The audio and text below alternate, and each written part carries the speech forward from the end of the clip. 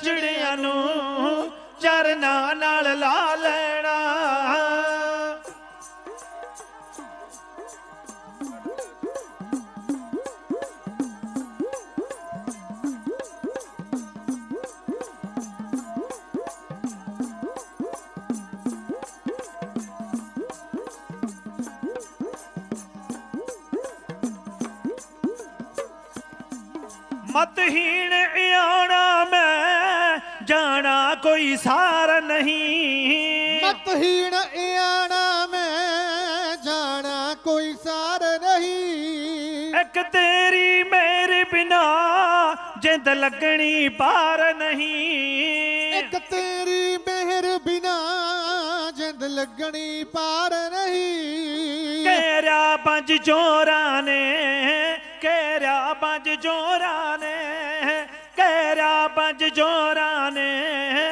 ਸਤਿਗੁਰੂ ਛਡਾ ਲੈਣਾ। ਜਨਮਾਂ ਦੇ ਵਿਛੜਿਆਂ ਨੂੰ ਜਨਮਾਂ ਦੇ ਵਿਛੜਿਆਂ ਨੂੰ ਜਨਮਾਂ ਦੇ ਵਿਛੜਿਆਂ ਨੂੰ ਚਰਨਾਂ ਨਾਲ ਲਾ ਲੈਣਾ। ਜਨਮਾਂ ਦੇ ਵਿਛੜਿਆਂ ਨੂੰ ਚਰਨਾਂ ਨਾਲ ਲਾ ਲੈਣਾ।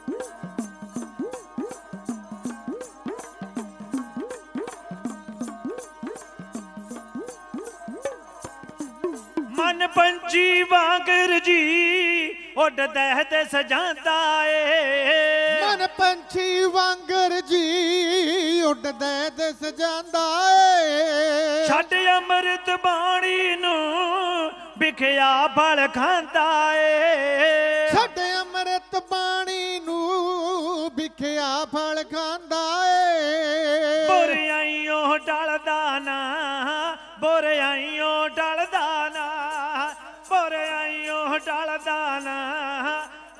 ਮਿਹਰ ਹਟਾ ਲੈਣਾ।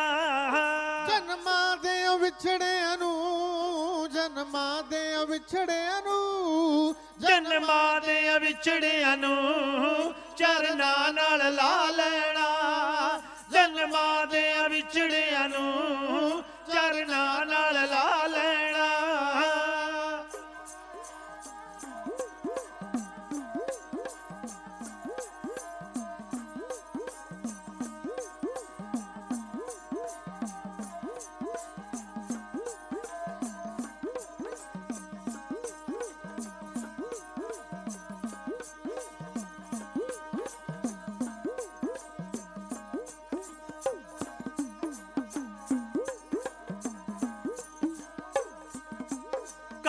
ਘਟ ਵਿੱਚ ਵਸਦਾ ਏ ਲੱਗਦਾ ਕੋਈ ਭੇਦ ਨਹੀਂ। ਘਟ ਘਟ ਵਿੱਚ ਵਸਦਾ ਏ ਲੱਗਦਾ ਕੋਈ ਭੇਦ ਨਹੀਂ। ਤੈਨੂੰ ਬੁੱਝ ਸਕਿਆ ਕੋਈ ਮੌਜੀ ਗੁਰਦੇਵ ਨਹੀਂ। ਤੈਨੂੰ ਬੁੱਝ ਸਕਿਆ ਕੋਈ ਮੌਜੀ ਗੁਰਦੇਵ ਨਹੀਂ। ਰਲ ਕੰਵਲ ਦੀਵਾਨੇ ਨੇ ਰਲ ਕੰਵਲ ਦੀਵਾਨੇ ਨੇ। ਰਲ ਕਵਲ ਦੀਵਾਨੇ ਨੇ, ਜਸ ਤੇਰਾ ਗਾ ਲੈਣਾ। ਜਨਮਾਂ ਦੇ ਵਿਛੜਿਆਂ ਨੂੰ, ਜਨਮਾਂ ਦੇ ਵਿਛੜਿਆਂ ਨੂੰ, ਜਨਮਾਂ ਦੇ ਵਿਛੜਿਆਂ ਨੂੰ ਚਰਨਾਂ ਨਾਲ ਲਾ ਲੈਣਾ। ਜਨਮਾਂ ਦੇ ਵਿਛੜਿਆਂ ਨੂੰ, ਚਰਨਾਂ ਨਾਲ ਲਾ ਲੈਣਾ। ਜਨਮਾਂ ਦੇ ਵਿਛੜਿਆਂ ਨੂੰ ਚਰਨਾਂ ਨਾਲ ਲਾ ਲੈਣਾ ਹੋ। ਹੋ। ਵਾਹਿਗੁਰੂ ਜੀ ਵਾਹਿਗੁਰੂ ਜੀ।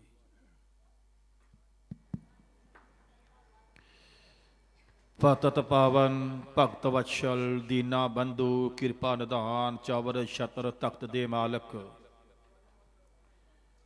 ਸਾਹਿਬ ਸਤਿਗੁਰੂ, ਸ੍ਰੀ ਗੁਰੂ ਅਮਰਦਾਸ ਮਹਾਰਾਜ ਜੀਆਂ ਦੇ। ਸਾਢੇ 400 ਸਾਲਾ ਜੋਤੀ ਜੋਤ ਪੁਰਬ ਨੂੰ ਸਮਰਪਿਤ। ਇਹ ਜੋ ਸੈਮੀਨਾਰ ਹੋ ਰਿਹਾ ਹੈ, ਉਹਦੇ ਵਿੱਚ ਪਹੁੰਚੀਆਂ ਹੋਈਆਂ ਸਰਬੱਤ ਮਾਈ ਭਾਈ ਸੰਗਤਾਂ ਦਾਸਰਿਆਂ ਦੀ ਬੇਨਤੀ ਪ੍ਰਵਾਨ ਕਰਿਓ। ਮਰਦ ਅਗੰਬੜਾ ਵਰਿਆਮ ਅਕੇਲਾ, ਭਗਤੀ ਤੇ ਸ਼ਕਤੀ ਦੇ ਮਾਲਕ, ਪੰਥ ਦੇ ਬਾਨੀ, ਪੁੱਤਰਾਂ ਦੇ ਦਾਨੀ, ਨੀਲੇ ਦੇ ਸ਼ਾਹ ਸਵਾਰ ਹੇਮ ਦੇ ਤਪਸਵੀ ਦੁਸ਼ਟ ਦਮਨ ਪ੍ਰਮਾਤਮਾ ਦੇ ਪੁੱਤਰ, ਸਾਹਿਬ ਸਤਿਗੁਰੂ ਗੁਰੂ ਗੋਬਿੰਦ ਸਿੰਘ ਮਹਾਰਾਜ ਜੀਆਂ ਦੀ। ਬਖਸ਼ਿਸ਼ ਕੀਤੀ ਹੋਈ ਫਤਿਹ ਨੂੰ ਦੁਹਰਾਓ। ਕਰੋ ਕਿਰਪਾ ਸਰਬੱਤ ਮਾਈ ਭਾਈ, ਪਿਆਰ ਵਿੱਚ ਆ ਕੇ ਆਖੋ ਜੀ, ਵਾਹਿਗੁਰੂ ਜੀ ਕਾ ਖਾਲਸਾ। ਵਾਹਿਗੁਰੂ ਜੀ ਕੀ ਫਤਿਹ। ਮੈਂ ਸਭ ਤੋਂ ਪਹਿਲਾਂ ਇੱਕ ਬੇਨਤੀ ਕਰਾਂ ਆ ਜਿਹੜੀਆਂ ਦੋ ਲਾਈਟਾਂ ਪੈ ਰਹੀਆਂ, ਸਿੱਧੀਆਂ ਅੱਖਾਂ ਨੂੰ ਪੈਂਦੀਆਂ ਤੇ ਮੇਰੀਆਂ ਅੱਖਾਂ ਨਹੀਂ ਖੁੱਲਦੀਆਂ। ਕਰਿਓ ਕਿਰਪਾ, ਇਹਨਾਂ ਬੰਦ ਕਰਨ ਦਾ ਯਤਨ ਕਰਿਓ। ਆ ਜਿਹੜੀਆਂ ਦੋ ਮੇਨ ਲਾਈਟਾਂ ਨੇ ਇਹਨੂੰ ਬੰਦ ਕਰ ਦਿਓ। ਹੱਥ ਜੋੜ ਕੇ ਬੇਨਤੀ ਆ। ਠੀਕ ਹੈ ਜੀ ਹੁਣ। ਤੇ ਮੈਂ ਸਾਊਂਡ ਵਾਲੇ ਵੀਰ ਨੂੰ ਬੇਨਤੀ ਕਰਾਂ ਵੀ ਸਾਡੇ ਤਿੰਨ ਮੈਕਾਂ ਦੀ ਆਵਾਜ਼ ਬਰਾਬਰ ਕਰਦੇ, ਇਹਨੂੰ ਹਿਲਾਈ ਨਾ। ਸਾਨੂੰ ਬਹੁਤ ਈਕੋ ਨਹੀਂ ਚਾਹੀਦੀ, ਸਾਨੂੰ ਬਹੁਤ ਆਇਤ ਚ ਕੋਈ ਵਾਰ-ਵਾਰ ਘੱਟ ਵੱਧ ਨਹੀਂ ਚਾਹੀਦਾ। ਬਸ ਸਾਨੂੰ ਤਿੰਨ ਸਿੰਘਾਂ ਨੂੰ ਇੱਕੋ ਜੀ ਬਾਤ ਕਰਦੀ ਇੱਕ ਵਾਰ ਸਰਬੱਤ ਮਾਈ ਭਾਈ। ਸਰਬੱਤ ਦਾ ਭਲਾ ਮੰਗਦੇ ਹੋਏ ਆਖੋ ਜੀ, ਨਾਨਕ ਨਾਮ, ਚੜ੍ਹਦੀ ਕਲਾ ਤੇਰੇ ਭਾਣੇ, ਸਰਬੱਤ ਦਾ ਭਲਾ। ਇਹ ਜੋ ਸੈਮੀਨਾਰ ਹੈ, ਇਹ ਸੈਮੀਨਾਰ ਦੇ ਵਿੱਚੋਂ ਅਸਾਂ ਨੇ ਕੁਝ ਸਿੱਖ ਕੇ ਜਾਣਾ। ਅਸਾਂ ਨੇ ਕੁਝ ਇੱਥੋਂ ਸਿੱਖਿਆ ਲੈਣੀ ਹੈ। ਜੋ ਸਾਡੇ ਸਤਿਗੁਰੂ ਜੀ ਸਾਨੂੰ ਸੇਧ ਦੇ ਕੇ ਗਏ ਨੇ, ਸੇਵਾ ਕਰਨ ਵਾਸਤੇ, ਸਿਮਰਨ ਕਰਨ ਵਾਸਤੇ, ਬਾਣੀ ਪੜਨ ਵਾਸਤੇ, ਨਾਮ ਜਪਣ ਵਾਸਤੇ। ਇਹ ਜੋ ਮਨੁੱਖਤਾ ਹੈ, ਉਹਦੀ ਸੇਵਾ ਅਸੀਂ ਕਰਨ ਵਾਸਤੇ ਯਤਨਸ਼ੀਲ ਰਹਿਣਾ ਹੈ। ਇਹ ਜੋ ਪ੍ਰਬੰਧ ਦਿੱਲੀ ਸਿੱਖ ਗੁਰਦੁਆਰਾ ਪ੍ਰਬੰਧਕ ਕਮੇਟੀ ਨੇ ਕੀਤਾ ਹੈ, ਬੜਾ ਸ਼ਲਾਘਾਯੋਗ ਕਦਮ ਹੈ। ਆਓ, ਮੈਨੂੰ ਸਮਾਂ ਸਤਕਾਰਯੋਗ ਵੀਰ ਜਸਵੀਰ ਸਿੰਘ ਜੀ ਉਰਾ ਨੇ ਕਹਿਣ ਲੱਗੇ ਵੀ ਕੇਵਲ ਦੋ ਹੀ ਕਵਤਾਵਾਂ ਲਾਉਣੀਆਂ, ਇੱਕ ਤੇ ਸਿੰਘਾਂ ਨੇ ਲਾ ਦਿੱਤੀ ਆ ਤੇ ਇੱਕ ਹੋਰ ਕਵਤਾ ਲਾ ਕੇ ਮੈਂ ਸਮਾਪਤੀ ਕਰ ਦਿਆਂਗਾ। 11:30 11 ਵਜੇ ਤੱਕ ਆਪ ਜੀ ਦੀ ਸੇਵਾ ਵਿੱਚ ਦਾਸ ਦਾ ਢਾਡੀ ਜਥਾ ਰਹੇਗਾ। ਮੈਂ ਗੱਲ ਆਰੰਭ ਕਰਨੀ ਚਾਹੁੰਦਾ, ਮਹਾਰਾਜ ਨੇ ਕਿੰਨਾ ਪੈਦਲ ਯਾਤਰਾ ਕਰਕੇ ਸਤਿਗੁਰਾਂ ਜੀ ਨੇ ਤੇ ਕਿੱਥੇ ਕਿੱਥੇ ਜਾ ਕੇ ਇਸ਼ਨਾਨ ਕਰਦੇ ਰਹੇ ਨੇ ਤੇ ਮੁੜ ਕੇ ਗੁਰੂ ਸਾਹਿਬਾਂ ਜੀ ਦੇ ਚਰਨਾਂ ਵਿੱਚ ਕਿਵੇਂ ਉਹਨਾਂ ਦਾ ਆਉਣਾ ਹੋਇਆ। ਇਥੋਂ ਸਾਨੂੰ ਸੇਧ ਮਿਲੇਗੀ ਕਿ ਜਿੰਨਾ ਚਿਰ ਅਸੀਂ ਗੁਰੂ ਸਾਹਿਬ ਦੇ ਚਰਨਾਂ ਵਿੱਚ ਨਹੀਂ ਆਉਂਦੇ, ਗੁਰੂ ਸਾਹਿਬ ਗੁਰੂ ਨੂੰ ਧਾਰਨ ਨਹੀਂ ਕਰਦੇ, ਗੁਰੂ ਨੂੰ ਆਪਣਾ ਨਹੀਂ ਮੰਨਦੇ, ਉਹਨਾਂ ਚਿਰ ਤੱਕ ਖੇਡ ਬਣਦੀ ਨਜ਼ਰ ਨਹੀਂ ਆਉਣੀ। ਵਾਹਿਗੁਰੂ ਜੀ ਕਿਰਪਾ ਕਰਨ, ਜਿੰਨੀਆਂ ਵੀ ਭੈਣਾ, ਮਤਾਵਾਂ, ਬਜ਼ੁਰਗ, ਨੌਜਵਾਨ, ਬੱਚੇ, ਅਤੇ ਬਜ਼ੁਰਗ ਜਿੰਨੇ ਵੀ ਇੱਥੇ ਆਏ, ਜੇ ਵਾਹਿਗੁਰੂ ਜੀ ਕਿਰਪਾ ਕਰਨ, ਸਤਿਗੁਰੂ ਜੀ ਰਹਿਮਤ ਕਰ ਦੇਣ, ਸਾਨੂੰ ਇੱਥੋਂ ਸੇਧ ਮਿਲੇ। ਤੇ ਅਸੀਂ ਸੇਧ ਲੈ ਕੇ ਆਪਣਾ ਜੀਵਨ ਬਸਰ ਕਰਨ ਦਾ ਯਤਨ ਕਰੀਏ। ਇੱਕ ਵਾਰ ਗੱਜ ਕੇ ਆਖੋ ਜੀ, ਸਤਨਾਮ। ਮੈਂ ਪਹਿਲਾਂ ਵੀ ਬੇਨਤੀ ਕੀਤੀ ਆ ਸਾਧ ਸੰਗਤ ਸੰਗਤ ਦੀ ਤਾਦਾਦ ਵਾਵਾ ਪਰ ਸੰਗਤ ਨੇ ਨਾ ਤੇ ਫਤਿਹ ਦਾ ਜਵਾਬ ਦਿੱਤਾ ਹੈ ਪਹਿਲਾਂ। ਤੇ ਨਾ ਹੀ ਉਹਨਾਂ ਨੇ, ਆ ਹੁਣ ਮੈਂ ਵਾਹਿਗੁਰੂ ਕੋ ਆਇਆ ਤੇ ਫੇਰ ਤੁਸੀਂ ਨਹੀਂ ਬੋਲੇ। ਹੱਥ ਜੋੜ ਕੇ ਬੇਨਤੀ ਆ, ਫਤਿਹ ਆ ਗੁਰੂ ਦੀ। ਤੇ ਮੇਰੇ ਸਤਿਗੁਰੂ ਜੀ ਕਹਿੰਦੇ ਨੇ, ਆਗੇ ਆਵਤ ਸਿੰਘ ਜੋ ਪਾਵੇ, ਵਾਹਿਗੁਰੂ ਜੀ ਕੀ ਫਤਿਹ ਬੁਲਾਵੇ। ਮੇਰੇ ਨਾਲ ਤੇ ਕੋਈ ਨਾਰਾਜ਼ਗੀ ਤੁਹਾਡੀ ਹੋ ਸਕਦੀ ਹੈ, ਪਰ ਗੁਰੂ ਨਾਲ ਤੇ ਕੋਈ ਨਾਰਾਜ਼ਗੀ ਨਹੀਂ ਨਾ। ਹੱਥ ਜੋੜ ਕੇ ਬੇਨਤੀ ਆ। ਗੁਰੂ ਘਰ ਦਾ ਸੇਵਾਦਾਰ ਹਾਂ। ਜੇ ਕੋਈ ਗਲਤੀ ਗਲਤੀ ਮੇਰੇ ਕੋ ਹੋਈ ਆ ਤੇ ਕਰਿਓ ਕਿਰਪਾ। ਨਰ ਅੰਦਾਜ਼ ਕਰੋ। ਤੇ ਗੁਰੂ ਦੇ ਚਰਨਾਂ ਵਿੱਚ ਸੀਸ ਝੁਕਾ ਕੇ ਇੱਕ ਵਾਰ ਫੇਰ ਕਿਰਪਾ ਕਰੋ। ਬੇਨਤੀ ਕਰਦਾ, ਕੋਈ ਐਸੀ ਰਸਨਾ ਨਾ ਰਵੇ ਜਿਹੜੇ ਗੁਰੂ ਦੀ ਫਤਿਹ ਨੂੰ ਨਾ ਬੁਲਾਵੇ। ਜਿਨ੍ਹਾਂ ਜਿਨ੍ਹਾਂ ਨੂੰ ਮੇਰੇ ਦਾਤਾ ਜੀ ਨੇ ਜ਼ੁਬਾਨ ਬਖਸ਼ੀ ਆ, ਜਿਨ੍ਹਾਂ ਨੂੰ ਆਵਾਜ਼ ਬਖਸ਼ੀ ਆ, ਜਿਨ੍ਹਾਂ ਨੂੰ ਸੁਰਤ ਬਖਸ਼ੀ ਆ ਜਿਨ੍ਹਾਂ ਨੂੰ ਮਹਾਰਾਜ ਨੇ ਹਿੰਮਤ ਬਖਸ਼ੀ ਆ, ਕੋਈ ਐਸੀ ਰਸਨਾ ਰਵੇ। ਇੱਕ ਵਾਰ ਗੱਜ ਕੇ ਸਰਬੱਤ ਮਾਈ ਭਾਈ ਆਖੋ ਜੀ, ਵਾਹਿਗੁਰੂ ਜੀ ਕਾ ਖਾਲਸਾ। ਵਾਹਿਗੁਰੂ ਜੀ ਕੀ ਫਤਿਹ। ਆਓ ਸਾਧ ਸੰਗਤ, ਆਪਾਂ ਜਲਦੀ ਨਾਲ ਪ੍ਰਕਰਨ ਦੀ ਆਰੰਭਤਾ ਕਰੀਏ। ਬਾਬਾ ਅਮਰਦਾਸ ਜੀ, ਜਦੋਂ ਗੁਰੂ ਨਹੀਂ ਸਨ ਬਣੇ, ਉਦੋਂ ਉਹਨਾਂ ਨੂੰ ਬਾਬਾ ਅਮਰਦਾਸ ਜੀ ਆਖਿਆ ਜਾਂਦਾ ਸੀ। ਆਪਣੇ ਪਿਤਾ ਤੋਂ ਬੜੀ ਸੇਧ ਮਿਲਦੀ ਆ। ਜਿਹੜਾ ਮਾਤਾ ਪਿਤਾ ਦੇ ਪਾਏ ਪੂਰਨਿਆਂ ਤੇ ਚੱਲਦਾ ਹੈ, ਉਹ ਮਾਤਾ ਪਿਤਾ ਦੇ ਦੱਸੇ ਮਾਰਗ ਤੇ ਚੱਲਦਾ ਹੈ ਤੇ ਸਾਧ ਸੰਗਤ ਉਹ ਫਿਰ ਪਰਮਾਤਮਾ ਦੇ ਚਰਨਾਂ 'ਚ ਪ੍ਰਵਾਨ ਹੁੰਦਾ। ਅੱਜ ਮੈਂ ਇੱਥੇ ਇੱਕ ਗੱਲ ਮੇਰੇ ਸਾਹਮਣੇ ਆ ਗਈ ਆ, ਮੈਂ ਕਰਨੋਂ ਗਰੇਜ ਨਹੀਂ ਕਰਾਂਗਾ ਕਿਉਂਕਿ ਤੁਸੀਂ ਮਾਤਾਵਾਂ ਬੈਠੀਆਂ ਜੇ, ਭੈਣਾਂ ਬੈਠੀਆਂ, ਬੱਚੇ ਬੈਠੇ। ਅੱਜ ਕੱਲ ਅਸੀਂ ਮਾਤਾ ਪਿਤਾ ਨੂੰ ਬਹੁਤੀ ਤਰਜੀਹ ਨਹੀਂ ਜੇ ਦਿੰਦੇ। ਜੇ ਗੱਲ ਗਲਤ ਹੈ ਤੇ ਤੁਸੀਂ ਮੈਨੂੰ ਕਹਿ ਸਕਦੇ ਹੋ, ਬੜੇ ਘਰਾਂ 'ਚ ਵੇਖਣ ਦਾ ਜ- ਮੈਨੂੰ ਸਮਾਂ ਮਿਲਦਾ। ਬੜੇ ਪਿੰਡਾਂ 'ਚ ਜਾਣ ਦਾ ਸਮਾਂ ਮਿਲਦਾ, ਕਿਉਂਕਿ ਦਾਸ ਦਾ ਢਾਡੀ ਜੱਚਾ ਹੈ, ਪੰਜਾਬ ਵਿੱਚ ਕਿਤੇ ਵੀ ਪ੍ਰੋਗਰਾਮ ਹੋਵੇ ਦਾਸ ਨੂੰ ਇਨਵਾਈਟ ਕੀਤਾ ਜਾਂਦਾ ਹੈ। ਦਾਸ ਉੱਥੇ ਜਾ ਕੇ ਆਪਣੇ ਵੱਲੋਂ 100% ਦੇਣ ਦਾ ਯਤਨ ਕਰਦਾ। ਮੈਂ ਬੇਨਤੀਆਂ ਇਹ ਕਰਦਾ ਵੀ ਬਜ਼ੁਰਗਾਂ ਦਾ ਧਿਆਨ ਜ਼ਰੂਰ ਰੱਖਿਆ ਕਰੋ। ਬਾਬਾ ਅਮਰਦਾਸ ਜੀ ਨੇ ਆਪਣੇ ਬਜ਼ੁਰਗਾਂ ਦੀ ਗੱਲ ਮੰਨੀ ਹੈ ਨਾ, ਤੇ ਗੁਰੂ ਬਣ ਗਏ। ਤੇ ਜਦੋਂ ਅਸੀਂ ਆਪਣੇ ਬਜ਼ੁਰਗਾਂ ਦੀ ਗੱਲ ਹੀ ਨਹੀਂ ਮੰਨਦੇ ਅਸੀਂ ਸੇਵਾ ਕਰਨ ਵਾਸਤੇ ਆਉਨੇ ਆ, ਜੀ ਸਦਕੇ ਜਿੱਥੇ ਲੰਗਰ ਲੱਗਦੇ ਸੇਵਾ ਕਰੋ। ਜਿੱਥੇ ਕੋਈ ਸ਼ਪੀਲਾਂ ਲੱਗਦੀਆਂ ਸੇਵਾ ਕਰੋ। ਜਿੱਥੇ ਤੁਹਾਨੂੰ ਸੇਵਾ ਕਰਨ ਦਾ ਸਮਾਂ ਮਿਲਦਾ ਸੇਵਾ ਕਰੋ। ਪਰ ਜਿਹੜਾ ਤੁਹਾਡੇ ਘਰ ਦੋ ਰੱਬ ਬੈਠੇ ਆ, ਦੋ ਰੱਬ, ਇੱਕ ਮਾਂ ਤੇ ਇੱਕ ਪਿਓ, ਇਹ ਰੱਬ ਦਾ ਰੂਪ ਹੁੰਦਾ। ਪਰ ਅਸੀਂ ਆਪਣੇ ਮਾਪਿਓ ਦੀ ਘਰ ਵਿੱਚ ਸੇਵਾ ਨਹੀਂ ਕਰਦੇ ਤੇ ਭੱਜ ਕੇ ਜਾ ਕੇ ਬਾਹਰ ਸੇਵਾ ਕਰਦੇ ਆ ਬਾਹਰ ਸੇਵਾ ਤੁਹਾਨੂੰ ਮੁਬਾਰਕ। ਜੀ ਸਦਕੇ ਸੇਵਾ ਕਰੋ। ਪਰ ਮੈਂ ਹੱਥ ਜੋੜ ਕੇ ਬੇਨਤੀ ਕਰਦਾ, ਜਿਹੜਾ ਤੀਰਥ ਤੁਹਾਡੇ ਘਰੇ ਬੈਠਾ ਕਿਤੇ ਉਹਦੇ ਵੀ ਚਰਨ ਪਰਛ ਲਿਆ ਕਰੋ। ਬੜੀਆਂ ਬੜੀਆਂ ਗੱਲਾਂ ਤੁਹਾਡੇ ਸਾਹਮਣੇ ਨੇ, ਜਿਹੜੇ ਸਾਡੇ ਬਜ਼ੁਰਗਾਂ ਦੀ ਬਹੁਤ ਇਨਸਲਟ ਹੁੰਦੀ ਆ। ਮੈਂ ਹੱਥ ਜੋੜ ਕੇ ਬੇਨਤੀ ਕਰਦਾ, ਗੁਰੂ ਘਰ ਦਾ ਸੇਵਾਦਾਰ ਹਾਂ, ਪ੍ਰਚਾਰਕ ਹਾਂ। ਆਪਣੇ ਮਾਪਿਓ ਦੇ ਵੱਲ ਵੀ ਧਿਆਨ ਦਿਓ। ਜੇ ਆਪਣੇ, ਤੁਸੀਂ ਕਿਤੇ ਨਹੀਂ ਨਾ ਜਾ ਕੇ ਹੋਰ ਸੇਵਾ ਕਰ ਸਕਦੇ, ਆਪਣੇ ਮਾਪਿਓ ਦੀ ਸੇਵਾ ਕਰ ਲਓ। ਤੇ ਸਾਰਾ ਕੁਝ ਹੋ ਜਾਏਗਾ। ਇੱਕ ਵਾਰ ਗੱਜ ਕੇ ਆਖੋ ਜੀ, ਸਤਨਾਮ। ਵਾਹਿਗੁਰੂ। ਬਾਬਾ ਅਮਰਦਾਸ ਜੀ ਦੇ ਪਿਤਾ ਜੀ, ਉਹ ਧਾਰਮਿਕ ਰੁਚੀ ਦੇ ਸਨ। ਮਾਤਾ ਜੀ ਵੀ ਤੇ ਪਿਤਾ ਜੀ ਵੀ। ਧਾਰਮਿਕ ਖਿਆਲਾਂ ਦੇ ਸਨ। ਤੇ ਮਾਤਾ ਪਿਤਾ ਦਾ ਅਸਰ ਜ਼ਰੂਰ ਪੈਂਦਾ ਹੁੰਦਾ ਹੈ ਬੱਚਿਆਂ ਦੇ ਉੱਤੇ। ਤੇ ਕਹਿੰਦੇ ਫਿਰ ਛੋਟੀ ਉਮਰ ਵਿੱਚ ਹੀ ਬਾਬਾ ਅਮਰਦਾਸ ਜੀ ਆਪਣੇ ਮਾਤਾ ਪਿਤਾ ਦੇ ਨਾਲ ਹੱਥ ਵਟਾਉਣ ਲੱਗ ਪਏ। ਛੋਟੀ ਉਮਰ ਵਿੱਚ ਹੀ ਮਾਤਾ ਪਿਤਾ ਦੀ ਗੱਲ ਮੰਨਣ ਲੱਗ ਪਏ। ਤੇ ਆਪਣੇ ਪਿਤਾ ਜੀ ਦੇ ਥੋੜਾ ਜਿਹਾ ਜਦੋਂ ਵੱਡੇ ਹੋਏ, ਆਪਣੇ ਪਿਤਾ ਜੀ ਦੇ ਨਾਲ ਜਿਹੜੀ ਖੇਤੀ ਸੀ ਉਹਨਾਂ ਦੀ, ਉਹਦੇ ਵਿੱਚ ਦੇ ਜਿਹੜੇ ਉਹ ਇਹ ਦੁਕਾਨਦਾਰੀ ਕਰਦੇ ਸਨ, ਉਹਦੇ ਵਿੱਚ ਬਾਬਾ ਅਮਰਦਾਸ ਜੀ ਨੇ ਆਪ ਅੱਗੇ ਹੋ ਕੇ ਕੰਮ ਕਰਨਾ। ਜਦੋਂ ਪਤਾ ਲੱਗ ਗਿਆ ਬਾਬਾ ਤੇਜ ਭਾਨ ਜੀ ਨੂੰ ਕਿ ਮੇਰਾ ਪੁੱਤਰ ਹੁਣ ਕੰਮ ਸਾਂਭ ਲਵੇਗਾ, ਉਹਨੇ ਫਿਰ ਸਾਰੀ ਜ਼ਿੰਮੇਵਾਰੀ ਬਾਬਾ ਅਮਰਦਾਸ ਤੇ ਰੱਖ ਦਿੱਤੀ ਹੈ। ਹੁਣ ਬਾਬਾ ਅਮਰਦਾਸ ਜੀ ਨੂੰ ਆਖਿਆ, ਲੈ ਪੁੱਤਰਾ, ਹੁਣ ਸਾਂਭ ਸਾਰਾ ਕੁਝ।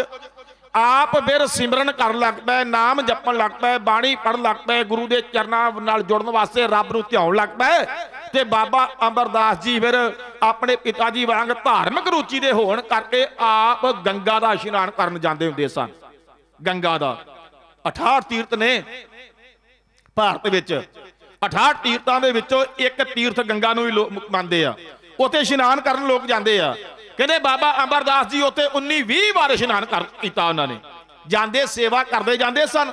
ਅੱਜ ਵਰਗਾ ਪ੍ਰਬੰਧ ਨਹੀਂ ਸੀ ਉਦੋਂ ਹੈਗਾ। ਅੱਜ ਵਰਗਾ ਕੋਈ ਸਿਸਟਮ ਨਹੀਂ ਸੀ ਉਦੋਂ ਹੈਗਾ। ਕੇਵਲ ਤੇ ਕੇਵਲ ਇੰਨੀ ਗੱਲ ਸੀ ਕਿ ਉਸ ਵੇਲੇ ਜਿਹੜੇ ਖੂਹ ਹੁੰਦੇ ਸਨ, ਖੂਹਾਂ ਤੋਂ ਜਲ ਕੱਢ ਕੇ ਲੋਕਾਂ ਨੂੰ ਛਕਾਇਆ ਜਾਂਦਾ ਹੈ। ਜਿਹੜੀ ਦੁਨੀਆ ਤੁਰੀ ਜਾਂਦੀ ਆ, ਬਾਬਾ ਜੀ ਨੂੰ ਜਿੱਥੇ ਖੂਹ ਨਜ਼ਰ ਆਉਂਦਾ, ਉਸ ਖੂਹ ਦੇ ਉੱਤੇ ਬਹਿ ਜਾਂਦੇ। ਆਵਾਜ਼ਾਂ ਮਾਰਦੇ, ਗੁਰਮੁਖ ਪਿਆਰਿਓ ਆਓ ਤੁਰੇ ਜਾਂਦੇ ਜੇ, ਪਤਾ ਨਹੀਂ ਕਿੱਡੀ ਦੂਰ ਤੁਸਾਂ ਨੇ ਜਾਣਾ ਹੈ ਤੇ ਕਿੱਥੇ ਤੱਕ ਤੁਹਾਡੀ ਮੰਜ਼ਲ ਆ। ਇਉਂ ਕਰੋ, ਜਲ ਛਕ ਤੇ ਏਰ ਜਾਇਓ। ਸੇਵਾ ਕਰਦੇ ਤੁਰੇ ਜਾਂਦੇ ਆ, ਸੇਵਾ ਕਰਦੇ ਹੀ ਤੁਰੇ ਆਉਂਦੇ ਆ। ਜਦੋਂ 20 ਵਾਰ ਇਸ਼ਨਾਨ ਕਰਕੇ ਵਾਪਸ ਤੁਰੇ ਆਉਂਦੇ ਸਨ, ਤੇ ਇਹਨਾਂ ਦੀ ਇੱਕ ਮੁਲਾਕਾਤ ਇੱਕ ਬ੍ਰਹਮਚਾਰੀ ਦੇ ਨਾਲ ਹੀ ਹੋਈ। ਉਹ ਬੰਦਾ ਬੜਾ ਨਿਤਨੇਮੀ ਸੀ। ਉਹ ਬੰਦਾ ਬੜਾ ਰੱਬ ਦੇ ਨਾਲ ਜੁੜਨ ਦਾ ਯਤਨ ਕਰ ਰਿਹਾ ਸੀ। ਉਹ ਵਰਤ ਵੀ ਬੜੇ ਰੱਖਦਾ ਸੀ, ਨੇਮ ਵੀ ਬੜੇ ਕਰਦਾ ਸੀ। ਉਹ ਸਾਰਾ ਕੁਝ ਕਰਦਾ ਹੋਇਆ ਬਾਬਾ ਅਮਰਦਾਸ ਜੀ ਦੀ ਸੇਵਾ ਤੇ ਪ੍ਰਸੰਨ ਹੋ ਗਿਆ। ਉਹਨੇ ਬਾਬਾ ਅਮਰਦਾਸ ਜੀ ਦੇ ਕੋਲ ਆ ਕੇ ਆਖਿਆ, ਬਾਬਾ, ਤੇਰੇ ਉੱਤੇ ਬੜੀ ਉਸ ਰੱਬ ਦੀ ਬਖਸ਼ਿਸ਼ ਆ। ਤੇ ਬਾਬਾ ਅਮਰਦਾਸ ਜੀ ਹੱਥ ਜੋੜ ਕੇ ਆਖਣ ਲੱਗੇ, ਪੁਰਖਾ, ਮੈਂ ਕੀ ਇਹ ਕੀਤਾ ਹੈ? ਕਹਿਣ ਲੱਗੇ, ਤੂੰ ਕੀਤਾ ਕੀ ਨਹੀਂਗਾ? ਉਮਰ ਤੇਰੀ ਬਿਰਧ ਹੈ। ਖੂਹ ਵਿੱਚੋਂ ਜਲ ਕੱਢ ਕੱਢ ਕੇ ਆਉਂਦੇ ਜਾਂਦੇ ਲੋਕਾਂ ਨੂੰ ਆਵਾਜ਼ਾਂ ਮਾਰਦਾ ਹੈ। ਇਹਦੂ ਵੱਡੀ ਸੇਵਾ ਹੋਰ ਕੀ ਕਰਨੀ ਹੈ? ਉਹਨੇ ਆਖਿਆ, ਇਹ ਤੇ ਜੋ ਕਰਤਾਰ ਕਰਾਉਂਦਾ, ਉਹ ਕਰਦਾ ਹੈ। ਉਹਨੇ ਆਖਿਆ, ਤੂੰ ਜੋ ਕਰਦਾ, ਬਿਲਕੁਲ ਠੀਕ ਕਰ ਰਿਹਾ ਹੈ। ਉਹਨੇ ਆਖਿਆ, ਬਾਬਾ, ਮੈਨੂੰ ਇੱਕ ਗੱਲ ਦੱਸ, ਇਹ ਸੇਵਾ ਕਰਨ ਦਾ ਤੈਨੂੰ ਕਿੰਨੇ ਉਪਦੇਸ਼ ਦਿੱਤਾ? ਕਿਹਦੇ ਕੋਲੋਂ ਸਿੱਖਿਆ ਲਈ? ਕਿਹਦੇ ਕੋਲੋਂ ਦਿਖਿਆ ਲਈ? ਤੇ ਬਾਬਾ ਹੱਥ ਜੋੜ ਕੇ ਕਹਿੰਦਾ, ਜੀ, ਮੇਰੇ ਪਿਤਾ ਜੀ ਹੋਰੀ ਸੇਵਾ ਕਰਦੇ ਹੁੰਦੇ ਸਨ। ਗੱਲ ਉੱਥੇ ਆ ਗਈ ਨਾ ਫਿਰ, ਜੇ ਪਿਤਾ ਦੀ ਗੱਲ ਮੰਨੀ ਹੈ, ਤੇ ਫਿਰ ਸੇਵਾ ਕਰਕੇ ਗੁਰਗੱਦੀ ਹਾਸਲ ਕਰ ਗਏ। ਕਹਿੰਦੇ ਬਾਬਾ ਅਮਰਦਾਸ ਜੀ ਜਦੋਂ ਇਹ ਕਹਿ ਰਹੇ ਨੇ ਤੇ ਬੈਠੇ ਨੇ ਖੂਹ ਤੋਂ ਜਲ ਕੱਢ ਕੇ ਬ੍ਰਹਮਚਾਰੀ ਨੂੰ ਛਕਾਇਆ, ਲੋਕਾਂ ਨੂੰ ਛਕਾਇਆ, ਤੇ ਜਿਹੜਾ ਬ੍ਰਹਮਚਾਰੀ ਸੀ ਨਾ, ਉਹਨੇ ਇੱਕ ਸਵਾਲ ਕੀਤਾ ਹੈ ਬਾਬਾ ਜੀ ਤੇ ਤੇ ਜਿਹੜਾ ਸਵਾਲ ਕੀਤਾ ਹੈ, ਉਹ ਢਾਡੀ ਜਦਾ ਤੁਹਾਡੇ ਸਾਹਮਣੇ ਪੇਸ਼ ਕਰਨ ਲੱਗਾ ਹੈ। ਸਾਧ ਸੰਗਤ ਸਮਾਂ ਬਹੁਤਾ ਜ਼ਿਆਦਾ ਨਹੀਂ ਕਿ ਮੈਂ ਲੰਬੇਰਾ ਜਾਵਾਂ। ਮੇਰੇ ਤੋਂ ਬਾਅਦ ਸਰਦਾਰਯੋਗ ਭਾਈ ਸਾਹਿਬ, ਭਾਈ ਸੇਵਕ ਸਿੰਘ ਜੀ ਆਉਣਗੇ, ਸੁਖਪ੍ਰੀਤ ਸਿੰਘ ਜੀ ਉਦੋਂ ਕੋਈ ਆਉਣਗੇ ਜਿਨ੍ਹਾਂ ਨੇ ਤੁਹਾਨੂੰ ਇੱਥੇ ਬਾਬਾ ਅਮਰਦਾਸ ਜੀ ਦੀ ਜੀਵਨੀ ਬਾਰੇ ਦੱਸਣਾ ਹੈ। ਮੈਂ ਤੇ ਉਹਨਾਂ ਦੇ ਪੈਰਾਂ ਵਰਗਾ ਵੀ ਨਹੀਂ ਸਾਧ ਸੰਗਤ। ਜੋ ਜੋ ਉਹ ਜਾਣਦੇ ਨੇ, ਜੋ ਗੱਲ ਉਹ ਕਰ ਸਕਦੇ ਆ। ਮੈਂ ਨਹੀਂ ਉਹ ਨਹੀਂ ਕਰ ਸਕਦਾ, ਮੈਂ ਗੁਰੂ ਗੁਰੂ ਘਰ ਦਾ ਢਾਡੀ ਆ, ਗੁਰੂ ਹਰਗੋਬਿੰਦ ਸਾਹਿਬ ਮਹਾਰਾਜ ਦਾ ਢਾਡੀ ਹਾਂ। ਇਤਿਹਾਸ ਗਿਆਨ ਕਰ ਸਕਦਾ। ਪਰ ਜੋ ਤੁਹਾਡੇ ਸਾਹਮਣੇ ਉਦੋਂ ਕੇ ਪੇਸ਼ ਕਰਨਗੇ ਜਾਂ ਗੁਰਸੇਵਕ ਸਿੰਘ ਜੀ ਪੇਸ਼ ਕਰਨਗੇ, ਸਾਧ ਸੰਗਤ ਜੀ, ਉਹ ਸੁਣ ਕੇ ਜਾਇਓ। ਉਹਨਾਂ ਨੂੰ ਸਪੈਸ਼ਲ ਤੌਰ ਤੇ ਇਨਵਾਈਟ ਕੀਤਾ ਗਿਆ ਹੈ। ਦਿੱਲੀ ਸਿੱਖ ਗੁਰਦੁਆਰਾ ਪ੍ਰਬੰਧਕ ਕਮੇਟੀ ਨੇ ਦਾਸ ਦੀ ਡਿਊਟੀ ਲਾਈ ਆ ਤੇ ਇੱਥੇ ਜਿਹੜੇ ਪ੍ਰਬੰਧਕ ਸੱਜਣ ਨੇ ਸਤਿਕਾਰਯੋਗ ਵੀਰ ਜਸਵੀਰ ਸਿੰਘ ਜੀ, ਉਹਨਾਂ ਨੇ ਮੈਨੂੰ ਹੁਕਮ 11 ਵਜੇ ਦਾ ਕੀਤਾ। ਆਓ ਢਾਡੀ ਜਥੇ ਦੇ ਕੋਲੋਂ ਉਹ ਕਵਿਤਾ ਸ਼ਰਵਣ ਕਰੋ, ਜੋ ਉਹ ਜਿਹੜਾ ਬ੍ਰਹਮਚਾਰੀ ਬਾਬਾ ਅਮਰਦਾਸ ਜੀ ਨਾਲ ਗੱਲ ਕਰਦਾ ਹੈ ਢਾਡੀ ਜਥਾ ਉਹ ਲੈਣਾ ਪੇਸ਼ ਕਰ ਲੱਗਾ ਹੈ। ਤਵੱਜੋ ਦੇ ਕੇ ਲੈਣਾ, ਇਹੋ ਸ਼ਰਵਣ ਕਰੋ ਜੀ।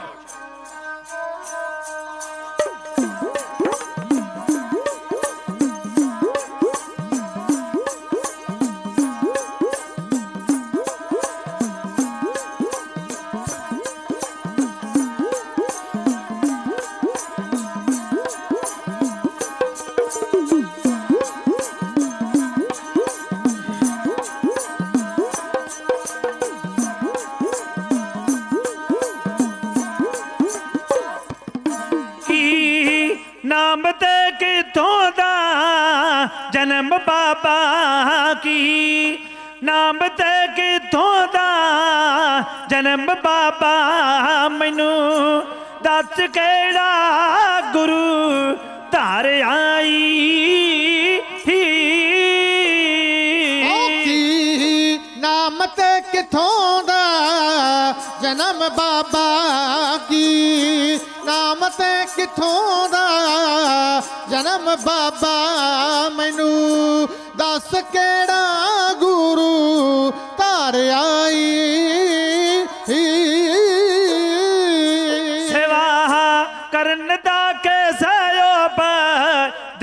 की हसरा कर्ण दा के सयो देश गीता फल सेवतो की भी चार आ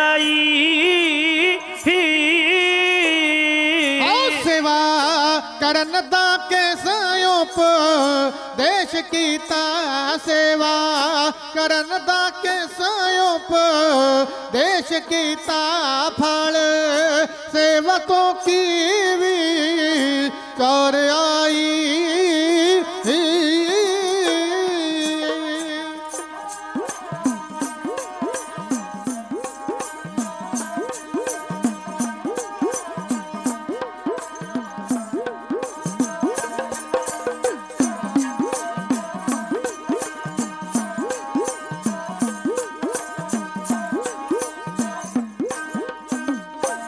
struggle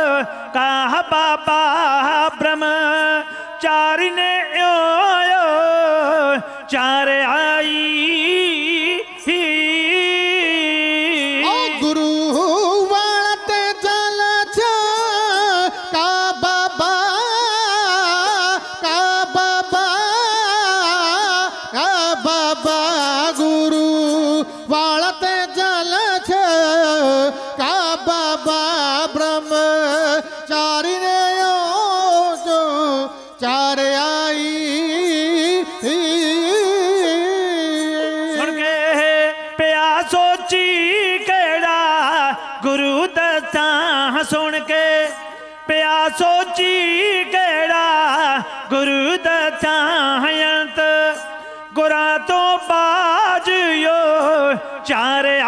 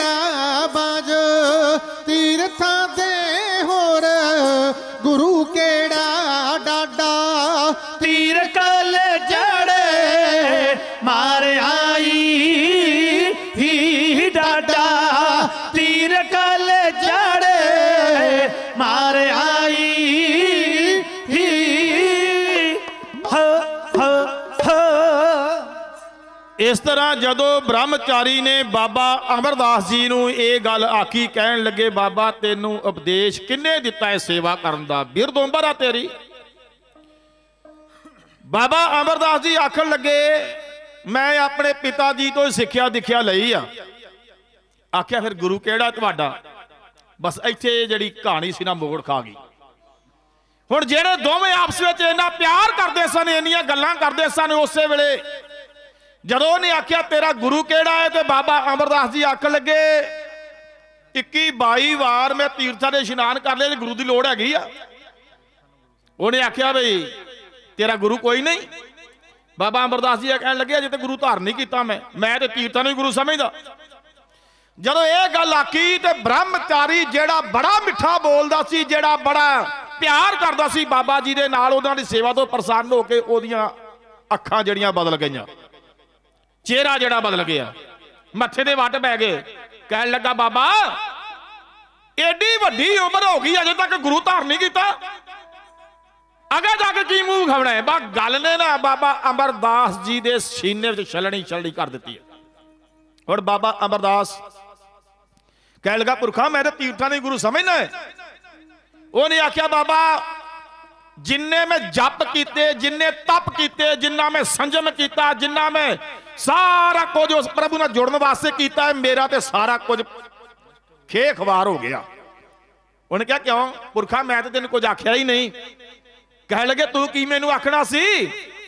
ਨਗੁਰੇ ਦੇ ਹੱਥੋਂ ਜਲ ਛਕ ਲੈਣਾ, ਨਗੁਰੇ ਦੇ ਹੱਥੋਂ ਪ੍ਰਸ਼ਾਦਾ ਛਕ ਲੈਣਾ, ਇਹ ਬੜੀ ਔਖੀ ਗੱਲ ਹੈ। ਕਹਿਣ ਲੱਗੇ, ਪਰ ਤੇਰੇ ਕੋਲ ਮੈਂ ਪ੍ਰਸ਼ਾਦਾ ਵੀ ਛਕਿਆ, ਤੇਰੇ ਕੋਲ ਜਲ ਵੀ ਛਕਿਆ, ਤੇਰੇ ਨਾਲ ਬਚਨ ਵੀ ਕੀਤਾ। ਵੇਦਾ ਸ਼ਾਸਤਰਾਂ ਵਿੱਚ ਤੇ ਬਹੁਤ ਮਾੜਾ ਜਿਹਾ ਨਗੁਰੇ ਦਾ ਸੰਗ ਕਰਨਾ, ਗੁਰੇ- ਨਗੁਰੇ ਦੇ ਕੋਲ ਬਹਿਣਾ। ਆਖਿਆ, ਹੁਣ ਬਾਣੀ ਦਾ ਜੋ ਪ੍ਰਮਾਣ ਹੈ ਵੀ ਜਿਹੜਾ ਨਗੁਰਾ ਬੰਦਾ ਨਾ ਉਹਨਾਂ ਦੇ ਨਾਂ ਲੈਣਾ ਵੀ ਮਾੜਾ। ਨਗੁਰੇ ਕਾ ਹੈ, ਨਾਉ ਬੁਰਾ। ਇਹ ਗੱਲਾਂ ਜਦੋਂ ਬਾਬਾ ਅਮਰਦਾਸ ਜੀ ਨੂੰ ਉਹਨੇ ਆਖੀਆਂ ਤੇ ਕਹਿੰਦੇ, ਉਸੇ ਵੇਲੇ ਆਪਣੀ ਜੁੱਲੀ ਜਪੜੀ ਚੁੱਕ ਕੇ ਤੁਰਦਾ ਬਣਿਆ, ਕਹਿੰਦਾ, ਬਾਬਾ, ਤੇਰਾ ਰਾਹ ਹੋਰ ਆ ਤੇ ਮੇਰਾ ਹੋਰ ਆ। ਮੈਂ ਨਹੀਂ ਤੇ ਕੋਲ ਕੋਲ ਖਲੋਣਾ ਬਾਬਾ ਅਮਰਦਾਸ ਜੀ ਸੋਚੀ ਪੈ ਗਏ। ਇੰਨੀ ਵੱਡੀ ਉਮਰ, ਇੰਨੀ ਉਮਰ ਸਾਰੀ ਹੀ ਮੈਂ ਤੀਰਥਾਂ ਦੇ ਇਸ਼ਨਾਨ ਕਰਦਿਆਂ ਗਵਾ ਲਈ। ਇਹ ਕਹਿੰਦਾ ਹੈ ਬਈ ਤੀਰਥਾਂ ਤੋਂ ਕੋਈ ਲਾਭ ਨਹੀਂ। ਜਦੋਂ ਇਹ ਗੱਲ ਕਹੀ ਨਾ, ਬਾਬਾ ਅਮਰਦਾਸ ਜੀ ਉਹਦੇ ਮਗਰ ਮਗਰ ਤੁਰਦੇ ਆਵਾਜ਼ ਮਾਰੀ, ਆਖਿਆ, ਪੁਰਖਾ, ਜੇ ਕੋਈ ਹੋਰ ਗੱਲ ਹੈਗੀ ਉਹ ਵੀ ਦੱਸ ਜਾਓ ਕਹਿੰਦਾ, ਗੱਲ ਕੋਈ ਨਹੀਂ, ਤੇਰਾ ਤੇ ਗੁਰੂ ਹੀ ਕੋਈ ਨਹੀਂ, ਤੇਰੇ ਨਾਲ ਗੱਲ ਹੀ ਕੋਈ ਨਹੀਂ ਕਰਨੀ। ਬਾਬਾ ਅਮਰਦਾਸ ਜੀ ਹੁਣ ਘਰ ਨੂੰ ਤੁਰ ਪਏ। ਬਾਬਾ ਜੀ ਨੂੰ ਸਾਰਾ ਕੁਝ ਭੁੱਲ ਗਿਆ, ਨਾ ਤੇ ਉਹਨੂੰ ਕੋਈ ਸੇਵਾ ਕਰਨ ਦਾ ਮਨ ਲੱਗੇ। ਕਰਦਿਆਂ ਕਰਦਿਆਂ ਕਰਦਿਆਂ ਕਰਦਿਆਂ ਜਦੋਂ ਘਰ ਪਹੁੰਚਾ ਤੇ ਘਰ ਬਾਬਾ ਜੀ ਨੇ ਭਾਲ ਕੀਤੀ ਆ, ਬਹੁਤ ਸਾਰੇ ਗੁਰੂਆਂ ਨੂੰ ਲੱਭਣ ਦਾ ਯਤਨ ਕੀਤਾ ਵੀ ਕੋਈ ਗੁਰੂ ਲੱਭ ਜੇ, ਕੋਈ ਰੱਬ ਲੱਭੇ ਕਿਤੇ ਹੁਣ ਰੱਬ ਕਿੱਥੋਂ ਲੱਭੇ? ਇਹ ਹੁਣ ਸਾਧਾਂ ਦੇ ਕੋਲ ਜਾਂਦਾ, ਪਖੰਡੀਆਂ ਦੇ ਕੋਲ ਗਿਆ, ਬੜਾ ਇਹ ਪਖੰਡਾ ਵਾਲਿਆਂ ਨੇ ਇਹਨੂੰ ਆਖਿਆ ਤੈਨੂੰ ਅਸੀਂ ਆਹ ਕਰ ਦਿਆਂਗੇ, ਤੈਨੂੰ ਇਸ ਤਰ੍ਹਾਂ ਕਰ ਦਿਆਂਗੇ, ਤੈਨੂੰ ਉਸ ਤਰ੍ਹਾਂ ਕਰ ਦਿਆਂਗੇ। ਸਾਧ ਸੰਗਤ, ਮੈਂ ਕਈ ਵਾਰ ਬੇਨਤੀ ਕਰਦਾ, ਮੈਂ ਕਿਸੇ ਵੀ ਸਾਧੂ ਦੇ, ਕਿਸੇ ਮਹਾਤਮਾ ਦੇ ਮੈਂ ਵਿਰੁੱਧ ਨਹੀਂ ਬੋਲਦਾ ਹੁੰਦਾ। ਇਹ ਮੇਰੀ ਆਪਣੀ ਸੋਚ ਆ। ਪਰ ਜਿਹੜੇ ਪਖੰਡ ਕਰਦੇ ਨੇ, ਉਹਨਾਂ ਦੇ ਹੱਕ ਵਿੱਚ ਵੀ ਕਦੇ ਨਹੀਂ ਜਿਵੇਂ ਬੋਲਿਆ। ਜਿਹੜੇ ਪਖੰਡ ਕਰਦੇ ਨੇ ਲੋਕ, ਉਹਨਾਂ ਦੇ ਹੱਕ ਵਿੱਚ ਵੀ ਨਹੀਂ ਮੈਂ ਬੋਲਦਾ ਹੁੰਦਾ। ਤੇ ਮੈਂ ਇਹ ਗੱਲ ਕਹਿਣੀ ਚਾਹੁੰਦਾ, ਜੇ ਕੋਈ ਬੰਦਾ ਰੱਬ ਨਾਲ ਜੁੜਿਆ ਤੇ ਤੁਹਾਨੂੰ ਰੱਬ ਨਾਲ ਜੋੜਨ ਦਾ ਯਤਨ ਕਰਦਾ ਹੈ, ਉਹਦੇ ਚਰਨਾਂ ਤੇ ਨਕਮਸਤਕ ਹੋ ਜਾਣਾ ਕੋਈ ਵੱਡੀ ਗੱਲ ਨਹੀਂ। ਤੇ ਜਿਹੜੇ ਪਖੰਡ ਕਰਦੇ ਨੇ, ਚੋਲਾ ਪਾ ਕੇ ਤੇ ਇਧਰ ਉਧਰ ਦੀਆਂ ਗੱਲਾਂ ਕਰਕੇ ਤੁਹਾਨੂੰ ਪਖੰਡਵਾਦ ਵਿੱਚ ਪਾਉਂਦੇ ਨੇ, ਮੈਂ ਕਹਿੰਦਾ ਉਹਦੇ ਨੇੜੇ ਨਾ ਜਾਇਆ ਕਰੋ। ਉਹਨੂੰ ਦੂਰੋਂ ਹੀ ਸਲਾਮ ਕਰਤੀ ਵੀ ਜਾ ਤੁਰਿਆ ਫਿਰ ਤੇਰੇ ਨਾਲ, ਤੇਰਾ ਰਸਤਾ ਉਹ ਆ ਤੇ ਸਾਡਾ ਉਹ ਆ। ਪਰ ਸਾਡੀ ਅੱਜ ਫਿਤਰਤ ਇਹ ਬਣੀ ਆ ਵੀ ਅਸੀਂ ਵੇਖਣਾ ਵੀ ਚੋਲਾ ਵਧੀਆ ਪਾਇਆ ਹੋਵੇ ਬਾਬੇ ਨੇ। ਮੇਰੀ ਗੱਲ ਦਾ ਗੁੱਸਾ ਨਾ ਕਰਿਓ। ਮੈਂ ਕਹਿਣ ਤੋਂ ਗਰੇਜ ਨਹੀਂ ਕਰਾਂਗਾ ਕਿਉਂਕਿ ਅਸੀਂ ਤੇ ਵੇਖਦੇ ਆ ਲਿਬਾਸ। ਅੰਦਰ ਵਾਲਾ ਪਾਸਾ ਅਸੀਂ ਕਦੇ ਨਹੀਂ ਜੀ ਵੇਖਿਆ। ਅਸੀਂ ਅੰਦਰ ਨਹੀਂ ਜਾ ਕੇ ਵੇਖਦੇ ਵੀ ਅੰਦਰ ਇਹਨੇ ਕੀ ਕੀ ਕਰਦਾ। ਪਰ ਯਾਦ ਰੱਖਿਓ, ਜਿਹੜਾ ਅੰਦਰੋਂ ਜੁੜਿਆ ਹੁੰਦਾ, ਉਹ ਬਹੁਤਾ ਲਿਬਾਸ ਨਹੀਂ ਕਰਦਾ ਹੁੰਦਾ। ਤੇ ਅੱਜ ਅਸੀਂ ਇਹ ਸੋਚ ਰਹੇ ਆ ਵੀ ਉਹ ਬਾਬਾ ਬੜਾ ਵਧੀਆ, ਉਹਦੇ ਕੋਲ ਚਲੀਏ, ਜਾ ਕੇ ਮੱਥਾ ਟੇਕੀਏ, ਉਹਦੇ ਕੋਲ ਕਹੀਏ ਤੇ ਬਾਬਾ ਭਾਵੇਂ ਆਪ ਮੇਰੇ ਵਰਗਾ ਉਦਾਂ ਦਾ ਹੀ ਹੋਵੇ। ਬਾਬਾ ਭਾਵੇਂ ਅੱਜ ਇਦਾਂ ਦਾ ਹੀ ਹੋਵੇ।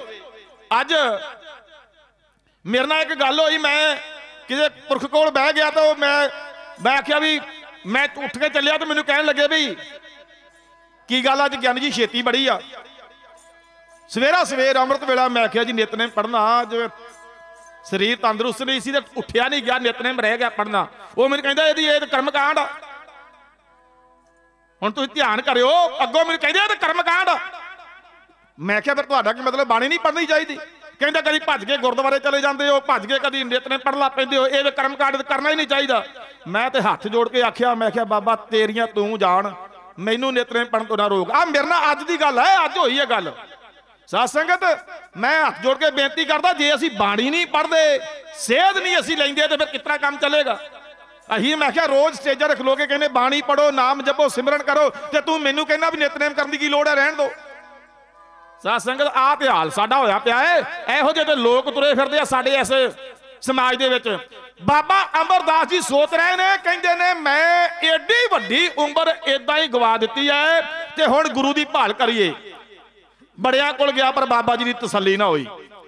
ਹੁਣ ਬਾਬਾ ਅਮਰਦਾਸ ਜੀ ਆਪਣੇ ਘਰ ਲੰਮੇ ਪਿਆ ਰਾਤ ਨੂੰ ਨੀਂਦਰ ਨਹੀਂ ਆਉਂਦੀ ਤੇ ਦਿਨ ਵੇਲੇ ਚੈਨ ਨਹੀਂ ਆਉਂਦਾ। ਬਾਬਾ ਜੀ ਬੜੇ ਔਖੇ ਹੋ ਰਹੇ ਨੇ, ਲੱਭਦੇ ਨੇ ਗੁਰੂ, ਕੋਈ ਸੱਚਾ ਗੁਰੂ ਲੱਭੇ, ਪਰ ਗੁਰੂ ਸੱਚਾ ਲੱਭੇ ਤਾਂ ਗੱਲ ਬਣੇ ਨਾ। ਗੁਰੂ ਸੱਚਾ ਕਿਤੇ ਮਿਲਦਾ ਨਹੀਂ।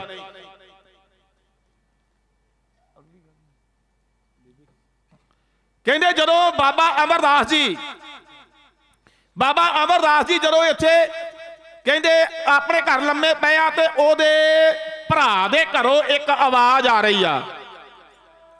ਉਹ ਆਵਾਜ਼ ਕਾਦੀ ਸੀ? ਬੀਬੀ ਜੀ ਹੋਰੀ ਬਾਣੀ ਪੜ ਰਹੇ ਆ, ਬੀਬੀ ਜੀ ਹੋਰੀ। ਉਹ ਬੀਬੀ ਕੌਣ ਆ? ਗੁਰੂ ਅੰਗਦ ਦੇਵ ਸਾਹਿਬ ਮਹਾਰਾਜ ਜੀ ਜੀਆਂ ਦੀ ਸੁਪੁੱਤਰੀ। ਇਹ ਬਾਬਾ ਅਮਰਦਾਸ ਜੀ ਦੇ ਭਤੀਜੇ ਨੂੰ ਵਿਆਹੀ ਹੋਈ ਸੀ।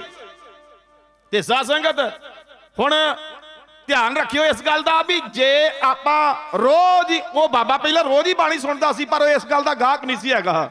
ਬਾਬਾ ਜੀ ਨੂੰ ਬਾਣੀ ਬਾਰੇ ਗਿਆਨ ਨਹੀਂ ਸੀ, ਉਦੋਂ ਹੈਗਾ। ਰੋਜ਼ ਅੱਗੇ ਬੀਬੀ ਬਾਣੀ ਪੜ੍ਹਦੀ ਆ। ਬੀਬੀ ਅੰਮ੍ਰਿਤ ਵੇਲੇ ਉੱਠੀ ਬੀਬੀ ਅਮਰੋ ਜੀ। ਕਹਿੰਦੇ ਉਹਨਾਂ ਨੇ ਦੁੱਧ ਚਾਟੀ ਵਿੱਚ ਜਿਹੜਾ ਰਾਤ ਦਾ ਜਮਾਇਆ, ਉਹਦੇ ਵਿੱਚ ਮਧਾਣੀ ਰੱਖੀ ਹੈ ਤੇ ਮਧਾਣੀ ਰੱਖ ਕੇ ਤੇ ਕਹਿੰਦੇ ਨੇ ਫਿਰ ਬਾਬਾ ਅੰਬਰ ਦਾ ਬੀਬੀ ਅਮਰੋ ਜੀ, ਜਦੋਂ ਮਧਾਣੀ ਵਾਸ, ਉਹ ਲੱਗੇ ਦੁੱਧ ਰਿੜਕਣ ਤੇ ਕਹਿੰਦੇ ਨਾਲ ਹੀ ਆਸਾ ਜੀ ਦੀ ਵਾਰ ਦਾ ਉਹਨਾਂ ਨੇ ਪਾਠ ਸ਼ੁਰੂ ਕਰ ਦਿੱਤਾ। ਆਸਾ ਜੀ ਦੀ ਵਾਰ ਦਾ ਪਾਠ ਸ਼ੁਰੂ ਕੀਤਾ ਹੈ। ਤੇ ਕਹਿੰਦੇ ਬਾਬਾ ਅਮਰਦਾਸ ਜੀ, ਕਹਿੰਦੇ ਬਾਬਾ ਅਮਰਦਾਸ ਜੀ, ਇਹ ਸੁਣ ਰਹੇ ਨੇ। ਜਦੋਂ ਇਹ ਬਾਣੀ ਸੁਣ ਲਈ ਬਾਬਾ ਅਮਰਦਾਸ ਜੀ ਨੇ, ਤੇ ਸਾਧ ਸੰਗਤ ਜੀ ਫਿਰ ਬਾਬਾ ਅਮਰਦਾਸ ਜੀ ਕਹਿੰਦੇ ਨੇ, ਜੇ ਬਾਣੀ ਇੰਨੀ ਮਿੱਠੀ ਹੈ, ਸਾਧ ਸੰਗਤ ਸਤਕਾਰਯੋਗ ਯਾਨੀ ਸੁਖਪ੍ਰੀਤ ਸਿੰਘ ਜੀ ਉਦੋਕੇ ਸਾਹਿਬ, ਉਹ ਵੀ ਪਹੁੰਚੇ ਆ, ਉਹਨਾਂ ਦੇ ਨਾਲ ਦਿੱਲੀ ਕਮੇਟੀ ਧਰਮ ਪ੍ਰਚਾਰ ਦੇ ਮੁਖੀ ਜਸਵੀਰ ਸਿੰਘ ਜੀ ਕਰਮਸਰ, ਜਿਹੜੇ ਆਪ ਵੀ ਬੜੇ ਸਿਆਣੇ ਆ। ਵਾਹਿਗੁਰੂ ਕਿਰਪਾ ਕਰੇ, ਸਰਬੱਤ ਮਾਈ ਭਾਈ ਸੰਗਤਾਂ ਨੂੰ ਚੜ੍ਹਦੀ ਕਲਾ ਵਿੱਚ ਰੱਖੇ ਤੇ ਜਿਹੜਾ ਇਤਿਹਾਸ ਹੈ ਜਾਂ ਜਿਹੜੀ ਗੁਰਬਾਣੀ ਹੈ, ਇਹਦੇ ਨਾਲ ਮੇਰਾ ਦਾਤਾ ਜੀ ਜੋੜ ਕੇ ਰੱਖੇ। ਜੇ ਅਸੀਂ ਇਹ ਗੁਰਬਾਣੀ ਦੇ ਇਤਿਹਾਸ ਨਾਲ ਜੁੜੇ ਰਹੇ, ਤੇ ਸਾਡੀ ਜ਼ਿੰਦਗੀ ਬਣੀ ਰਹਿਣੀ ਆ, ਤੇ ਜੇ ਇਤਿਹਾਸ ਤੇ ਗੁਰਬਾਣੀ ਨਾਲੋਂ ਟੁੱਟ ਗਏ, ਤੇ ਸੱਚ ਜਾਣਿਓ, ਸਾਰੀ ਖੇਡ ਵਿਗੜ ਜਾਏਗੀ। ਅਰਦਾਸ ਕਰਿਆ ਕਰੋ ਬਾਬਾ। ਅੰਮ੍ਰਿਤ ਵੇਲੇ ਦਾ ਜਾਗਣਾ ਬਖਸ਼ੀ ਤੇ ਅੰਮ੍ਰਿਤ ਵੇਲੇ ਨਿਤਨੇਮ ਕਰਨ ਦਾ ਬਲ ਬਖਸ਼ਿਓ। ਬਾਬਾ ਜੀ, ਕਿਰਪਾ ਕਰਿਓ, ਰਹਿਮਤ ਕਰਿਓ। ਜੇ ਕਿਤੇ ਅੰਮ੍ਰਿਤ ਵੇਲਾ ਸਾਡੇ ਹੱਥੀ ਲੱਗ, ਸਾਡੇ ਹੱਥ ਚ ਰਿਹਾ ਤੇ ਸਾਰਾ ਕੁਝ ਠੀਕ ਹੋ ਜਾਵੇਗਾ। ਜੇ ਅੰਮ੍ਰਿਤ ਵੇਲਾ ਸਾਡੇ ਹੱਥੋਂ ਖੁੱਸ ਗਿਆ ਤੇ ਸੱਚ ਜਾਣਿਓ, ਜ਼ਿੰਦਗੀ ਕੋਈ ਨਹੀਂ। ਅਰਦਾਸ ਕਰਿਆ ਕਰੋ। ਗਿਆਨੀ ਜੀ ਉਰੀ ਆਏ ਨੇ, ਸਤਿਕਾਰਯੋਗ ਚੇਅਰਮੈਨ ਸਾਹਿਬ ਆਏ ਨੇ, ਹੋਰ ਬਹੁਤ ਸਾਰੇ ਗੁਰਮੁਖ ਸਾ- ਗੁਰਮੁਖ ਜਾਨ ਬੈਠੇ ਨੇ। ਸਤਿਕਾਰਯੋਗ ਭਾਈ ਸਾਹਿਬ ਹੈਡ ਗ੍ਰੰਥੀ ਗੁਰਦੁਆਰਾ ਬਾਲਾ ਸਾਹਿਬ ਵਾਲੇ ਬੈਠੇ ਨੇ। ਸਤਿਕਾਰਯੋਗ ਭਾਈ ਸਾਹਿਬ, ਭਾਈ ਮਨੋਹਰ ਸਿੰਘ ਜੀ, ਉਹ ਵੀ ਆਏ ਹੋਏ ਨੇ। ਸਾਰਾ ਪਰਿਵਾਰ ਹੈ, ਵਾਹਿਗੁਰੂ ਕਿਰਪਾ ਕਰੇ। ਸਾਰੀਆਂ ਸੰਗਤਾਂ ਦਾ ਦਾਸ ਤਹਿ ਦਿਲੋਂ ਧੰਨਵਾਦ ਕਰਦਾ ਹੈ। ਗਿਆਨੀ ਬਲਦੇਵ ਸਿੰਘ ਜੀ, ਪੱਟੀ ਸਾਹਿਬ, ਜੋ ਜੋ ਇਹ ਗੁਰਦੁਆਰਾ ਨਾਨਕ ਦੇਵ ਸਾਹਿਬ ਦੇ ਹੈਡ ਗ੍ਰੰਥੀ ਸਾਹਿਬਾਨ, ਉਹ ਵੀ ਆਏ ਨੇ। ਸਾਧ ਸੰਗਤ, ਮੈਨੂੰ ਇਸ਼ਾਰਾ ਹੋ ਗਿਆ ਹੈ। ਮੈਂ ਅਗੇਰੇ ਨਾ ਜਾਵਾਂ ਕਿਉਂਕਿ ਮੈਂ ਤੁਹਾਡੇ ਵਿੱਚ ਤੇ ਗਿਆਨੀ ਜੀ ਹੋਰਾਂ ਵਿੱਚ ਬਹੁਤਾ ਸਮਾਂ ਨਹੀਂ ਖਲੋਣਾ ਚਾਹੁੰਦਾ ਕਿਉਂਕਿ ਉਹਨਾਂ ਨੇ ਜੋ ਕੁਝ ਤੁਹਾਨੂੰ ਦੱਸਣਾ ਹੈ, ਮੈਂ ਉੱਥੋਂ ਤੱਕ ਅਜੇ ਤੱਕ ਨਹੀਂ ਅਪੜਿਆ। ਕਿਉਂਕਿ ਉਹਨਾਂ ਕੋਲ ਬਹੁਤ ਜ਼ਿਆਦਾ ਸਟੱਡੀ ਕੀਤੀ ਉਹਨਾਂ ਨੇ। ਵਾਹਿਗੁਰੂ ਜੀ ਕਿਰਪਾ ਕਰਨ, ਸਾਰੀਆਂ ਸੰਗਤਾਂ ਨੂੰ ਤੰਦਰੁਸਤੀ ਦੇਣ। ਤੇ ਮੈਂ ਇੱਥੇ ਸਮਾਪਤੀ ਕਰਦਾ। ਅਗਲੀ ਸਟੇਜ ਦਾ ਜਿਹੜਾ ਪ੍ਰਬੰਧ ਹੈ, ਜਾਂ ਵੀਰ ਡਾਕਟਰ ਸਾਹਿਬ ਜੀ। ਹਾਂਜੀ, ਆਓ ਸਾਧ ਸੰਗਤ, ਸਾਰਾ ਇਹ ਪ੍ਰਬੰਧ ਜਿਹੜਾ ਸਟੇਜ ਦਾ ਡਾਕਟਰ ਸਾਹਿਬ ਤੁਹਾਡੇ ਸਾਹਮਣੇ, ਉਹ ਰੱਖਣਗੇ। ਉਹਨਾਂ ਦੇ ਕੋਲੋਂ ਸਾਰਾ ਅਗਲਾ ਜਿਹੜਾ ਪ੍ਰਬੰਧ, ਉਹ ਇਹ ਚਲਾਉਣ, ਸਟੇਜ ਚਲਾਉਣ ਦਾ ਜੋ ਅਗਲਾ ਪ੍ਰੋਗਰਾਮ ਸਾਰਾ ਤੁਹਾਨੂੰ ਦੱਸਣਗੇ। ਦਾਸ ਦੀ ਬੇਨਤੀ, ਇੰਨੀ ਕੁ ਪ੍ਰਵਾਨ ਕਰਿਆ ਜੇ। ਇੱਕ ਵਾਰ ਹੱਥ ਜੋੜ ਕੇ ਫੇਰ ਬੇਨਤੀ ਆ, ਅੰਮ੍ਰਿਤ ਵੇਲੇ ਉੱਠਿਆ ਕਰੋ, ਨਾਮ ਜਪਿਆ ਕਰੋ, ਬਾਣੀ ਪੜਿਆ ਕਰੋ, ਸੇਵਾ ਕਰਿਆ ਕਰੋ, ਗੁਰੂ ਕੀ ਸੰਗਤ ਦੇ ਵਿੱਚ ਜੁੜਿਆ ਕਰੋ। ਤੇ ਜਦੋਂ ਇਹੋ ਜਿਹੇ ਸੈਮੀਨਾਰ ਹੁੰਦੇ ਨੇ, ਜਦੋਂ ਇਸ ਤਰ੍ਹਾਂ ਵਿਦਵਾਨ ਸੱਜਣ ਆਉਂਦੇ ਨੇ, ਉਹਨਾਂ ਦੇ ਵਿਚਾਰ ਸੁਣਨ ਵਾਸਤੇ ਜ਼ਰੂਰ ਪਹੁੰਚਿਆ ਕਰੋ। ਸਾਸੰਗ ਹੋਈਆਂ ਭੁੱਲਾਂ, ਗਲਤੀਆਂ ਨੂੰ ਨਾਚਦਾ ਚਤਾਰਿਓ ਸਰਬੱਤ ਮਾਈ ਭਾਈ, ਇੱਕ ਵਾਰ ਪਿਆਰ ਦਾ ਸਬੂਤ ਦਿੰਦੇ ਹੋਏ ਗੱਜ ਕੇ ਆਖੋ ਜੀ, ਵਾਹਿਗੁਰੂ ਜੀ ਕਾ ਖਾਲਸਾ। ਵਾਹਿਗੁਰੂ ਜੀ ਕੀ ਫਤਿਹ।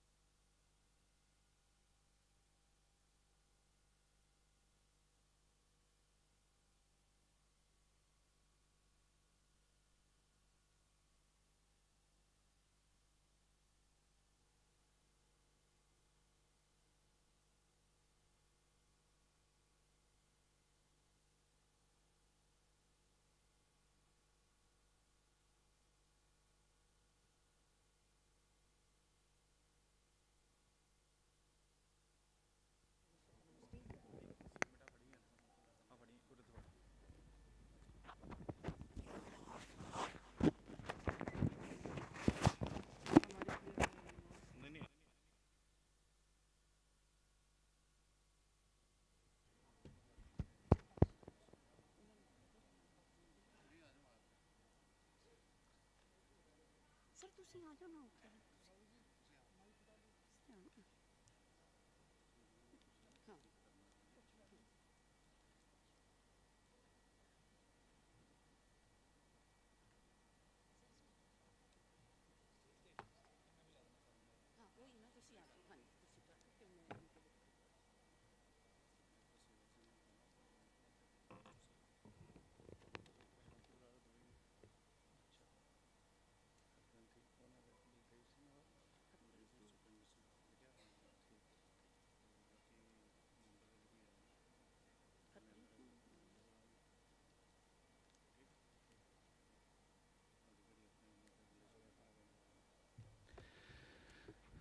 ਹਰ ਜੀਓ ਨਿਮਾਣਿਆਂ ਤੂੰ ਮਾਣ। ਨਿਚਜਿਆਂ ਚੀਜ਼ ਕਰੇ ਮੇਰਾ ਗੋਬਿੰਦ ਤੇਰੀ ਕੁਦਰਤ ਕੋ ਕੁਰਬਾਨ। ਨਿਮਾਣਿਓ ਕੇ ਮਾਨ ਸਤਿਗੁਰੂ, ਨਿਤਾਣਿਓ ਕੇ ਤਾਣ ਸਤਿਗੁਰੂ। ਸਾਹਿਬ ਸ੍ਰੀ ਗੁਰੂ ਅਮਰਦਾਸ ਪਾਤਸ਼ਾਹ ਦਾ ਜੋਤੀ ਜੋਤ ਪੁਰਬ ਮਨਾਉਂਦੇ ਆ ਉਹਨਾਂ ਦੇ ਬਾਬਤ ਇਤਿਹਾਸ ਸਰਵਣ ਕਰਨ ਵਾਸਤੇ ਇਸ ਸੈਮੀਨਾਰ ਦੇ ਵਿੱਚ ਆਏ ਹੋਏ ਸਾਰੇ ਹੀ ਗੁਰਮੁਖ ਮਾਈ ਭਾਈ, ਆਓ ਸਭ ਤੋਂ ਪਹਿਲਾਂ ਸਤਿਗੁਰਾਂ ਨੂੰ ਸੀਸ ਨਵਾਈਏ। ਉਹਨਾਂ ਦਾ ਧਿਆਨ ਕਰਕੇ ਫਤਿਹ ਬੁਲਾਈਏ ਜੀ। ਵਾਹਿਗੁਰੂ ਜੀ ਕਾ ਖਾਲਸਾ, ਵਾਹਿਗੁਰੂ ਜੀ ਕੀ ਫਤਿਹ। ਇਸ ਸੈਮੀਨਾਰ ਦੇ ਵਿੱਚ ਪਹੁੰਚੇ ਆਪ ਸਾਰੇ ਹੀ ਜਿਗਿਆਸੂ ਜਨ, ਸਿੱਖਿਆਰਥੀ ਜਨ, ਜਿਤਨੇ ਵੀ ਪਹੁੰਚੇ ਹੋ, ਆਪਾਂ ਅੱਜ ਉਚੇਚੇ ਤੌਰ ਤੇ ਕੁਝ ਚੰਗਾ ਸੁਣਨ ਜਾ ਰਹੇ ਹਾਂ। ਸੁਣਨ ਦੇ ਵਾਸਤੇ ਸਾਡੇ ਵਿੱਚ ਉਚੇਚੇ ਤੌਰ ਤੇ Delhi Sikh Gurdwara Management Committee, Dharam Prachar Committee ਵੱਲੋਂ ਕੀਤੀ ਹੋਈ ਬੇਨਤੀ ਨੂੰ ਪ੍ਰਵਾਨ ਕਰਦੇ ਹਾਂ। ਡਾਕਟਰ ਸੁਖ, ਸੁਖਪ੍ਰੀਤ ਸਿੰਘ ਜੀ ਉਦੋਂ ਕੇ ਮਹਾਨ ਵਿਦਵਾਨ, ਪੰਥ ਦੀ ਅਜ਼ੀਮ ਸ਼ਖਸੀਅਤ ਸਾਡੇ ਵਿੱਚ ਪਹੁੰਚੇ ਨੇ ਔਰ ਡਾਕਟਰ ਸੇਵਕ ਸਿੰਘ ਜੀ ਅਨੰਦਪੁਰ ਸਾਹਿਬ ਵਾਲੇ। ਉਚੇਚੇ ਤੌਰ ਤੇ ਬੇਨਤੀਆਂ ਨੂੰ ਪ੍ਰਵਾਨ ਕਰਦਿਆਂ ਦਿੱਲੀ ਦੀ ਸੰਗਤਾਂ ਨੂੰ ਦਰਸ਼ਨ ਦੇਣ ਵਾਸਤੇ ਔਰ ਦਰਸ਼ਨ ਕਰਨ ਵਾਸਤੇ ਪਹੁੰਚੇ ਨੇ। ਮੈਂ ਇਹਨਾਂ ਨੂੰ ਦਿੱਲੀ ਸਿੱਖ ਗੁਰਦੁਆਰਾ ਮੈਨੇਜਮੈਂਟ ਕਮੇਟੀ ਔਰ ਧਰਮ ਪ੍ਰਚਾਰ ਕਮੇਟੀ ਵੱਲੋਂ ਜੀ ਆਇਆਂ ਕਹਿਣਾ ਮੈਂ ਸਭ ਤੋਂ ਪਹਿਲਾਂ ਬੇਨਤੀ ਕਰਾਂ ਕਿ ਡਾਕਟਰ ਸੁਖਪ੍ਰੀਤ ਸਿੰਘ ਜੀ ਉਦੋਂ ਕੇ ਡਾਕਟਰ ਸੇਵਕ ਸਿੰਘ ਜੀ ਉਹ ਸਟੇਜ ਤੇ ਆ ਜਾਣ, ਆਪਣਾ ਸਥਾਨ ਲੈਣਗੇ ਔਰ ਡਾਕ ਹੈਡ ਗ੍ਰੰਥੀ ਸਾਹਿਬਾਨ ਸੁਖਵਿੰਦਰ ਸਿੰਘ ਜੀ ਬਾਲਾ ਸਾਹਿਬ ਤੋਂ, ਉਹਨਾਂ ਨੂੰ ਵੀ ਮੈਂ ਬੇਨਤੀ ਕਰਦਾ ਕਿ ਸਟੇਜ ਤੇ ਆ ਜਾਣ। ਗਿਆਨੀ ਬਲਦੇਵ ਸਿੰਘ ਜੀ, ਉਹਨਾਂ ਨੂੰ ਵੀ ਮੈਂ ਬੇਨਤੀ ਕਰਦਾ ਕਿ ਸਟੇਜ ਤੇ ਆ ਜਾਣ। ਸਾਡੇ ਮੈਂਬਰ ਸਹਿਬਾਨ ਹਰਜੀਤ ਸਿੰਘ ਪੱਪਾ ਜੀ, ਚੇਅਰਮੈਨ ਪੋਲੀਟੈਕਨਿਕ ਔਰ ਰਮਨਦੀਪ ਸਿੰਘ ਥਾਪਰ ਜੀ, ਉਹਨਾਂ ਨੂੰ ਵੀ ਮੈਂ ਬੇਨਤੀ ਕਰਦਾ ਕਿ ਸਟੇਜ ਤੇ ਆ ਜਾਓ। ਪ੍ਰਿੰਸੀਪਲ ਹਰਪ੍ਰੀਤ ਕੌਰ ਜੀ, ਮਾਤਾ ਸੁੰਦਰੀ ਕਾਲਜ ਤੋਂ ਉਹਨਾਂ ਨੂੰ ਵੀ ਮੈਂ ਬੇਨਤੀ ਕਰਦਾ ਸਟੇਜ ਤੇ ਆ ਜਾਣ। ਸੋ ਅੱਜ ਦਾ ਜੋ ਸਾਡਾ ਮੇਨ ਟੌਪਿਕ ਹੈ, ਗੁਰੂ ਅਮਰਦਾਸ ਪਾਤਸ਼ਾਹ ਨੂੰ ਸੇਵਾ ਦੇ ਪੁੰਜ ਕਿਹਾ ਗਿਆ। ਔਰ ਸੇਵਾ ਕਰਦਿਆਂ ਕਰਦਿਆਂ ਕਿਸ ਤਰ੍ਹਾਂ ਨਿਮਰਤਾ ਸਾਡੇ ਵਿੱਚ ਆਉਂਦੀ ਹੈ। ਕਈ ਵਾਰੀ ਸੇਵਾ ਕਰਦਿਆਂ ਕਰਦਿਆਂ ਹਉਮੈ ਵੀ ਆ ਜਾਂਦੀ ਹੈ। ਪਰ ਉਸ ਹਉਮੈ ਤੋਂ ਕਿਵੇਂ ਬਚ ਕੇ ਨਿਮਰਤਾ ਆਪਣੇ ਮਨ ਦੇ ਵਿੱਚ ਕਿਵੇਂ ਲਿਆਂਦੀ ਜਾਵੇ, ਇਹ ਸਾਰੀਆਂ ਗੱਲਾਂ ਅੱਜ ਆਪਾਂ ਆਪਣੇ ਬੁਲਾਰਿਆਂ ਤੋਂ ਸੁਣਨ ਦੀ ਜਿਗਿਆਸਾ ਰੱਖ ਕੇ ਆਏ ਹਾਂ। ਔਰ ਮੈਂ ਵੀ ਬੜੇ ਸ਼ੌਂਕ ਦੇ ਨਾਲ ਅੱਜ ਡਾਕਟਰ ਸੇਵਕ ਸਿੰਘ ਤੇ ਡਾਕਟਰ ਸੁਖਪ੍ਰੀਤ ਸਿੰਘ ਉਦੋਕੇ ਨੂੰ ਸੁਣਨ ਵਾਸਤੇ ਆਇਆ ਆਓ ਆਪਾਂ ਸਭ ਤੋਂ ਪਹਿਲਾਂ ਮੈਂ ਬੇਨਤੀ ਕਰਾਂ ਡਾਕਟਰ ਹਰਬੰਸ ਕੌਰ ਸੱਗੂ ਜੀ, ਕੁਝ ਮਿੰਟ ਆਪ ਨਾਲ ਵਿਸਾ- ਵਿਚਾਰ ਸਾਂਝੇ ਕਰਨਗੇ। ਉਹਨਾਂ ਤੋਂ ਬਾਅਦ ਆਪਾਂ ਫਿਰ ਡਾਕਟਰ ਸੇਵਕ ਸਿੰਘ ਜੀ ਤੋਂ ਪਹਿਲਾਂ ਵਿਚਾਰ ਸਰਵਣ ਕਰਾਂਗੇ। ਫਿਰ ਡਾਕਟਰ ਸੁਖਪ੍ਰੀਤ ਸਿੰਘ ਉਦੋਂ ਕੇ ਆਪ ਸਭ ਸੰਗਤਾਂ ਦੇ ਦਰਸ਼ਨ ਕਰਨਗੇ। ਵਾਹਿਗੁਰੂ ਜੀ ਕਾ ਖਾਲਸਾ, ਵਾਹਿਗੁਰੂ ਜੀ ਕੀ ਫਤਿਹ।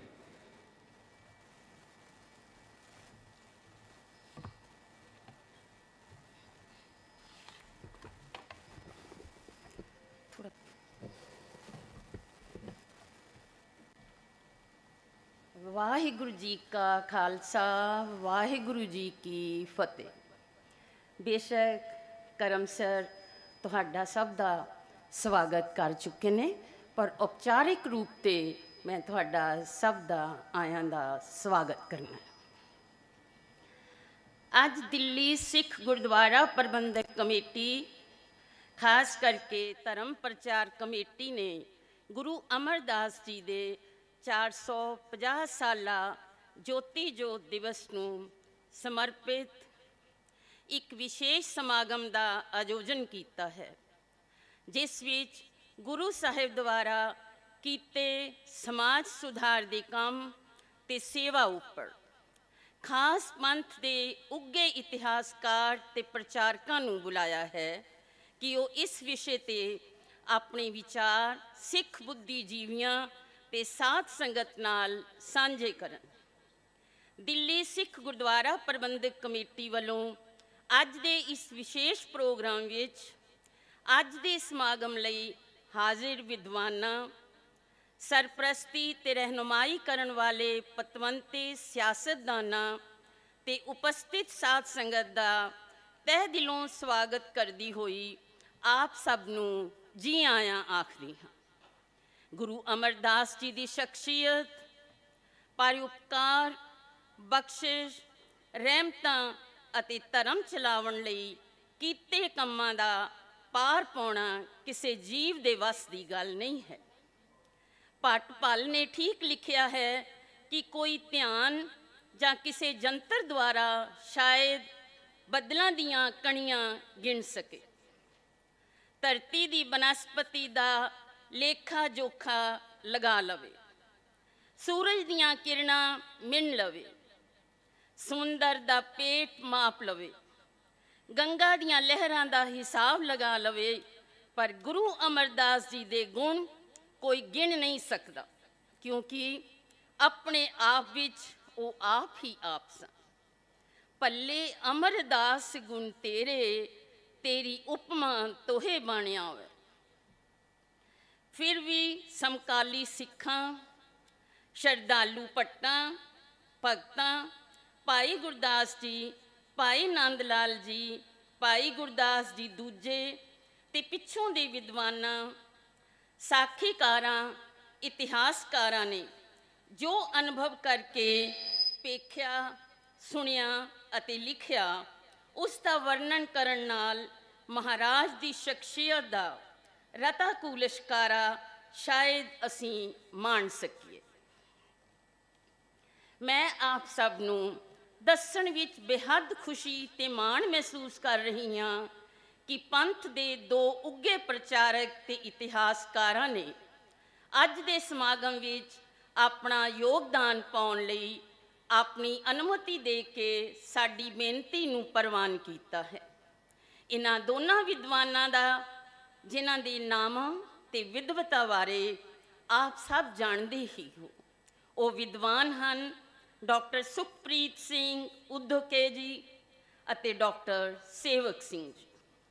ਡਾਕਟਰ ਸੁਖਪ੍ਰੀਤ ਸਿੰਘ ਜੀ ਉਦਕੇ ਸਿੱਖ ਇਤਿਹਾਸ ਦੇ ਉੱਗੇ ਵਿਦਵਾਨ ਇਤਿਹਾਸਕਾਰ ਹਨ।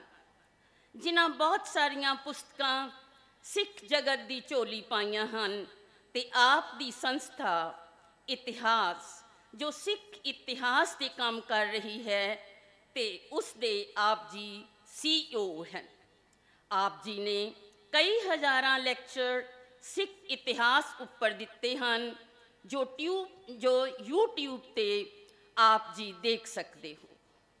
ਡਾਕਟਰ ਸੇਵਕ ਸਿੰਘ ਜੀ ਵੀ ਸਿੱਖ ਰਿਸਰਚਰ ਹਨ, ਜਿਨ੍ਹਾਂ ਗੁਰਬਾਣੀ ਵਿਆਕਰਣ ਉੱਤੇ ਡੀ ਦੀ ਡਿਗਰੀ ਪ੍ਰਾਪਤ ਕੀਤੀ ਹੈ। ਆਪ ਜੀ ਸਿੱਖ ਸਟੂਡੈਂਟ ਫੈਡਰੇਸ਼ਨ ਦੇ ਪ੍ਰੈਜ਼ੀਡੈਂਟ ਵੀ ਰਹੇ ਹਨ ਅਤੇ ਸਿੱਖ ਸ਼ਹਾਦਤ ਦੇ ਆਪ ਜੀ ਸਬ ਐਡੀਟਰ। ਉਸ ਦੇ ਨਾਲ ਹੀ ਆਪ ਜੀ ਨੇ ਸਿੱਖੀਜ਼ਮ ਦੇ ਕਈ ਵਿਸ਼ਿਆਂ ਉੱਪਰ ਭਾਸ਼ਣ ਦਿੱਤੇ ਹਨ ਤੇ ਸੰਗਤਾਂ ਤੇ ਬੇਹੱਦ ਪਿਆਰ ਦੇ ਪਾਤਰ ਬਣੇ ਹਨ।